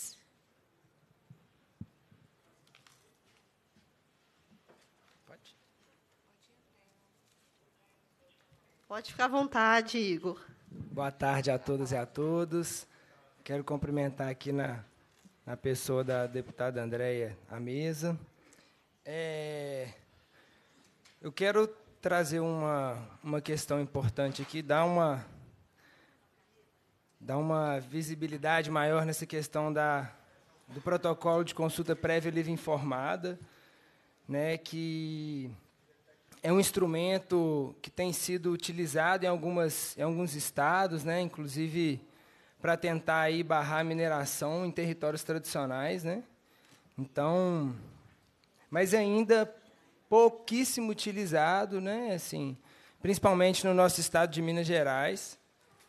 É, a gente sabe que a construção desse protocolo é uma é, é uma maneira de trazer para as comunidades tradicionais assim o fortalecimento da sua organização, né? É um processo de formação não só das, das legislações, mas também seu, da gestão do seu território, né?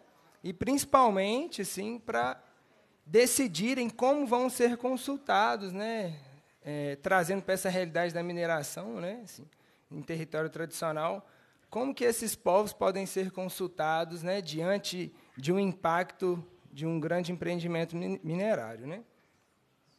Então, nesse sentido, a gente é, eu quero colocar aqui assim uma questão, mas também é, pedir o apoio, né? É bom ter a participação da deputada Beatriz Cerqueira aqui, porque a questão que eu quero trazer é a, a mineração, o processo de licenciamento que tem ocorrido, né, na, na, lá em Gromongol, né, nas, nas comunidades geraizeiras, assim, a gente tem conseguido, a gente tem feito um esforço de articular entidades parceiras, né, junto às comunidades tradicionais, da construção desse protocolo de consulta, né, lá no norte de Minas, assim, é, inclusive encampando essa essa experiência lá, né, para posteriormente a gente tentar construir esse, esses protocolos em outros, outras realidades, inclusive lá mesmo no norte de Minas, né, em Botumirim, por exemplo, que está tendo um processo de mineração muito intenso, né, as comunidades muito muito atingidas e muito violadas. Então a questão é assim, como que a gente pode, né, é, solicitar o apoio do Ministério Público, né, assim, para para legitimar esse processo, né, de construção do protocolo de consulta, é, não só externamente, mas internamente também, né, dentro das comunidades, porque a gente sabe que a gente pode ter esse esforço de construir os protocolos, mas que eles, eles não podem ser utilizados, né? Então, assim, a questão é como o Ministério Público, né, também a Assembleia, né, na, na, na, na pessoa das deputadas, né, podem contribuir com as entidades que estão na ponta, né, assim, fazendo esse trabalho, esse esforço de formalizar, né, de sistematizar como as comunidades querem ser ouvidas, mas que também façam valer essa voz, né? Como que a gente vai construir isso, essas articulações. Né? É importante a gente pensar nisso nesse momento, nessa conjuntura, né? Onde que a gente vem perdendo espaço de participação social, né? que a mineração tem avançado no território do norte de Minas, inclusive é um empreendimento que, que, que deseja construir um mineroduto de mais de 900 quilômetros, né? na realidade, no norte de Minas, né? eles querem transportar é, minério com água. Então, assim, falar de direitos humanos é é também estar tá ali disputando a água com o grande capital, né?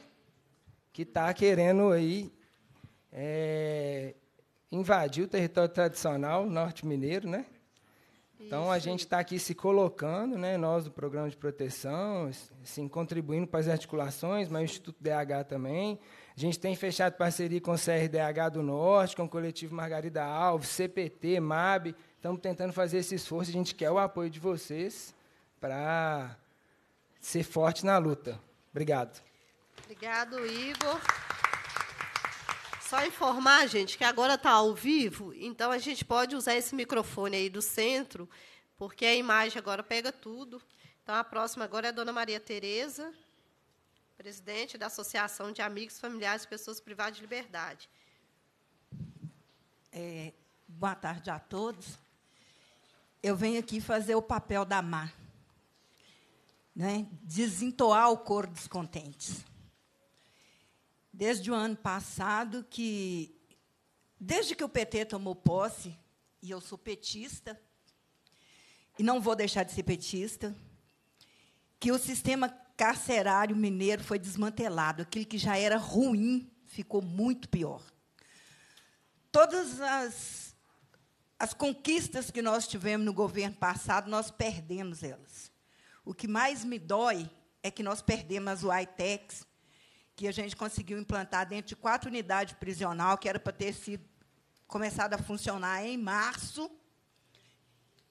O Pimentel tomou posse em janeiro e ele saiu do governo após quatro anos e essas unidades não foram implantadas, não foram, não foram usadas e agora elas foram retiradas de dentro das unidades por falta de uso. Nessa caminhada, desde o ano 2008, nós fizemos aqui a terceira conferência de direitos humanos. O Paulo Vanucci esteve presente, eu era uma das coordenadoras. E a gente está lutando para implantar no Estado o Comitê de Prevenção e Combate à Tortura e o Mecanismo de Prevenção e Combate à Tortura. Numa vacilada do Durval, que ele tinha apresentado um projeto, numa vacilada dele, ele deixou que o deputado João Leite picasse a lei e colocasse ela junto com a lei de proteção aos defensores de direitos humanos. Desde essa época, a gente vem falando todos os dias: isso não nos serve, isso não presta para nada, nós não queremos isso. Se é para nós, nós queremos que ela seja feita do nosso jeito, que ela venha para nos atender. O André Quintão, na eleição que o Pimentel foi eleito governador, assumiu conosco um compromisso de consertar isso. Passou quatro anos, ele nada fez. Quando foi criada a Secretaria de Direitos Humanos, o Gabriel assumiu o compromisso também de, junto com a gente, consertar isso, é, é, desmanchar essa lei, construir tudo de novo. E nós fizemos inúmeras visitas a ele e ele nada fez, era só é ontem, é hoje, é amanhã, é depois, é depois, depois. Aí, no apagar das luzes do governo, eles me aparecem com essa lei muito louca, só com agentes do Estado lá no Tribunal de Justiça. Aí eu fiz o papel da má educada, da sem educação, porque não me deixaram entrar, não garantiram a minha inscrição.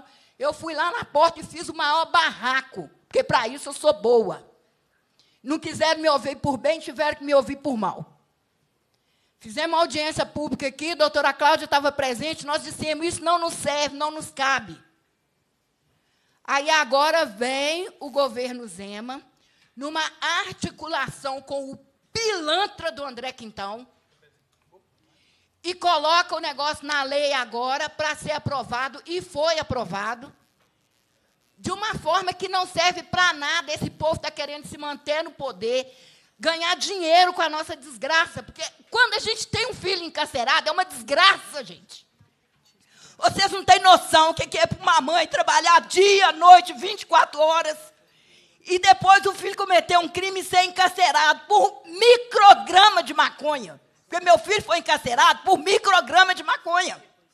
Ele não tinha nenhum grama de maconha no bolso. Mas ele tinha 72 reais trocado no bolso, é traficante.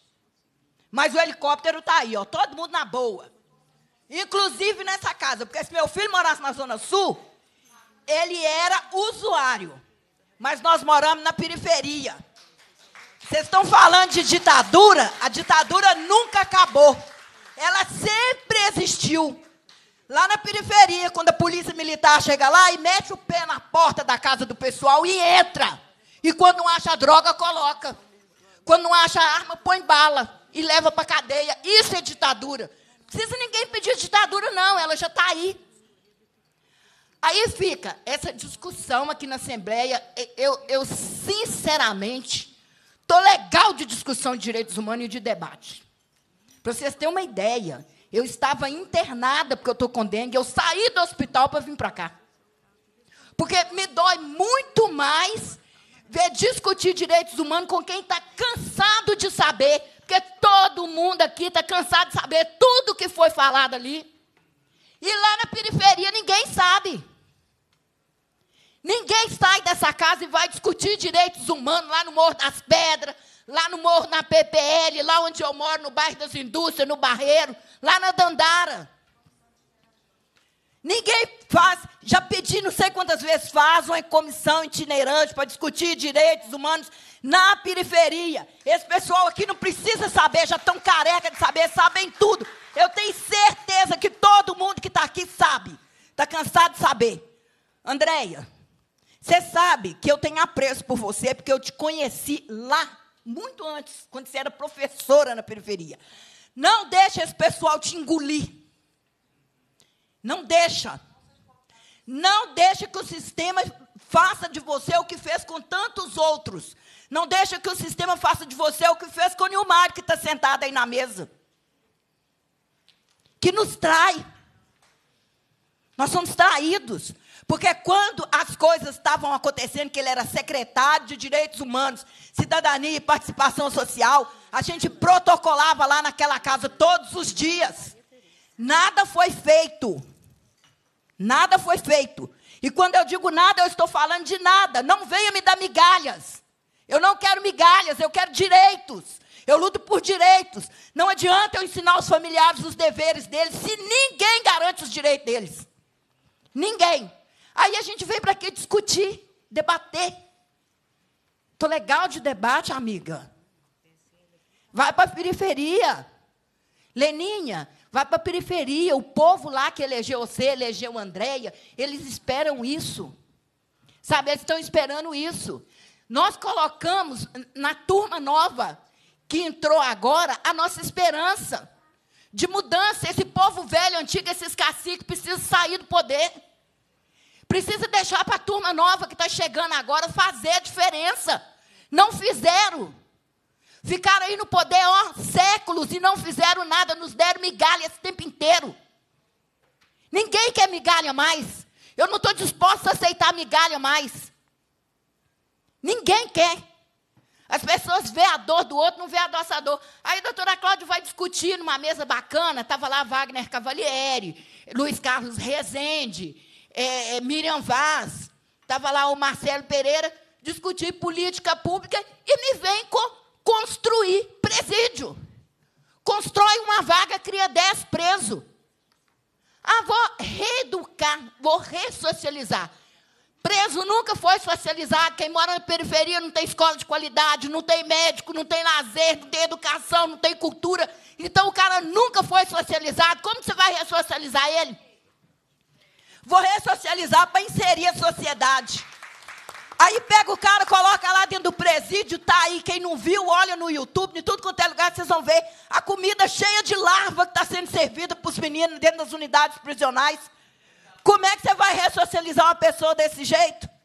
Ninguém quer ser roubado. Mas ninguém quer dar emprego para uma pessoa que passou pelo sistema prisional. Os caras vão fazer o quê? Se não der uma oportunidade de trabalho para eles, nós vamos fazer o quê com esses meninos? Vão matar? Vão fazer o que com eles?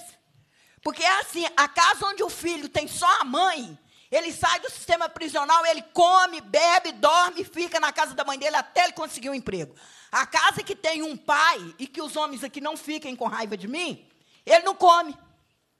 Porque o pai só quer tratar do filho até ele fazer 18 anos. Fez 18 anos, é responsabilidade dele, não. Não é responsabilidade dele mais, não. Aí tanto fala, tanto joga na cara, acaba o coleguinha, chama, ó, vamos ali na biqueira e tal, vai rolar uma droguinha ali, o cara vai. É isso que acontece. Vocês estão pensando que, que os meninos estão dentro do sistema prisional porque quer? Não quer, não. Nós queremos que esse povo antigo que estava no poder desaquele de nós. Dali sai. Nós não queremos. Conselho Estadual de Direitos Humanos, eu estou assim, ó, de olho, ó. Estou de olho na presidência dele, de olho que eu vou ficar de olho, porque eu não vou deixar ninguém me engolir mais. Não vou deixar ninguém mais fazer. Eu posso estar morrendo. Eu vou levantar da cama morrendo. E não adianta me ameaçar, porque é assim, toda vez que eu venho na Assembleia e faço uma denúncia, aí no outro dia meu telefone fica assim de ameaça. Eu não nasci para semente, a carne é podre, eu vim da terra, eu vou voltar para a terra, eu não estou nem aí. Sabe? Esse povo tem que aprender que o tempo deles passou, já deu. Eu quero que esse povo novo que está chegando no rolê agora tome conta disso, mas é tome conta sem ficar consultando a, a, a velha guarda. Deixa a velha guarda para lá. Larga a velha guarda, desacuela desse povo. Porque eu também estou de olho em vocês. Obrigada, dona Tereza. Agora é a Marilda. CEDEFs. Você É. explica o que é CEDEFs para a gente? Significa Centro de Documentação Eloy Ferreira da Silva. Né? É uma entidade que existe há 35 anos na defesa, principalmente dos povos, comunidades tradicionais, das populações do campo. Né? E é, cumprimento a todos os palestrantes. e Eu gostaria de trazer um cumprimento especial ao Darcy Frigo, na sua luta incan- incansável na campanha contra os agrotóxicos. Né? Acho que não, não é todo mundo que sabe, né? mas Darcy é um dos grandes companheiros aí na campanha. E gostaria de eh, fazer uma observação, inclusive até eh, me reportando ao Unimário, sobre a questão dos direitos difusos, né? que é algo que pouco se fala, a gente fala muito né, nos direitos concretos, né? O direito ao trabalho, o direito à moradia, mas o direito, claro, né, são direitos inerentes a todos os seres humanos, mas é, pouco nos debruçamos sobre os direitos difusos, o direito à memória, o direito ao patrimônio imaterial. Quando se fala o direito ao trabalho, eu me lembro imediatamente do Paul Lafargue, quando ele fala do direito à preguiça. Por que não? O direito ao fazer nada também. O direito a cada povo, a cada comunidade, a cada grupo viver do jeito que quer. Né? O direito ao ócio, o direito ao território. Minas Gerais, estruturalmente, secularmente, foi, é, e, ao que parece, continua sendo um Estado em que o direito difuso eh, foi violentado esses séculos todos. A gente pode falar das comunidades que foram expulsas pelas barragens, pelos eucaliptos, de imensas populações indígenas que foram dizimadas, da quantidade de agrotóxicos que as nossas águas estão recebendo, dos crimes, que não são tragédias, são crimes, o que aconteceu em Mariana, em Brumadinho, dos crimes dos eucaliptos. Então, eu acho que é importante nós lembrarmos também do direito ao, ao território, do direito à memória, do direito ao conhecimento tradicional, do direito ao patrimônio material, do direito difuso, e que isso seja também uma marca de luta, de que nós lutemos para que esses direitos sejam é, é, publicizados e que sejam garantidos, como não foram até hoje, ou foram muito poucos. É isso. Obrigada, Marilda. Agora, Gabriel Vilarde, ele é agente da Pastoral Carcerária da Arquidiocese de Belo Horizonte. Boa noite, senhoras deputadas e demais presentes da mesa.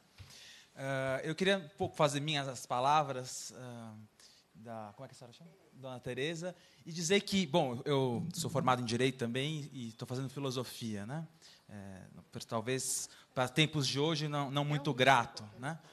Ah, mas, para dizer assim, a gente passa cinco anos estudando na faculdade, eh, direitos humanos, né? E, e aí, para, como agente da pastoral carcerária, continuar entrando nos presídios e ver que temos leis maravilhosas, as a Constituição, né? todo um arcabouço legal, mas que as, as instituições não funcionam.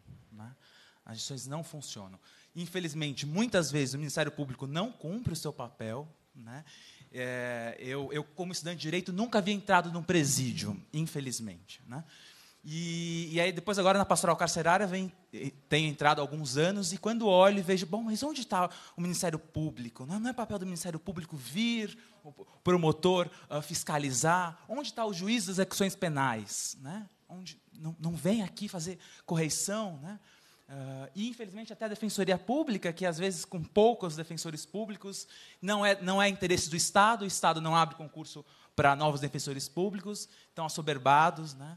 Eh, não conseguem é, atender a demanda. Né? Onde está a própria Comissão de Direitos Humanos, que eu acho que é uma iniciativa louvável, não basta, necessário ir além, né? mas é, onde estão os nossos deputados para ir até o presídio, para fiscalizar, para mostrar? Porque as violações acontecem aos montes. Né? Eu gostaria que essa, essa é, audiência de, direitos, de, de, debate sobre os direitos humanos ela pudesse ir além disso, né? continuar falando que existem torturas, né? continuar dizendo que a comida está estragada, continuar dizendo que o GIR, o grupo de intervenção rápida, entra nos presídios e tortura, e humilha, e comete e ameaça, né? é um absurdo. Em pleno 2019. Né? É um absurdo. É como se nosso, nosso Estado fosse um Estado de, sei lá, da, né? de, da, da, da época da medieval. Né? Isso continua acontecendo, mesmo com o Ministério Público, mesmo com a Defensoria Pública, mesmo com essa Comissão de Direitos Humanos, mesmo com o Conselho Estadual de Direitos Humanos. Né? Mesmo, quer dizer, isso continua acontecendo. Né? É, e, e, é difícil, eu, na última, na última uh, reunião da pastoral carcerária, no último encontro lá no presídio, vieram novas denúncias. Né? E eu tive que dizer para eles que, infelizmente, se eles queriam levar essas denúncias à frente, né, mas que, infelizmente, nós da pastoral carcerária não tínhamos meios de garantir a incolumidade física daquelas pessoas. Que eles iam denunciar e que no dia seguinte a direção do presídio ia continuar torturando. Né? E, e isso, isso vai continuar. Né? Isso vai continuar. Eu posso até me sentar com a promotoria, com a defensoria pública, mas isso vai continuar. Né? Então, o é, que, que nós, nós, precisamos? É formação. Né? Nós precisamos pegar esses agentes penitenciários e, e, e darmos formação, e dizermos que é direitos humanos, é, é uma valorização salarial. Né? Nós, da, da, da, pastoral carcerária, apesar de uma luta histórica, e nos, peri, nos presídios onde há pastoral carcerária, há, há, as violações diminuem, né? mas hoje em dia a pastoral carcerária se envelhece, como a igreja de um modo geral, né? E nós não conseguimos estar nos, não temos a articulação que nós tínhamos algumas décadas atrás, e isso volta, isso está aí, quer dizer, isso nunca terminou, mas isso, isso aumenta. Com o discurso de um presidente que acha que, que a solução é encarcerar, né? que é, que é, é, é bandido bom, bandido morto, é, é bandido morto, né? isso continua, isso aumenta. Né? Nós não, continuamos, não, não conseguimos entrar já nos pavilhões mais né, porque não tem agente penitenciário. Essa é a resposta do Estado. Né, não há agente penitenciário. Então, assim, me causa muita angústia de ter estudado cinco anos né, é, é, é, direito e ver que existem leis maravilhosas, que existem mecanismos. Né, acho que nos últimos, no, no, nos governos do PT foi criado um mecanismo de combate à tortura, a, a, a um arcabouço legal muito bonito. Né, mas e aí? Nós não conseguimos colocar isso em prática. Né? Nós, nós falimos enquanto sociedade.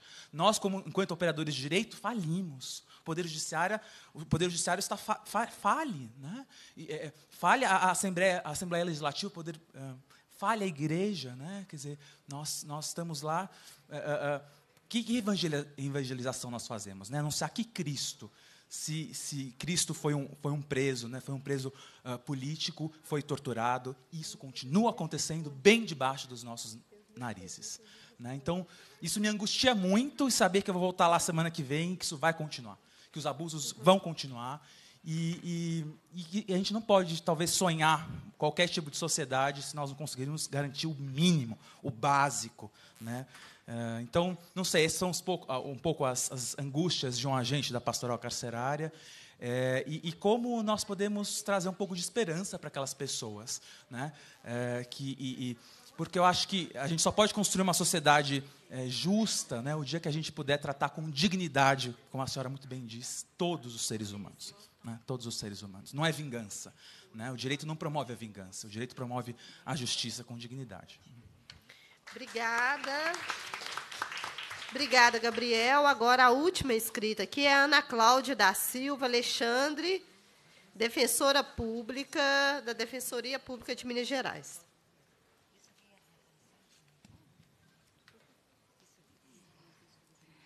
Boa tarde a todos e todas. Estou aqui, uma oportunidade agora de contribuir com esse debate, depois de falas tão qualificadas, é, não só dos, dos debates da primeira mesa, como dessa também, né, provocações aí muito pertinentes, tanto do Nilmário, que sempre esteve aí, né, na defesa de direitos humanos e é para nós também um, uma pessoa referência, é, não só pela qualificação, mas por tudo que tem feito. E a Cláudia e o capitão colocaram aqui questões institucionais que, como defensora, é, também fa me fazem refletir. É, acho importante, é, e conforme o agente pastoral coloca, né, e ele traz aqui uma realidade que a Cláudia coloca como outro lado da moeda, o lado da moeda da implementação da política pública, né? E esse lado da moeda da implementação da política pública, é, ele traz esses reflexos. É, não adianta só ter a boa vontade, não adianta ter só esse é, desejo de ver a coisa funcionando, né? O, o, a sociedade, a utopia do bem viver, é, é necessário que a gente também encontre uma forma, um rumo para que é, essas questões elas possam realmente virar realidade. Então aqui eu faço a essa mesa a, a, a pergunta, né? É o que eu tenho refletido e acho que o que a Teresa coloca é, é, é, é algo que nenhum de nós aqui desconhece e, e, e se conforma. É, tenho certeza que ninguém aqui nessa sala que eu conheço, que também lida com direitos humanos, está conformado com a realidade do sistema penitenciário. Mas, como instituição, eu, defensora, encaro no dia a dia também uma dificuldade muito grande de raciocinar direitos humanos dentro da defensoria ainda, faço parte de uma é, é, especializada que conta apenas com oito defensores. Será que não poderíamos pensar numa instituição mais de mais direitos humanos sendo defendidos? Né? E acredito que a Cláudia, conheço o trabalho dela, a gente sempre ali junto também na defesa de direitos humanos, ela está dentro de um Ministério Público, que será que não poderia respirar mais e mais direitos humanos do que fazer ali a defesa da lei e da ordem, né? E agora, como é que será esse, esse Ministério Público diante desse pacote de anticrime? Né? É, fiquei hoje lendo a defesa lá do movimento negro na Comissão Interamericana, levando a questão do genocídio da juventude negra, algo tão relevante para direitos humanos, e que, diante do pacote de anticrime, é, a gente fica aí, né? autorização para a milícia matar e não ser flagrante mais, que negócio é esse? E, e, e, e que coisa preocupante, né? E, a gente ainda está vivendo um estado que ainda tem alto de resistência, né? É, é, e isso já devia estar sendo discutido, já devia ter sido discutido, né? como o Frigo fala lá, né? como deveríamos ter discutido taxação de grandes fortunas, como deveríamos ter enfrentado tantas questões de direitos humanos que não enfrentamos, mas estamos aí, ainda agora, para enfrentar questões que colocam os direitos humanos mais e mais e mais em xeque. Então, e acredito também, né, a fala do, do, do, capitão na polícia militar, ela é, né, vem nos trazer e eu também acompanho a defensoria também fez parte desse movimento de formação, né, dos policiais militares. Acredito que isso é muito importante, né, mais do que presídios precisamos é de educação, é de direitos sociais, é de cumprimento do artigo 6 da Constituição e a segurança pública como uma segurança que não defende a sociedade penal do inimigo, né, mas uma sociedade para todos e para todas, para, todo, para todos os cidadãos. E, e, e, acho que estamos mesmo né, é, com, com o, o, o, o arcabouço jurídico é, suficiente para fazer acontecer. Mas tem o outro lado da moeda, né? o lado da implementação. Então, é essa, esse é o meu questionamento, sabe? Se ouvir Mariana, que eu adoro muito, né, trazer aqui para nós no debate anterior essa essa questão, né, que estamos aí falando de direitos humanos e, e, e, e o mundo também vive é, um ataque a essas expressões e hoje eu gosto muito de falar é, é, dos direitos da natureza na perspectiva humana, porque eu entendo que nós somos natureza, né? O nosso corpo também, a maior parte dele é água. E a gente sabe como que o nosso corpo se ressente quando as nossas águas estão agredidas, estão adoecidas, né? E o que temos visto aí é esse ataque às nossas águas, né? A ganância, o lucro da mineração já ceifou pelo menos dois dos nossos grandes rios, e eu escutei agora lá no norte de Minas, no, no, no debate que estive lá com o centro de referência aí da Júlia, os, os, comunidades tradicionais dos quilombolas dos pescadores denunciando a morte dos peixes no Rio São Francisco. Então, isso são questões que eu digo. Será que não é isso que estão nos provocando? Como a Tereza fala, será que nós não precisamos de levar esse debate para a periferia? Uhum. Né? Eu estou aqui é, não só questionando, mas também me colocando é, à disposição para esse debate na periferia. Pode me chamar Andréia, pode me chamar Leninha, pode me chamar deputada Beatriz, e que eu estou disponível para ir para a periferia com vocês e para, para os lugares onde a gente precisa discutir, não só direitos humanos, mas direito da natureza, o direito das futuras gerações porque eu tenho certeza que nesse sistema de ganância, de lucro, e, e, de, e, não implementação efetiva daquilo que vai realmente garantir dignidade humana para as pessoas. Não somos só nós, né? aqueles que vão vir depois de nós, é, que vamos ter algo a, a, a, a se arrepender daquilo que não fizemos ainda. É isso. Muito obrigada. Obrigada, doutora Cláudia. Nós sabemos o quanto pode contar com a senhora, em, não só nesse momento, em outros. Aqui, é, encerrados os debates, eu vou voltar para a mesa e vou pedir para que as pessoas respondam né, os questionamentos, mas também já façam suas conclusões finais. É, vou abrir a palavra para, para as deputadas também trazer os seus questionamentos, mas eu queria trazer um pouco da leitura do que e, e fazer também uma pergunta do que da leitura que eu vi nos debates aqui trazido pela mesa, fomentando o debate é, na sociedade, nas pessoas que vieram, os convidados que estão aqui até agora. É, eu achei muito impactante quando o Nilmário falou desse papel dos direitos humanos de descriminalizar os conflitos. É um grande desafio, é o desafio que a gente tem enfrentado aqui na casa, de que discutir direitos humanos não é não é só para bandido, né? Nós estamos dizendo pessoas humanas, mas de como os conflitos sociais, que são muitos deles associados à disputa de terra, são criminalizados. Então, assim, esses é, é, muito importante a gente também ter consciência disso, né? Que esse papel da Comissão de Direitos Humanos é também enfrentar essa criminalização dos conflitos fundiários, mas que vão para além disso, né? Essa disputa de poder, de narrativa, está sempre muito presente, né? É, a doutora Cláudia trouxe algo extremamente importante, que é representatividade e de como isso impacta na decisão da, de implementar ou não uma política pública, de levar a cabo ou não essa política pública. Acho, é, é, e aí ela trouxe um elemento importante. Quando a gente fala de representatividade, é isso também. Né? Quais eram os corpos que estavam ocupando esse lugar da, da construção da política pública? Né? Durante anos, a gente não viu no processo de, da Constituição, por exemplo, um indígena lá redigindo a Constituição. Então, assim, historicamente, corpos negros, indígenas, mulheres, LGBTs não estão nesse espaço com essa consciência política de transformação. Então, assim, garantir representatividade nos espaços e aí saudar é, o Tribunal de Justiça, que agora já reconhece as cotas raciais né, no, no, no, processo de concurso público é extremamente importante também. Né? Nós estamos falando de uma justiça também executada, por, pela sua grande maioria, por corpos brancos, então a representatividade também passa por esse recorte de raça, classe e gênero.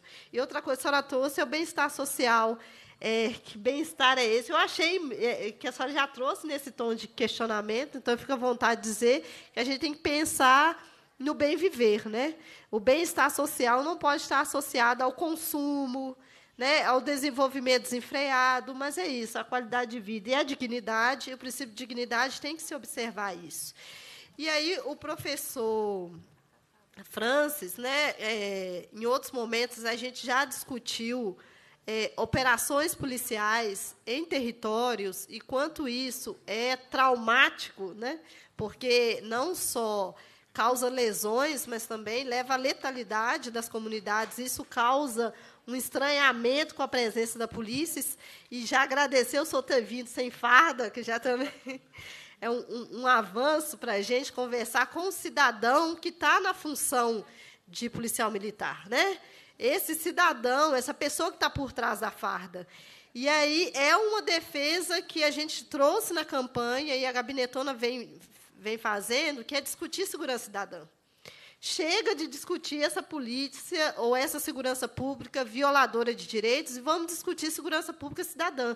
O que é possível a gente transformar e ser propositivo para que, de fato, a segurança pública ela seja parte de uma política pública é, maior, né, que começa com uma formação de qualidade, com acesso à saúde, e que, é, se a gente precisar do agente de segurança pública, que ele não venha para as comunidades só estabelecer ou garantir privilégios.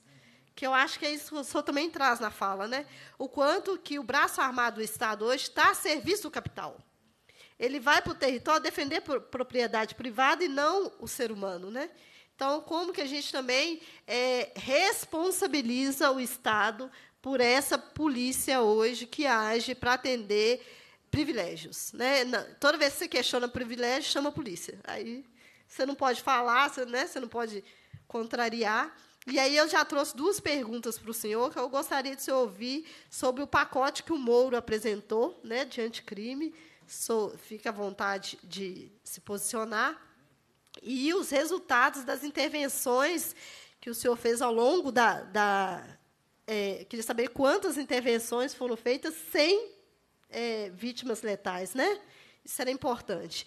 Dona Tereza, é, queria compartilhar com a senhora que a gente vai estar sempre ouvindo, que é importante. A gente está na institucionalidade, acho importante estar aqui agora, assumindo essa nova frente de luta é, dizer que o debate na periferia é, não é ir. Eu estou lá ainda, né? E, assim, durante alguns nos últimos anos, eu venho, inclusive, investindo em estar na institucionalidade, levar meu debate para a institucionalidade. É um desafio, porque, mesmo aqui na casa, né, parece que eu estou pregando um deserto, mas eu visitei, é, estando na Secretaria de Educação, eu estive em todas as escolas de Ribeirão das Neves, falando da promoção da igualdade racial, dizendo que o Estado é racista, que o racismo é estrutural, mesmo estando num cargo comissionado, que a gente sabia o quanto é milindroso esses cargos. Né? Então, assim, esse debate na periferia é, eu venho construindo de forma mais ampla, inclusive dizendo desse processo de encarceramento no viés de, de, de, controle social sobre corpos negros, não tem nada a ver com prisão de bandido, nem combate às drogas, é um controle social sobre os negros. E essa audiência ela está sendo transmitida para mais de 131 cidades. São 131 cidades. Então, se eu saísse daqui para fazer o debate em 131 cidades, eu precisaria, no mínimo, seis meses Sabe, assim, é, é, a gente tem que pensar a estratégia de hackear o Estado. Não estou aqui para colaborar com aquilo que eu não concordo, mas se tem um mecanismo hoje que permite a gente chegar, alcançar lugares que a gente não consegue, pensando no estado de Minas Gerais, 853 municípios. Para viajar, fui a Sucena, ver um caso de violação de direito contra a comunidade Pataxó, sim, mesmo com carro, com tração na quatro rodas. Foi difícil de chegar. E, assim, dois dias né, que foram consumidos. Então, assim, o, a estratégia que eu estou adotando agora é isso trazer o debate para casa. A casa hoje ela transmite os debates na íntegra, né? Então está sendo gravado, retransmitido para 131 cidades que têm é, convênio, é, convênio, acho que a palavra certa é isso, com a Assembleia Legislativa. Mas a gente tem que sim assumir que esse debate tete a tete é parte da nossa política e vamos avançar. E está disponível, ah, está me avisando aqui também, está disponível no YouTube. Você pode baixar, cortar o vídeo, mandar para os amigos no WhatsApp, porque o vídeo muito grande não dá. Você pode baixar, cortar só a frase, da, só a fala da dona Tereza ali. A fala da dona Tereza chegou para 100 cidades, 130 cidades. Você pode cortar e mandar para o WhatsApp, que vai chegar ainda mais gente para ampliar o debate, né? A gente é, tá vendo a igreja? E achei importante que no Mário trouxe também, é, quando ele falou de Dom Valmor e, e da chegada de Dom Valmor na CNBB, de quanto a gente precisa, num esforço de pensar nas parcerias, pensar nos aliados. Não reconheço na Igreja Católica esse espaço de total confiança, mas tem pessoas lá dentro que a gente pode contar. E aí, se a gente identifica isso nesse processo agora que está tão aprofundado, é extremamente importante fazer parcerias que nos ajude a manter de pé. Né? Então, vamos lá. E aí, vamos ouvir a, a deputada Beatriz. Ela também vai trazer suas conclusões, fazer suas perguntas.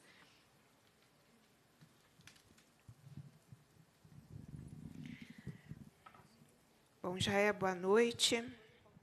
Verdade, deputada Andréia. São mais reflexões e não tenho muitas, talvez, questionamentos.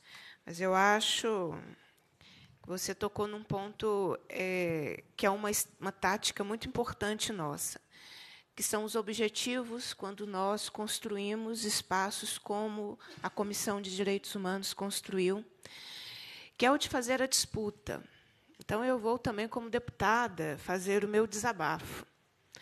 Nós somos minoria nesse lugar. Nós somos ampla minoria. Nós somos é, pessoa, uma, uma minoria que hoje defende a vida. Nós somos uma minoria que hoje defende povo no orçamento, defende povo na Constituição. Nós somos uma minoria que fala quando há violações de direitos, Quantas pessoas falaram do tapete da Marielle em ouro preto pisoteado? Quantas pessoas falaram dos 80 tiros?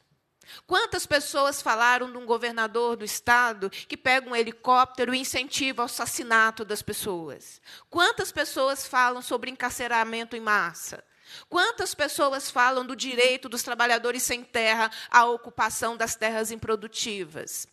Quantos denunciam os cortes na educação promovidas pelo governo federal? Façam as contas no cotidiano dessa casa. Nós somos minoria. Por isso, nós precisamos fazer a disputa dessas pautas aqui.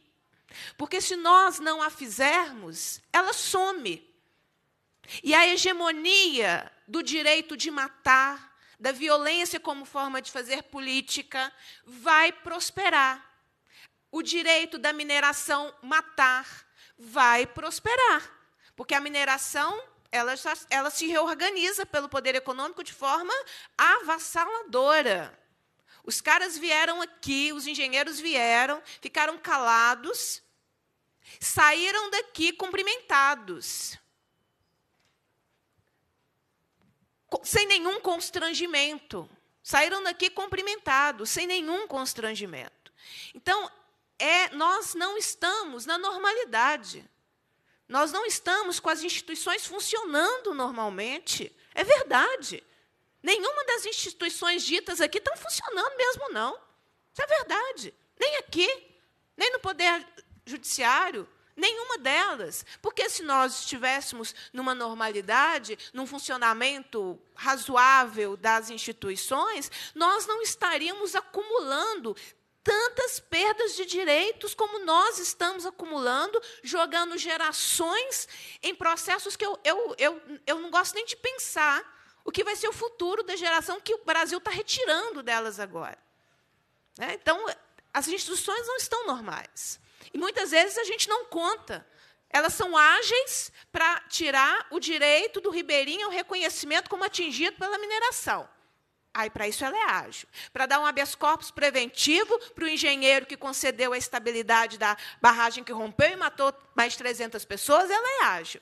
Mas para garantir o direito do pobre, do, da periferia, daquele que não tem voz no, seu, no cotidiano da, dessa sociedade, aí ela não tem a mesma, a mesma agilidade. Nós não estamos com as coisas normais mesmo, não, gente. Eu acho que essa é, essa é uma constatação. E, por isso, essa audiência e as iniciativas da Comissão de Direitos Humanos, a qual eu, eu não faço parte como titular, eu vim pela pelo processo coletivo que a gente tenta construir de se, de se sustentar, de se empoderar, de estar uma na atividade da outra, e pela importância do debate que precisa ser feito. É, mas ela é tão importante, porque nós precisamos disputar o que antes talvez nós não precisávamos mais disputar na Assembleia. Nós voltamos a disputar o essencial, que é debater direitos humanos, debater aquilo que todo mundo já deveria saber. Mas a gente escuta no dia a dia, como eu comentei aqui numa fala de saudação. Não, as pessoas têm direito à terra no cemitério. Isso é dito aqui normalmente, gente. É normal, é, é, é, naturalizou esse processo da criminalização de todas as lutas e a criminalização do povo, da população. Acho que essa é um, uma, uma questão que a gente vive aqui no cotidiano. Então, de fato, ter uma audiência pública com esse recorte e ela poder acontecer, porque às vezes a gente chama temas que a gente não consegue conversar aqui também. A gente chama discussões que a gente não consegue chegar até o final ela acontecer é muito importante. Então, a Comissão de Direitos Humanos exerce, exerce, com esse debate um papel essencial nessa disputa que precisa ser feita aqui no nosso cotidiano. Eu queria deixar essa primeira observação. É, a segunda observação é que assim, eu tenho uma experiência como movimento popular, movimento sindical, é, e que nós precisamos, de fato, não sei é, em que parâmetros, mas nós precisamos é, discutir a relação que a instituição da Polícia Militar estabelece com os movimentos populares. Porque é uma, é uma relação que é geradora do conflito. Eu escutei é, no Vale do Jequitinhonha, deputada, a gente não tem água, porque a mineradora tira a água da gente. Aí a gente sobe para o asfalto para manifestar, a polícia não deixa a gente manifestar pelo nosso direito à água. A, a, a, polícia protege a mineradora, em detrimento do nosso direito de ter acesso à água. Água. Água. Enquanto o mineroduto passa com a água gratuitamente, levando o minério para a exportação, porque esse relato é da mesma região, que é lá na região do Vale do Jequitinhonha, é, Conceição do Mato Dentro, Alvorada de Minas. Então, assim, a polícia ela é geradora de conflito. Quantas vezes foram as que nós estávamos na rua e que o juízo de valores de quem estava na operação determinava o processo de relação conosco, né? o processo de conflito conosco. Quantos episódios de conflitos nós temos durante os nossos carnavais? Que são a ponto da polícia dizer o que se pode dizer num, carna... num, num, num, bloco de carnaval, porque esse episódio aconteceu aqui em Minas Gerais esse ano, se eu não estou enganada, né? Porque nós já, já aconteceu tanta coisa é, é, é, num ano em tão pouco tempo, a ponto disso acontecer. Então, assim, a polícia, esse sistema, né, não é o policial. É, eu sei a diferenciação, mas o sistema faz um processo que é o gerador do conflito com quem faz a luta social. Não é? Quantas situações em que a, a, a, o processo de desocupação acaba em é, violência contra crianças e adolescentes? Porque as pessoas, porque quem ocupa são famílias, né? Quem faz uma ocupação não é um grupo profissionalizado, terrorista, que, é, importado, né, das, das maquinações que as pessoas acham que isso acontece. São pessoas comuns que estão sendo expulsas do seu direito à moradia por tudo que nós estamos vivendo, que eu não vou, não vou, não vou dizer para tentar ser mais sintética. Mas é, vamos lembrar da Gabi, né, que até hoje deve estar fazendo. É, é, é, é, cirurgias separadoras do tiro que levou na boca numa desocupação aqui em Mário Campos. Né? Isso foi outro dia. Vamos lembrar da execução do rapaz negro que estava dentro de um carro em Ouro Preto indo para um show de rap. É claro que ele levou um tiro na cabeça porque ele era negro. Quais foram as consequências dessas ações? Né? O que, que aconteceu depois? Que essas pessoas. É, nós estávamos numa atividade em Ouro Preto, do 21 de abril, é, e nós, é, nós temos dois funcionários do sindicato ao qual eu faço parte, estavam hospedados no hotel, eles estavam na praça. Eles, sabe aquela coisa de se atravessar a praça, a rua correndo? Por hábito, porque deve estar vindo algum carro, ou porque a gente quer dar uma corridinha para chegar mais rápido. Né? Foram abordados na porta do hotel, porque eram negros. Eram negros. Eu tenho certeza, desculpa, que se fosse eu que tivesse dado a corridinha para atravessar, a chance de eu ter sido abordada era muito, muito menor ou inexistente. Né? É real. É disso que, que eu acho que é, é, a vida prática das pessoas, né? e que nós precisamos trazê-la para cá, né? cotidianamente. Mas é, é, eu tinha a esperança de que nós tivéssemos construído um protocolo é, em relação a essas condutas da, da, da polícia conosco. Porque, de fato, quando começa a acontecer, a gente não sabe muito o que fazer. Aí é todos nós, né? porque chega para a gente a demanda, você começa a tentar ajudar de alguma forma nos processos de conflito e nós precisamos de protocolos, porque essa forma de atuação ela é a serviço ela é a serviço é, é, do capital, ela é a serviço da propriedade privada em detrimento da vida. Acho que essas questões são reais. Já recebi minha plaquinha de conclua. É, eu só quero, então, colocar a minha, a minha disposição e meu compromisso com a pauta de, né, em Gramogol. A pauta do enfrentamento à mineração é uma pauta que nós temos atuado aqui com muita receptividade na Comissão de Direitos Humanos, então vamos ver como podemos, porque nós estamos fazendo uma atuação que é em rede, sabe? Para não ficar parecendo que cada lugar a mineração atua por si, porque ela não atua em si, ela atua de forma muito, muito poderosa e nós precisamos ver uma atuação que seja em conjunto. Então, nós estamos tentando fazer essa construção de atuação em rede que abarque aí todo o Estado por etapas em relação aos processos de mineração.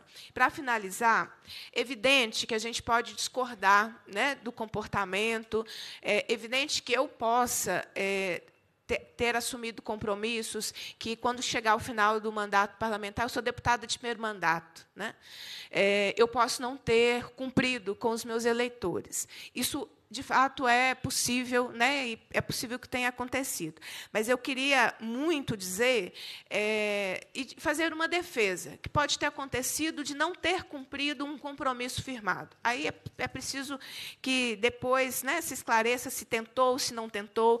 Nós estamos, nesse momento, com, dezenas de projetos de leis nossos. Nós estamos em maio, a gente não votou um projeto de lei de deputado aqui na casa, quase, não é? Porque a dinâmica aqui na Assembleia, por mais que você procure atuar, dar celeridade, atua nas comissões, há, uma, uma dinâmica de, de projetos que, de fato, hoje, na Comissão de Educação, nós fizemos a, a, a, a votação de um projeto de 2015 eu nem sei se ele, é mais, se ele era mais útil, porque ele está lá desde 2015, né? mas nós estamos procurando, quando chega na nossa comissão, que eu sou presidente da Comissão de Educação, nós estamos procurando coletivamente dar celeridade. Então, é, pode ser que a gente apresente a demanda e ela não flua, né? mas eu quero é, fazer uma defesa do deputado André Quintão. Né? Ele pode não ter cumprido o compromisso, né? mas é, eu acredito na sua integridade e no seu compromisso e no seu trabalho aqui. Né? Então, eu queria dizer isso, porque eu ir embora não dizendo isso, é, eu não me sentiria à vontade. É um, é, um, é o líder de todos que estão nessa mesa, é o líder do nosso bloco, é que procura atuar de forma muito coletiva. Né? Então, é, é, é com integridade e com honestidade em todas as nossas pautas aqui na Assembleia Legislativa. Parabenizar mais uma vez a Comissão de Direitos Humanos, porque, sim, esse debate nunca foi tão essencial de ser feito na Assembleia Legislativa. Então, as mulheres que estão à frente dessa comissão, parabéns, porque nós sabemos o que, é que nós enfrentamos aqui no nosso cotidiano para que pautas como essa cheguem para uma audiência exitosa como essa que vocês coordenaram na tarde de hoje. Aos demais convidados, é sempre um prazer fazer o bom debate nessa casa. Obrigada. Desculpa a extrapolação do tempo, tá bem? Obrigada, deputada. Agora vou passar para a deputada Leninha. Eu quero deixar o tempo para os debatedores, com certeza, né, foram provocados, alguns mais, outros menos, mas é importante que a gente devolva né, para eles o seu posicionamento. Mas na nossa, na, nas observações que a gente quer fazer, uma parte a Beatriz já fez, Mas, assim, para a gente é um grande momento nessa Casa de Lei, sabe, dona Tereza? Um grande momento fazer esse debate.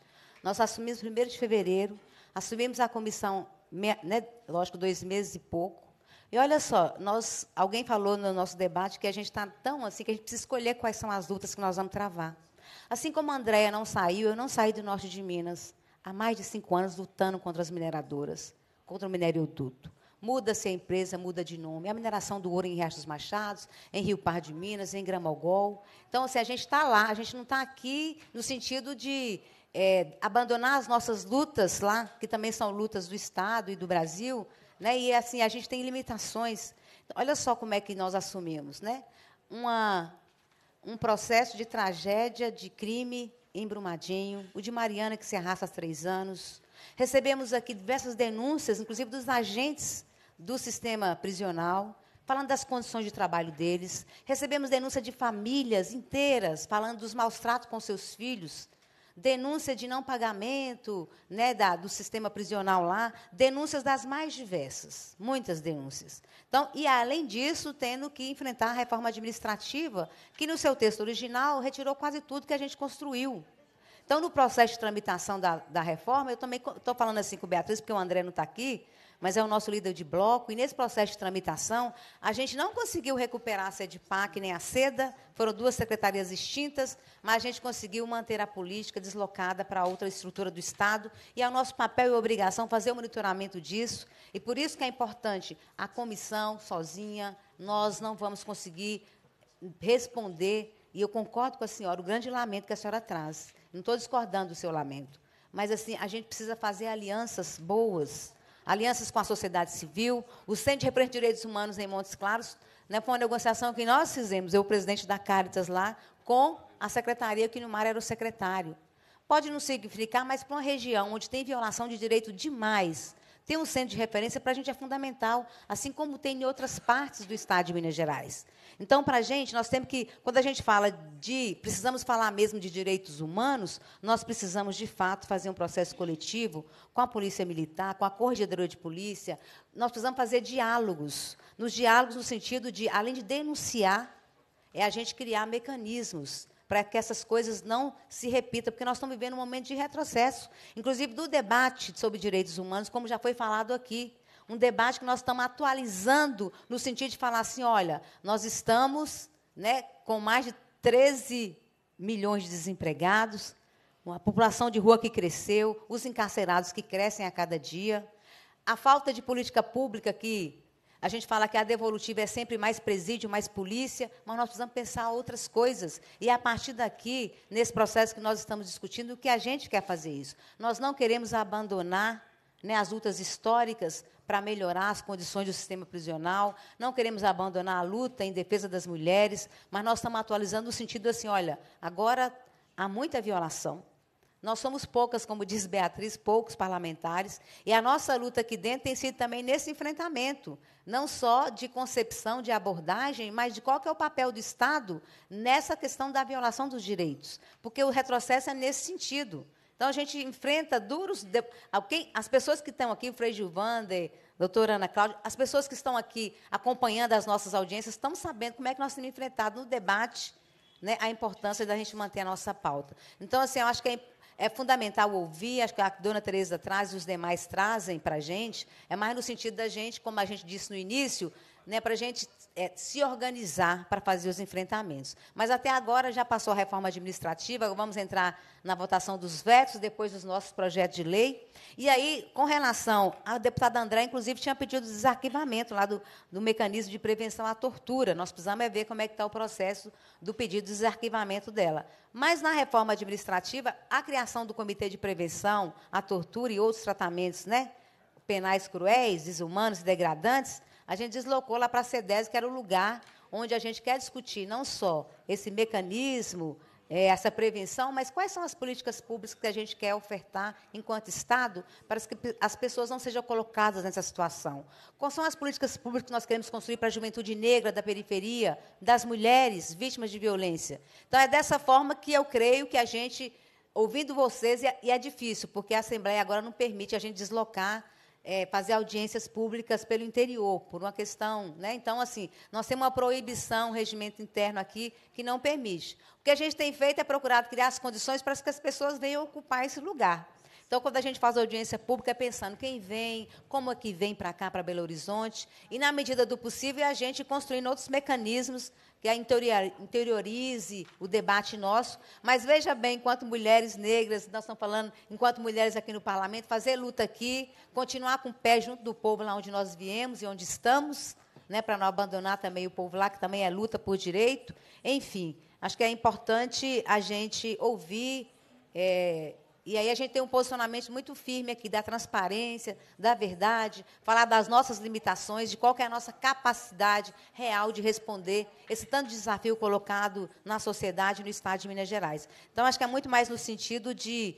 É, eu até dos debatedores eu não vou comentar, mas eu fiquei muito. Eu já conheci o Nilmário, já tinha visto falar é, da, doutora Cláudia, já tinha visto do, do do, do capitão ou major da polícia, assim uma abordagem que a gente capitão major. Capitão major. De uma abordagem é, professor, né, o professor de uma abordagem que assim é, foi muito suave para a gente, porque é esse tipo de de posicionamento das corporações que a gente quis trazer também para esse debate. Então, a corporação que é feita de várias pessoas, e as várias pessoas tomam atitude de formas diferenciadas, mas é importante a gente alinhar o debate né, junto com o Estado, para a gente poder ir construindo essas pontes que diminuam né, essa tanta violência e essa ausência de política capaz de dar as respostas que nós queremos e acreditamos. Por aí.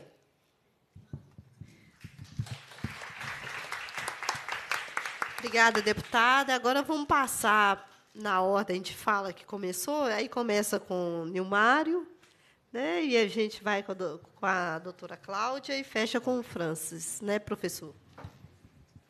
Eu vou ser breve, mas eu, eu fui, na, na, época da ditadura, preso alguns anos, né? todo mundo sabe disso. Eu fiquei lá um ano no Presídio Tiradentes, onde o, aquele Sérgio Fleury retirava os presos para matar, né? Na cara de pau, os presuntos que eles chamavam né, do Esquadrão da Morte. Fiquei um ano no Carandiru, um presídio que cabia 2.200 presos, tinha 6.200. Aqueles cubículos, ficavam 10 presos. Depois passei uns seis meses no hipódromo, que hoje queimaram também, e fiquei o último ano em Juiz de Fora, também. O que, que tinha em comum dele? Superlotação. Era outro paradigma, outro, outro modelo nacional, constitucional, era uma ditadura. E, mas eu, desde aquela época eu percebi o seguinte: superpopulação carcerária inviabiliza qualquer forma de ressocialização. É. Eu fui visitar um presídio em Unaí, tinha um preso sem terra lá, fui visitá-lo. Lá tinha 900 presos. Então, escola estadual lá dentro. Mas dos 900, só 180 podiam estudar. Por quê? Porque eu, eles que não tinham estrutura para conduzir de um pavilhão para outro. Então, mesmo a escola dentro, os presos não, não tinham acesso a ela. E eu via também, assim, agente carcerário, que criou-se aqui em Minas, no Brasil todo, é que agente carcerário, é, é, ele quer ser polícia quer ser tratado como polícia. Não como educador também. Para mim, a gente, carcerário, devia ser ter o papel de fiscalizar, de vigia, mas também ter o papel educador. Não. É lá todos vestidos, rambos, aquelas, aqueles uniformes, é, com, sabe, armados na forma de se É isso, e queria mais, mais, mais, mais poderes de usar armas, de de agir como policiais, e não como esse misto de policiais e educadores. Educadores zero. Agora, é bom lembrar também que quem decide é a superpopulação é poder judiciário. Quem manda preso para lá é poder judiciário, é juiz que manda. Não é executivo, não é legislativo. Quem manda é o judiciário. É o promotor que acusa. E o judiciário, quem, quem decide é o judiciário. Eu, claro, tem o papel do Ministério Público, mas quem decide é o Judiciário. Vai ter um julgamento dia 5 de junho no STF. A gente sempre tem uma esperança né, de que alguma coisa possa acontecer. E o que está em discussão é o seguinte: lei das drogas, a guerra às drogas. Sabe? Nós estamos há mais de uma década, quase duas décadas, guerra às drogas. Enquanto tiver isso, não tem solução para o penitenciário no Brasil. Né? O que, que vai decidir o STF? Se as drogas chamadas ilícitas vão ser equiparadas às drogas lícitas. Né? Álcool, tabaco, quase sustenta a mídia com, publicidade. Essa pode. Quem provoca mortes, tanto em mortes violentas no Brasil, é o álcool. Número um. Número dois, que é a droga, cada guerra às drogas. Né? Isso alimenta uma demanda para cada vez mais polícia, mais morte, mais cárcere. É, é quase que, sabe, é um, um ciclo vicioso.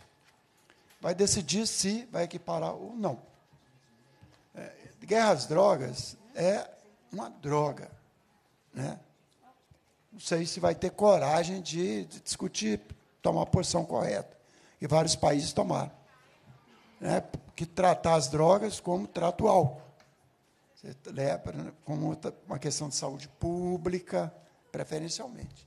Né? Guardar é, cárcere, polícia, para quem precisa de polícia. Né? Você tirar, descriminalizar, você desmonta uma coisa gigantesca que está crescendo. Hoje, o, os, essas facções criminosas são transnacionais, são nacionais.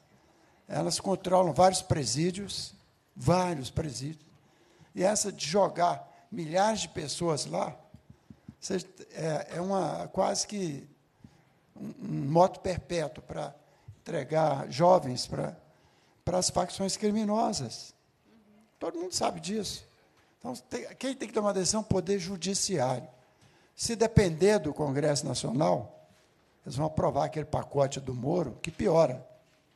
Né? Lá dentro tem gente que agora está feliz porque vai poder é, é, fazer redução da moralidade penal, com o apoio da sociedade. Né, que eles, a narrativa deles está ganhando na sociedade. Né, que, então, você imagina, hoje, um sistema precário, que é do, do sistema socioeducativo, tem 70% ressocialização. O sistema penitenciário não, não socioeducativo só tem 30%.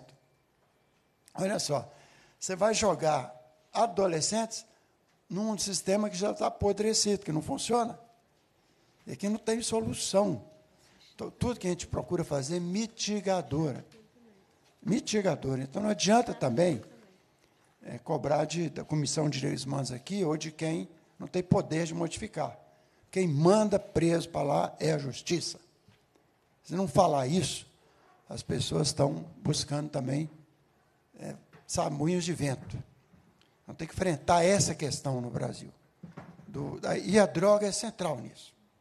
Que é o que infernizou tudo, as prisões, a periferia, o, a, a, o morticínio dos negros, dos jovens, da juventude, essa guerra contra a população pobre das periferias, é a guerra às drogas. É que está por trás disso.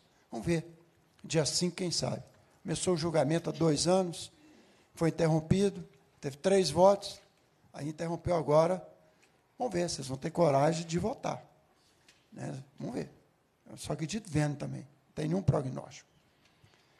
É, segunda questão que eu queria. Foi. Não, o pacote do Moro. Só piora, né? Que é, é o punitivismo. É a mesma linha. É agravar o que está.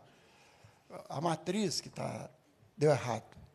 Nós temos 700 mil presos no Brasil. Já é a terceira população carcerária do mundo. Minas Gerais tem 70 mil presos. Um estado, a Bahia, que é um estado grande, tem 14 mil presos, aqui tem 70 mil. Como é que pode, rapaz? Se tivesse os 14, para os 14 mil da Bahia, devia ter no máximo 25 mil aqui. Tem 70, 40 mil provisórios. Como é que você vai discutir a socialização num quadro desse? Não tem nada a fazer senão mitigar, procurar é, sabe, de reduzir a, a, crueldade desse sistema corruptor, violento, reprodutor da violência e da corrupção, né? da ineficiência. Os direitos difusos, é, assim, o pacote do Moro é, traz um elemento novo. Né? Aqui em Minas nós conseguimos, né, em 2017, eu gosto de falar sobre isso, viu, capitão Francis? Uhum. É, naquele, foi um ano é, né, um, que, que a gente deve usar como referência. No Rio de Janeiro, morreram 150 policiais militares. Naquele ano, em Minas, morreram seis. É, um suicidou. É verdade. Um, incluindo um suicídio. Uhum. Um, seis. seis. Naquele ano, a polícia do Rio matou 1.300 civis. Em Minas foi 114, 115, se não me engano, um décimo. Menos de um décimo de lá. E os indicadores aqui foram melhores, ponto de vista da redução dos crimes violentos. Né? O, aqui está o Paulo Alckmin, nosso ouvidor de polícia, né, que estuda isso cotidianamente. Né? Acho que o capitão França também é especialista nessa área. Então, de qualquer maneira, aqui, com todos os problemas que possamos ter, aqui é não, nem se compara ao que está, a barbárie que está instalada no Rio de Janeiro, que o aparelho policial está tá enredado na corrupção, na violência. Você não sabe se um policial, quando mata, está matando legítimo, uso legítimo da força, ou se está a serviço de alguma facção criminosa. Se é um miliciano que está ganhando para matar, mas com a farda e com a arma na mão. Você não sabe o que é ali. Ali não, tem parâmetro né, para julgar. O direito difuso, eu não sei dizer o que, que vai acontecer. Que direito difuso, o que, que é? É? Isso aí também é uma discussão que pode ser feita em um, certo momento são, ele é para administrar um fundo de direito difuso. São multas arrecadadas pelo Ministério Público para crimes ambientais e para patrimônio, crimes contra o patrimônio. E, né, e nós estávamos tentando dar uma destinação a esse fundo. Levou quase dois anos para começar a funcionar o conselho. E agora, não sei se vai ser mantido, se não vai. Eu não vi nenhuma palavra do governo atual sobre isso. Eu não sei te falar nada. Nós temos que saber do governo requerimentos, fazer audiência para saber o que, que eles vão. Vocês vão dar continuidade, que é um instrumento importante né, para a construção de, dessa desgraça de Minas, chamar Minas, né, dessa maldição de Minas, tem o nome de Minas no nome. É, a gente ter um, pelo menos um pouco de reparação, né, que é o caso do Fundif, dos direitos difusos e do Conselho. Mas acho que é isso. E o, eu, durante, evidentemente, num, audiência muito boa, eu não, muito rica né, de conteúdos, de conceitos, de educativa, fornecer muito material para depois a comissão discutir né, que, como é que pode desdobrar. É, mas tem outras coisas também que não deu tempo de discutir, sobre memória, de verdade, sobre o DOPS, o ex-DOPS, né, que aquilo lá, depois de muita, nos últimos 47 minutos do segundo tempo, nós conseguimos é, apropriar daquilo, de, mas depois, agora não sei o que vai acontecer lá também. Juventudes, também tinha uma política de juventudes, aqui teve um, um, um trabalho, uhum. chegou a ter um trabalho bom no plano estadual de juventudes, e também eu não sei o que, que, que vai acontecer daqui para frente, porque isso envolve muito. A execução envolve o poder executivo, né? então a gente não sabe qual é o projeto dele se tem projetos ou se não quer projetos para isso. De toda maneira, parabéns a essa, essa comissão e essas mulheres. Hum, mulheres então, sem medo. Mulheres sem medo. Obrigada, Nilmário. É, a próxima é a doutora Cláudia. Gente, só para a gente pactuar o tempo, é, hoje ainda tem o lançamento do livro, né, conflitos lá com. Hã? É, nós temos lançamento e tem outras agendas aí na casa também que é importante a gente poder compartilhar. Então, vamos combinar da gente fazer as respostas um pouco mais sintéticas e fazer nossas conclusões finais. Aí, doutora Cláudia. Bem, eu vou tentar responder a todos, mas vou começar respondendo a dona Tereza e um esclarecimento a todos, talvez pela minha falta de de saber me expressar bem, né, não fui bem entendida. Não fui eu que dei ideia de se criar é, o presídio. Na verdade, o que aconteceu? Como eu expliquei, foi uma reportagem e essas foram as duas soluções apresentadas pela Secretaria de Segurança, conforme retratou a é, reportagem. A solução que eles deram, pelo menos apareceu na reportagem, para a situação do aumento de crime em Mariana foram duas: câmeras e criar um presídio. Então, não fui eu que, que, dei essa, que fiz essa proposta. É, não sei se a senhora sabe, mas desde 93 que eu lido nessa, nessas, nessas questões, né, e especificamente fui uma das primeiras promotoras, junto com o doutor Gilvan, que o Nilmário conhece bem, aqui acho que apenas o Nilmário conhece ele, tão velho que nós somos, né? Doutor Gilvan, nós começamos essa luta na, na execução criminal, fomos primeiros promotores que, que entendíamos que quem tinha sido condenado por crime hediondo é, antes de ter lei, antes de ter jurisprudência, podia ter o direito né, à, à progressão de regime e de saída temporária. Então, de forma alguma, não seria uma proposta minha. Mas nós temos que lembrar que, dados falados para mim pelo próprio secretário, nós temos 76 mil presos atualmente em Minas Gerais, 38 mil vagas, 197 prisões, 81 delas interditadas, ou em parte ou totalmente, e temos uma carência aí de pelo menos 26 mil vagas. Então, como uma pena que o Gabriel não está aqui, que eu já estou também tentando falar um pouquinho para o Gabriel, mas eu vou pedir para o Frei Gilvander passar para ele né, o que eu vou estar falando aqui, e também vai estar gravado. Daí, né, é, é, é toda a angústia do Gabriel, da, da dona Tereza e de todo esse movimento, porque é uma situação realmente né, é, é, que precisamos estar sentando para tentar soluções que não sejam presídios, por óbvio. É claro que tem alguma coisa de errado na condenação em massa. É claro que isso precisa ser. É, é, é, nós temos que ir a fundo disso. Temos que ir a fundo nisso, nesses números. E, e, e sem esse tipo de, de, discussão aqui, nós não vamos chegar realmente a, a soluções soluções reais desses problemas. Né? E quanto à lei, o Comitê e Mecanismo de Combate à Tortura, eu faço das minhas palavras as palavras da, da dona Tereza, e já me manifestei aqui. É, foi de muita tristeza quando eu cheguei em Brasília, né?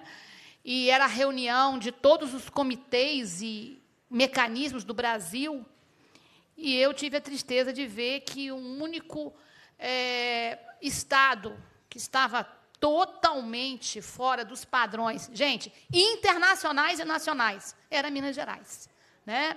Então, realmente, é, é, a nossa, os nossos poucos artigos inseridos numa lei, né, é, que era a lei de, que, que, que, estava instaurando aí a proteção de defesa aos a defesa dos, dos direitos humanos, realmente ela é totalmente fora daquilo, é, é, da proposta nacional, da proposta internacional, e nós precisamos estar juntos. Eu já falei até para os assessores da deputada Leninha, né, tive a oportunidade de falar isso, e também falo agora para as deputadas, né, a Andréia e, a Beatriz, nós, Ministério Público, e que somos também minoria, daqui a pouco eu vou falar um pouquinho sobre isso, e é, deputados, precisamos nos unir com a sociedade civil para que a gente lute por essa lei.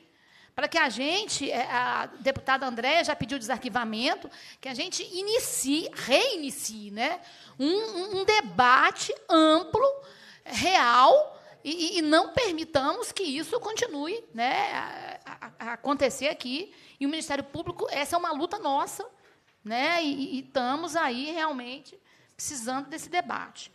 É, bem, o, que o, o, relato do Gabriel, eu queria muito que ele estivesse aqui.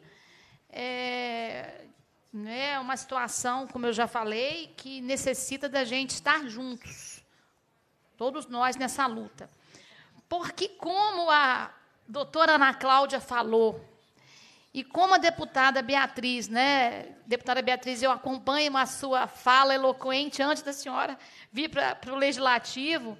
Eu faço das minhas palavras as suas e também da, da defensora, doutora Ana Cláudia, e eu vou dizer a mesma coisa. Nós somos minoria no Ministério Público. Nós somos minoria. O Frei Gilvander acompanha a luta do Ministério Público na, na questão da moradia há muitos anos e ele sabe do que eu estou dizendo. Nós somos minoria na luta dos direitos humanos dentro do Ministério Público. Então, é, e não acham, e, e, vocês podem estar achando que o meu discurso seja conflituoso, na medida que eu disse que os direitos humanos está no epicentro da Constituição.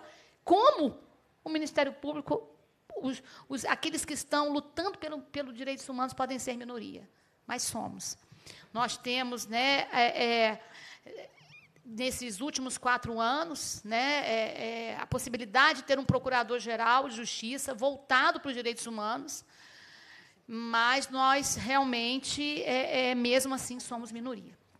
O fato de termos um procurador-geral de justiça que está lutando pelos direitos humanos, né, não faz, infelizmente, que todo o Ministério Público é, pense dessa forma.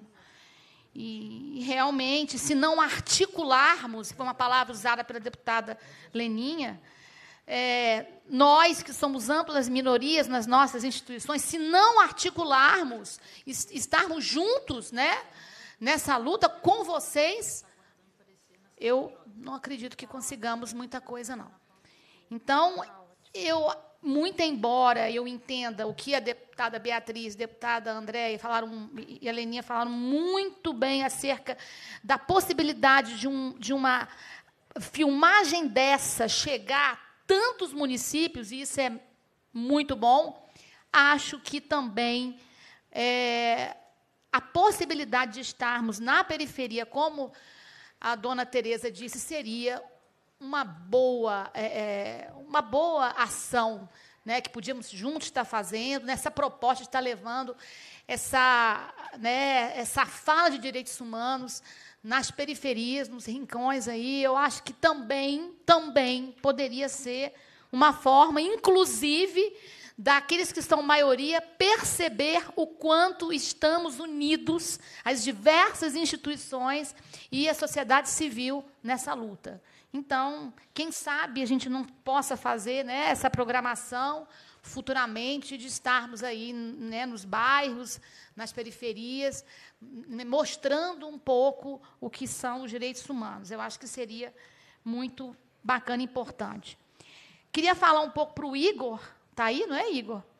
É, bem, é, o Ministério Público está ao seu lado e, e, nós temos feito algumas lutas junto com o MAB, né, que vocês também né, estão juntos. Hoje nós temos a Coordenadoria de Mobilização Social, que é a CIMOS, que com o doutor André na coordenação tem feito esse trabalho né, de ir às comunidades, mobilizar a comunidade, ouvir, debater, para depois do diálogo, do debate, formalizar o protocolo. Né?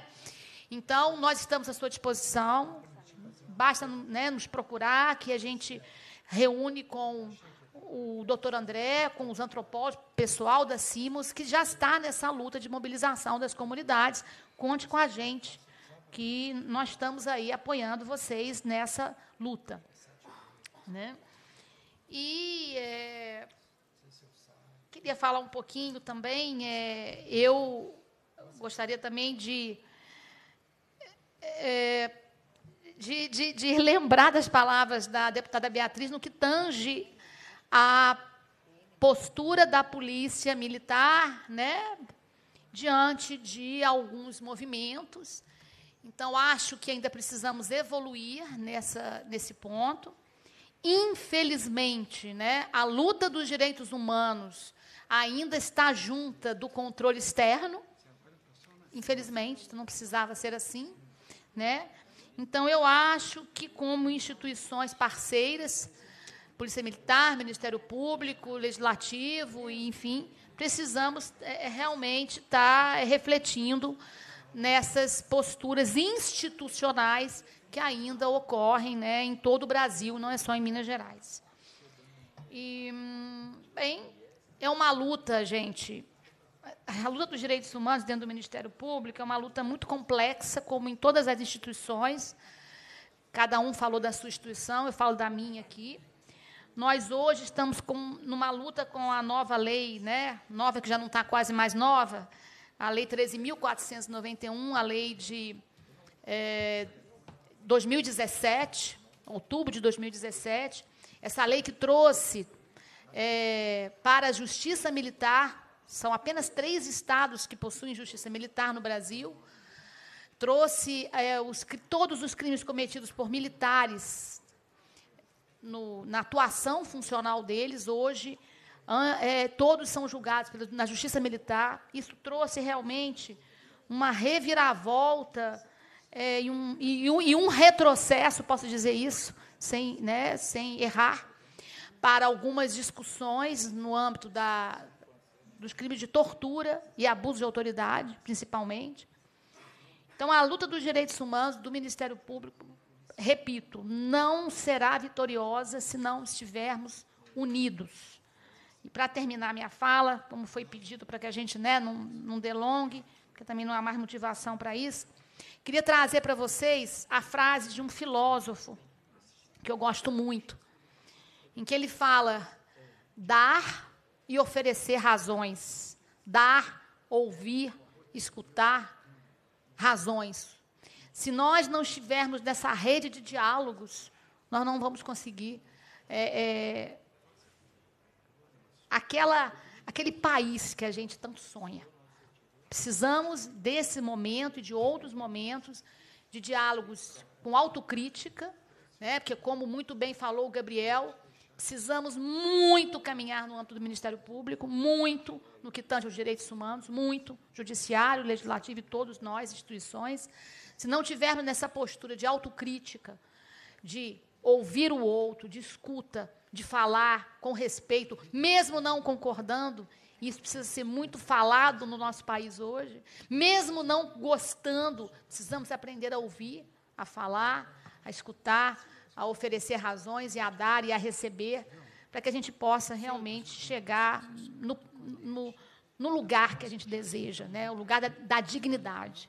Então, muito obrigada e, mais uma vez, agradeço a, a possibilidade do Ministério Público estar participando.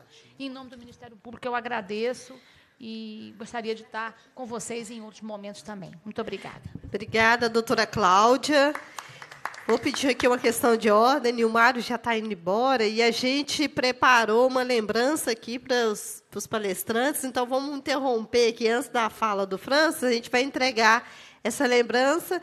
E acho também que o Francis trouxe livros, né? Acho que é importante a gente registrar essas entregas aí. Vamos entregar os três? Vamos entregar os três? É. Vem, Bia, entrega, vem. Faz uma foto, depois eu faço. Eu gosto de presente. Desculpa, Comissão certinha. Comissão é chique. Essa comissão. Isso, vamos tirar uma foto. Aqui. Ah, muito obrigado. Pode tirar uma foto ali.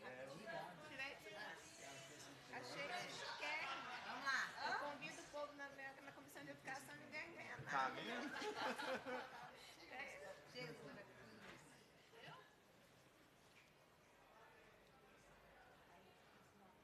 Aí, William, Dá mais seu um. William.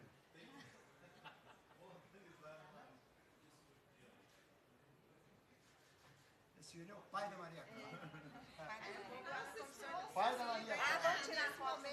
Ah, é? Tá carregando a gente. Ô, Mariana, tira uma foto aqui. Mari, só o França entregar o livro. Vem, vem, Bia, também. Fica no meio, França. Fica no meio, entregando? É, é fica assim. Vamos lá.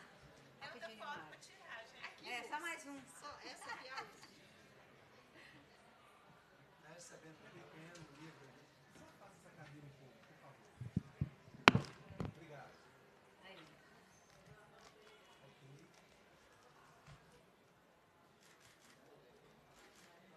A gente também ganha presente. Essa- Pode ir. Aqui, sua cadeira. Com Deus, Vamos lá. E agora ouvir as considerações finais do professor Francis. Obrigado. É, eu gostaria aqui, inicialmente, de agradecer a deputada Leninha, a deputada Andréia, a deputada Beatriz. É, obrigado pelo diálogo, pelo aprendizado. É, aprendi muito, sem dúvida, né, com as pessoas que fizeram as colocações. É, e obrigado por construir pontes e não muros. Né? Isso é importantíssimo. Né? É, professor Nilmário e doutora Cláudia também aprendi muito, obrigado. É, eu, eu, na verdade, minha fala ela não foi uma fala institucional. Né? Eu não estou aqui como um representante formal da Polícia Militar. Né? É, certamente a instituição indicaria outras pessoas mais competentes do que eu para falar sobre isso.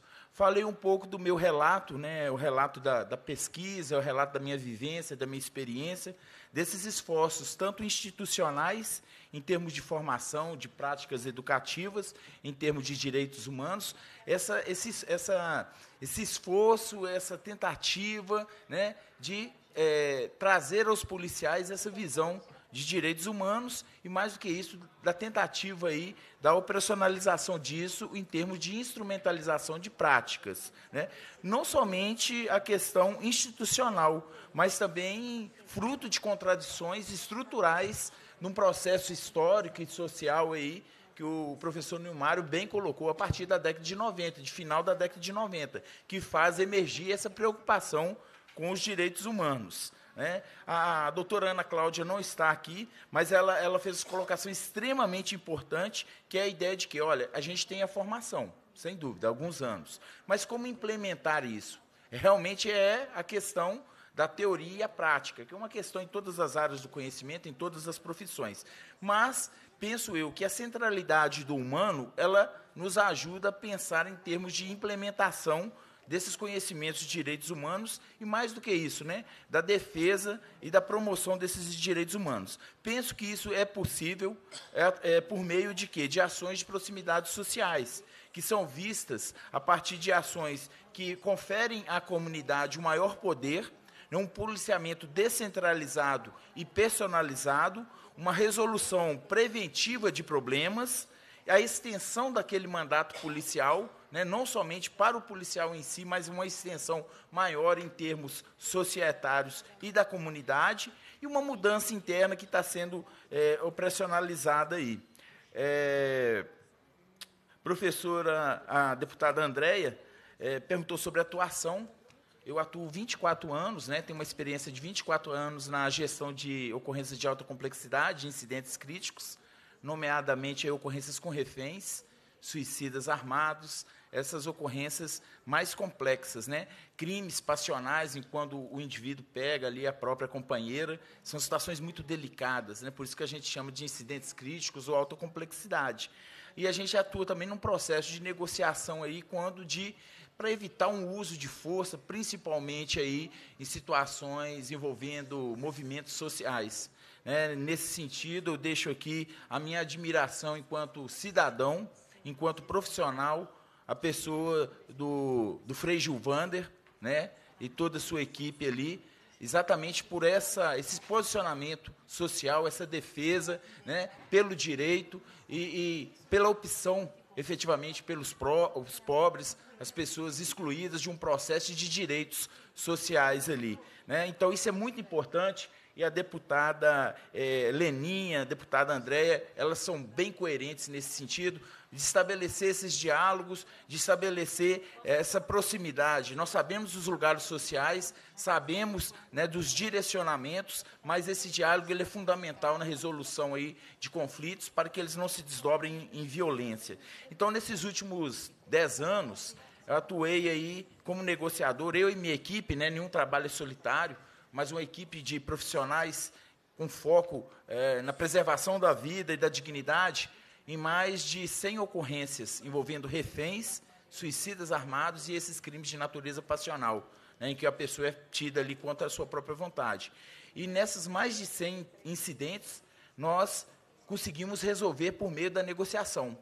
Não usamos a força letal em nenhum desses casos e não utilizamos também é, disparos né, que viessem aí a ferir a integridade física.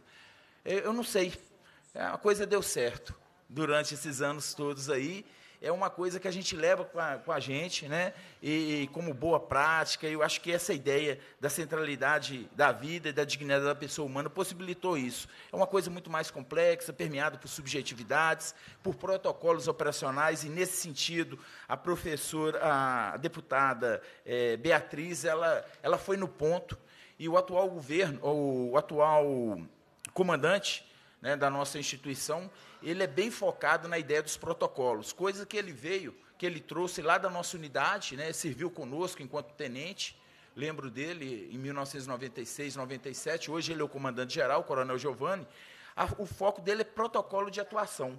O protocolo de atuação, ele dá o quê? Transparência na ação, previsibilidade e responsabilização, em termos é, de accountability, né? E, e, e, isso é muito importante. Então, ele tem difundido isso em termos de protocolos. E talvez seja né, um momento para dialogar, já que o diálogo está estabelecido, é, iniciado, qual é o protocolo diante disso, porque isso minimiza a discricionariedade policial, que é permeada pelas subjetividades dos sujeitos em situações tão tensas. Por que, que eu acho que a gente conseguiu aí mais de 100 intervenções bem-sucedidas? Primeiro, você tem um aspecto deontológico envolvido, né, em termos de princípios, de éticas, a centralidade do humano, a defesa da vida e a dignidade. Mas atrelada a tudo isso, mas não, e atrelada a tudo isso, a gente tem protocolos muito rígidos, porque uma ação nossa equivocada, a gente pode o quê? Perder uma vida. Então, isso é muito importante, o protocolo. Não pode ser a minha prática, eu penso e tal. Não, tem que ter um protocolo para ter efetivamente essa previsibilidade e essa transparência. É, por fim, eu penso aqui que a, a, a deputada Beatriz, né, é, ela falou muito da questão da instrumentalização, usou o termo, né, que é, é na verdade, a polícia ela está dentro do sistema enquanto estrutura, é, enquanto estrutura. A gente sabe que dessas questões de estrutura, partindo para um, um, pensamento ali marxista, como que é realmente a estrutura, ela, ela é forte, né, nesse sentido, é um sistema, sem dúvida, né, e que de alguma forma vai se construindo estereótipos e estigmas que devem ser é, desconstruídos em virtude dessa visão contemporânea né, dos direitos humanos. É, penso que é, a gente tem que, então, é, modificar, resistir e propor.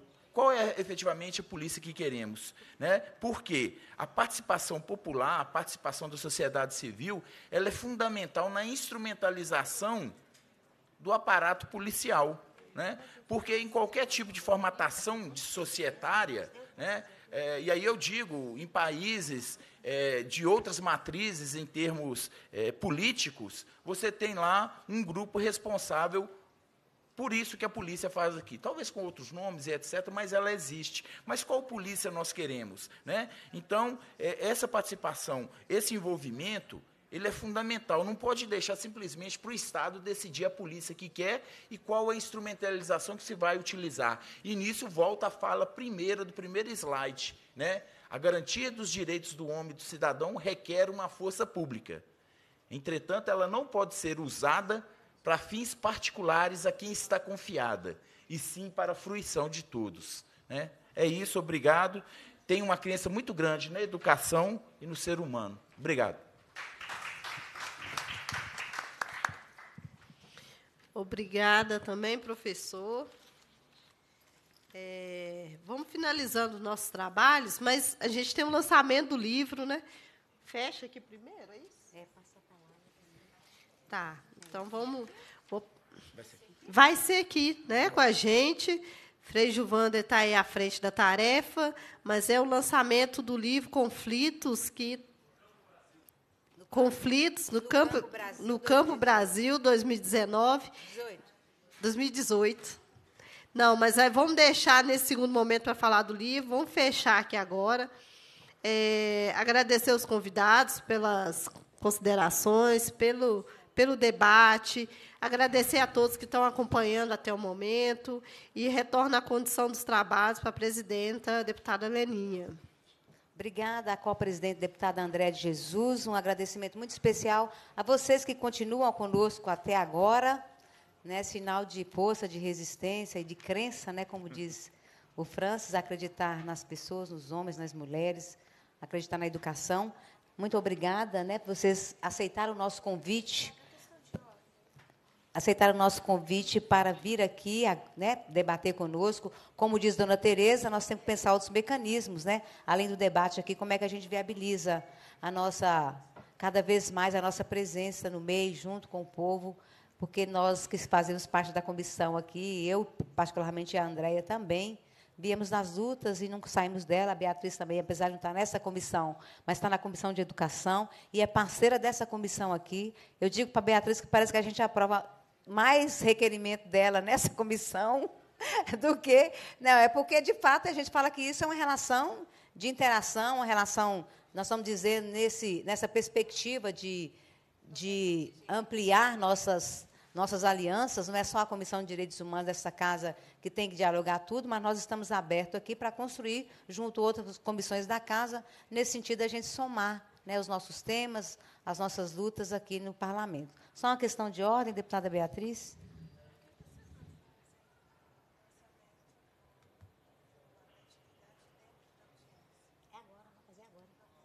É, dentro da audiência.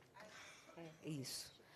Nós, não, nós, nós só vamos encerrar esse debate público depois do lançamento. Por isso que a gente gostaria de convidar o Frei Gilvander, que é da Comissão Pastoral da Terra. Ele vai, então, fazer dez minutos de considerações, explicando o que, que é esse caderno de conflitos no campo Brasil 2018, da CPT, e logo em seguida, então, a gente faz o encerramento do nosso debate público.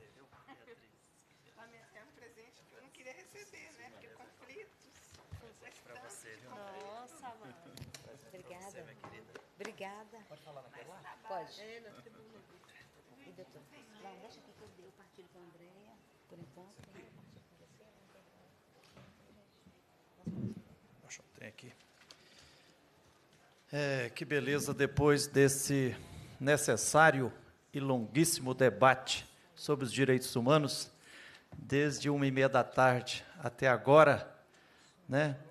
É, para nós é com dois sentimentos. Por um lado, alegria por eu, Frei Gilvander, estarmos aqui na Assembleia Legislativa do Estado de Minas Gerais para fazermos o lançamento desse livro, relatório, Conflitos no Campo do Brasil, referente ao ano passado, 2018.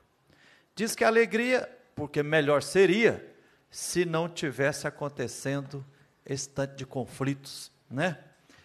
É, primeiro, deputada Leninha, obrigadão de coração por você ter acolhido pela Comissão dos Direitos Humanos, e eu acho que nada melhor, né, perfeita sintonia, nós fazemos o lançamento desse livro, relatório Conflitos no Campo, aqui na Comissão dos Direitos Humanos. Né? Ele já foi lançado a nível nacional na CNBB em Brasília, no último dia 12 de abril, né, está sendo, já foi lançado na Assembleia Legislativa também de Rondônia, e de mais alguns outros estados aí, mas é, lá no finalzinho do Evangelho de Marcos, no capítulo 15, versículo 39, tem uma cena, viu, Francis? Que um soldado, um militar lá do Império Romano, está na frente assim, Jesus crucificado, e o soldado, olho no olho, com Jesus na cruz, Aí o soldado espontaneamente exclama, dizendo assim: De fato, esse é o Filho de Deus, é o homem. Então seria melhor se nós pudéssemos fechar os olhos, numa postura de avestruz, esconder a cabeça dentro do, dentro do chão e não termos que olhar para os conflitos, as violências, tudo que a Comissão dos Direitos Humanos aqui, como a Comissão Pastoral da Terra, vê com os próprios olhos, né? E muitas vezes em lágrimas.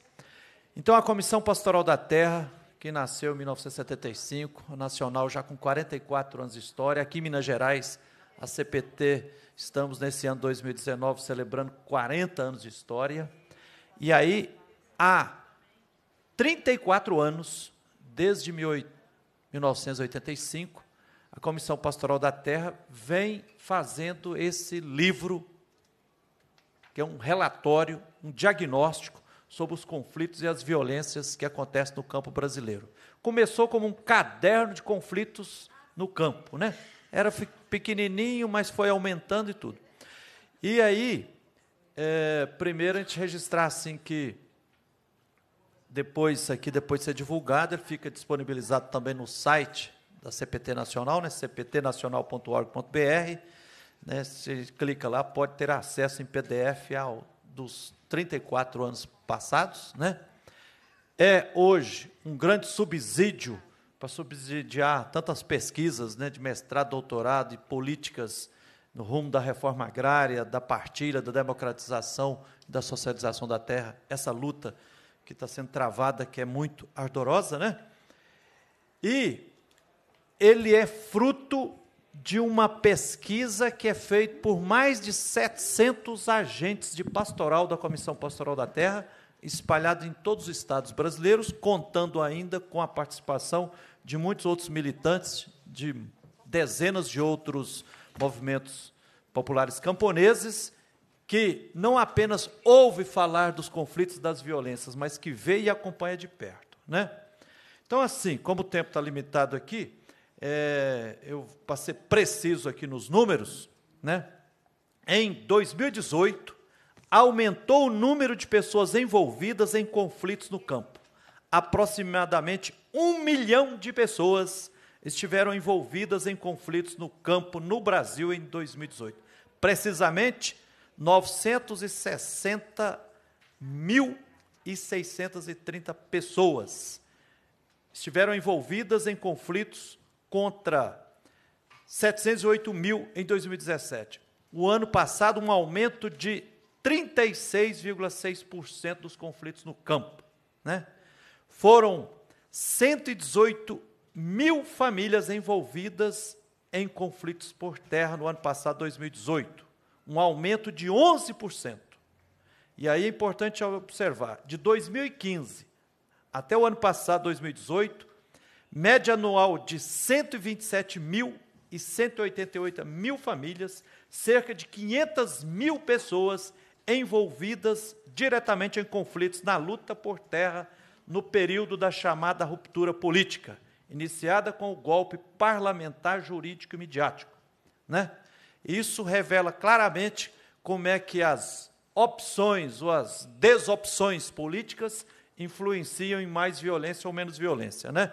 Foi só fazer o golpe é, parlamentar, jurídico e midiático que explodiu, aumentou em muito é, os conflitos no campo, resultando é, em muito mais violência. Na região norte do Brasil, estão, estavam no ano passado, 51,3% de todas as pessoas envolvidas em conflitos agrários.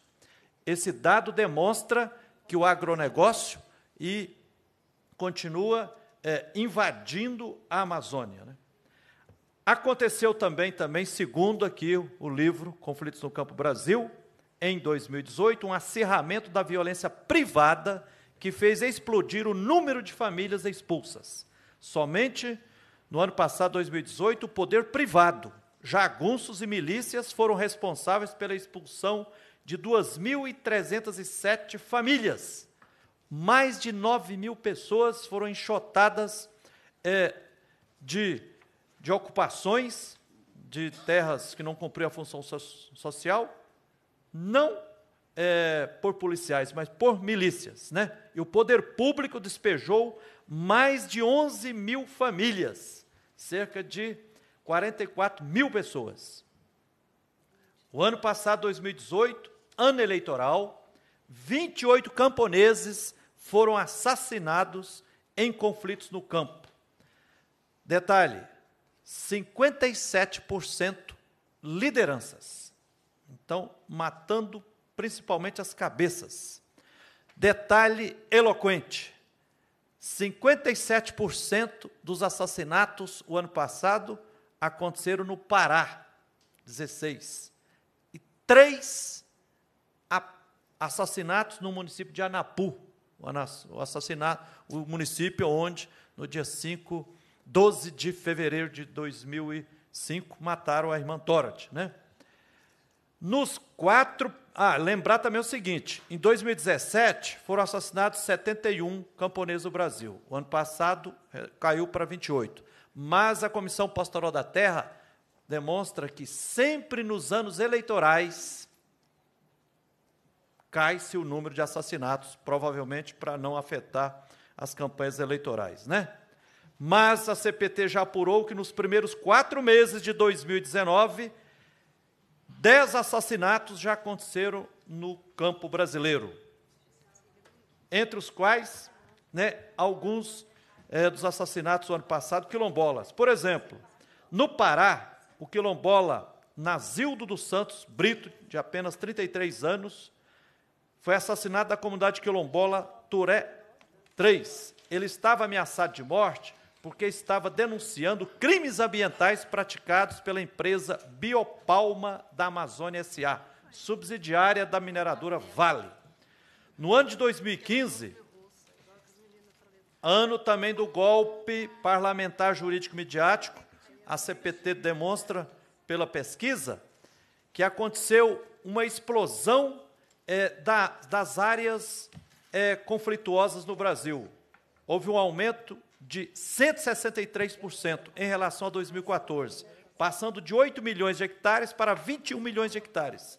E pior, o ano passado, em 2018, se a, a área de terra sobre qual teve conflitos pulou para quase 40 milhões de hectares, o que corresponde a 4,6% da área total do país, né? o que mostra a gravidade da injustiça agrária no país.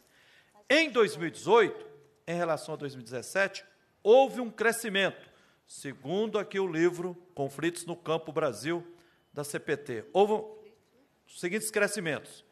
Cresceu 4% o número de conflitos no campo, cresceu 35% no número de pessoas envolvidas, cresceu 40% em conflitos por água, cresceu 30% em conflitos trabalhistas no campo, cresceu 10% em conflitos envolvendo a mineração, cresceu 11% no número de famílias envolvidas em conflitos por terra, cresceu 6,5% em terras em disputa, cresceu em 59% em famílias expulsas, cresceu em 5,7% maior em famílias despejadas, que foram 11.231 famílias despejadas. Em 2018, o ano passado, 482 mulheres sofreram violências nos conflitos no campo. E, como estamos em Minas Gerais, precisamos recordar que 400 mulheres foram detidas em ação que denunciavam a privatização das águas no estado de Minas Gerais. Elas ocuparam a Nestlé em São Lourenço.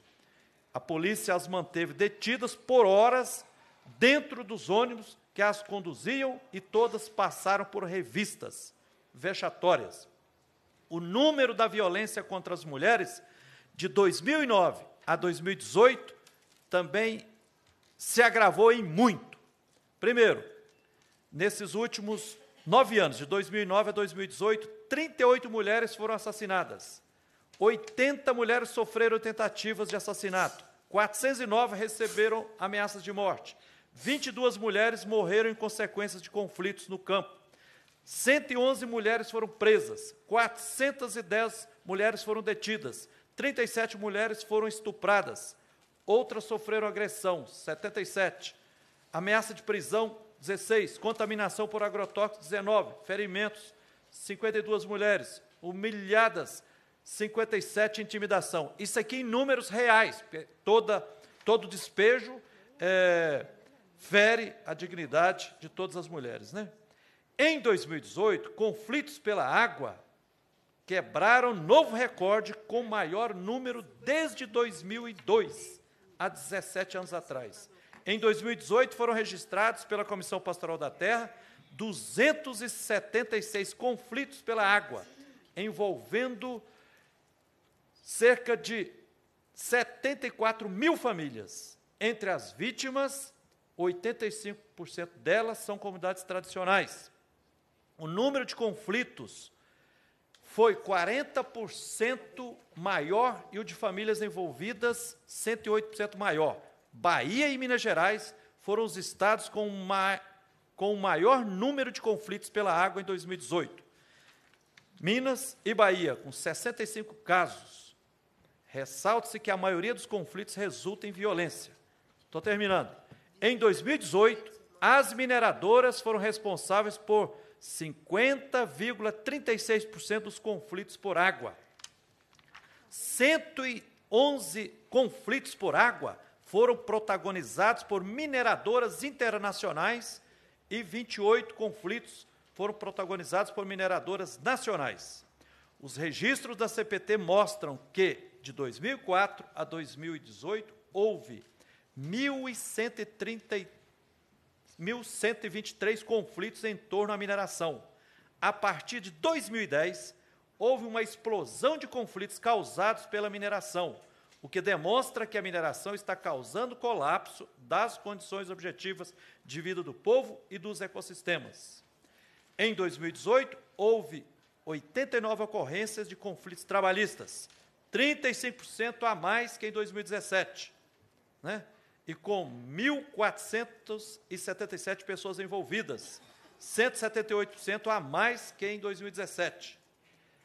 De 2000 a 2018, a CPT registrou 363 vítimas fatais em conflitos envolvendo agrotóxicos. Lembrando aqui que a maioria esmagadora dos dados vítimas é, do uso exagerado de agrotóxicos pelo agronegócio, não, a CPT não tem acesso. Né? Para concluir,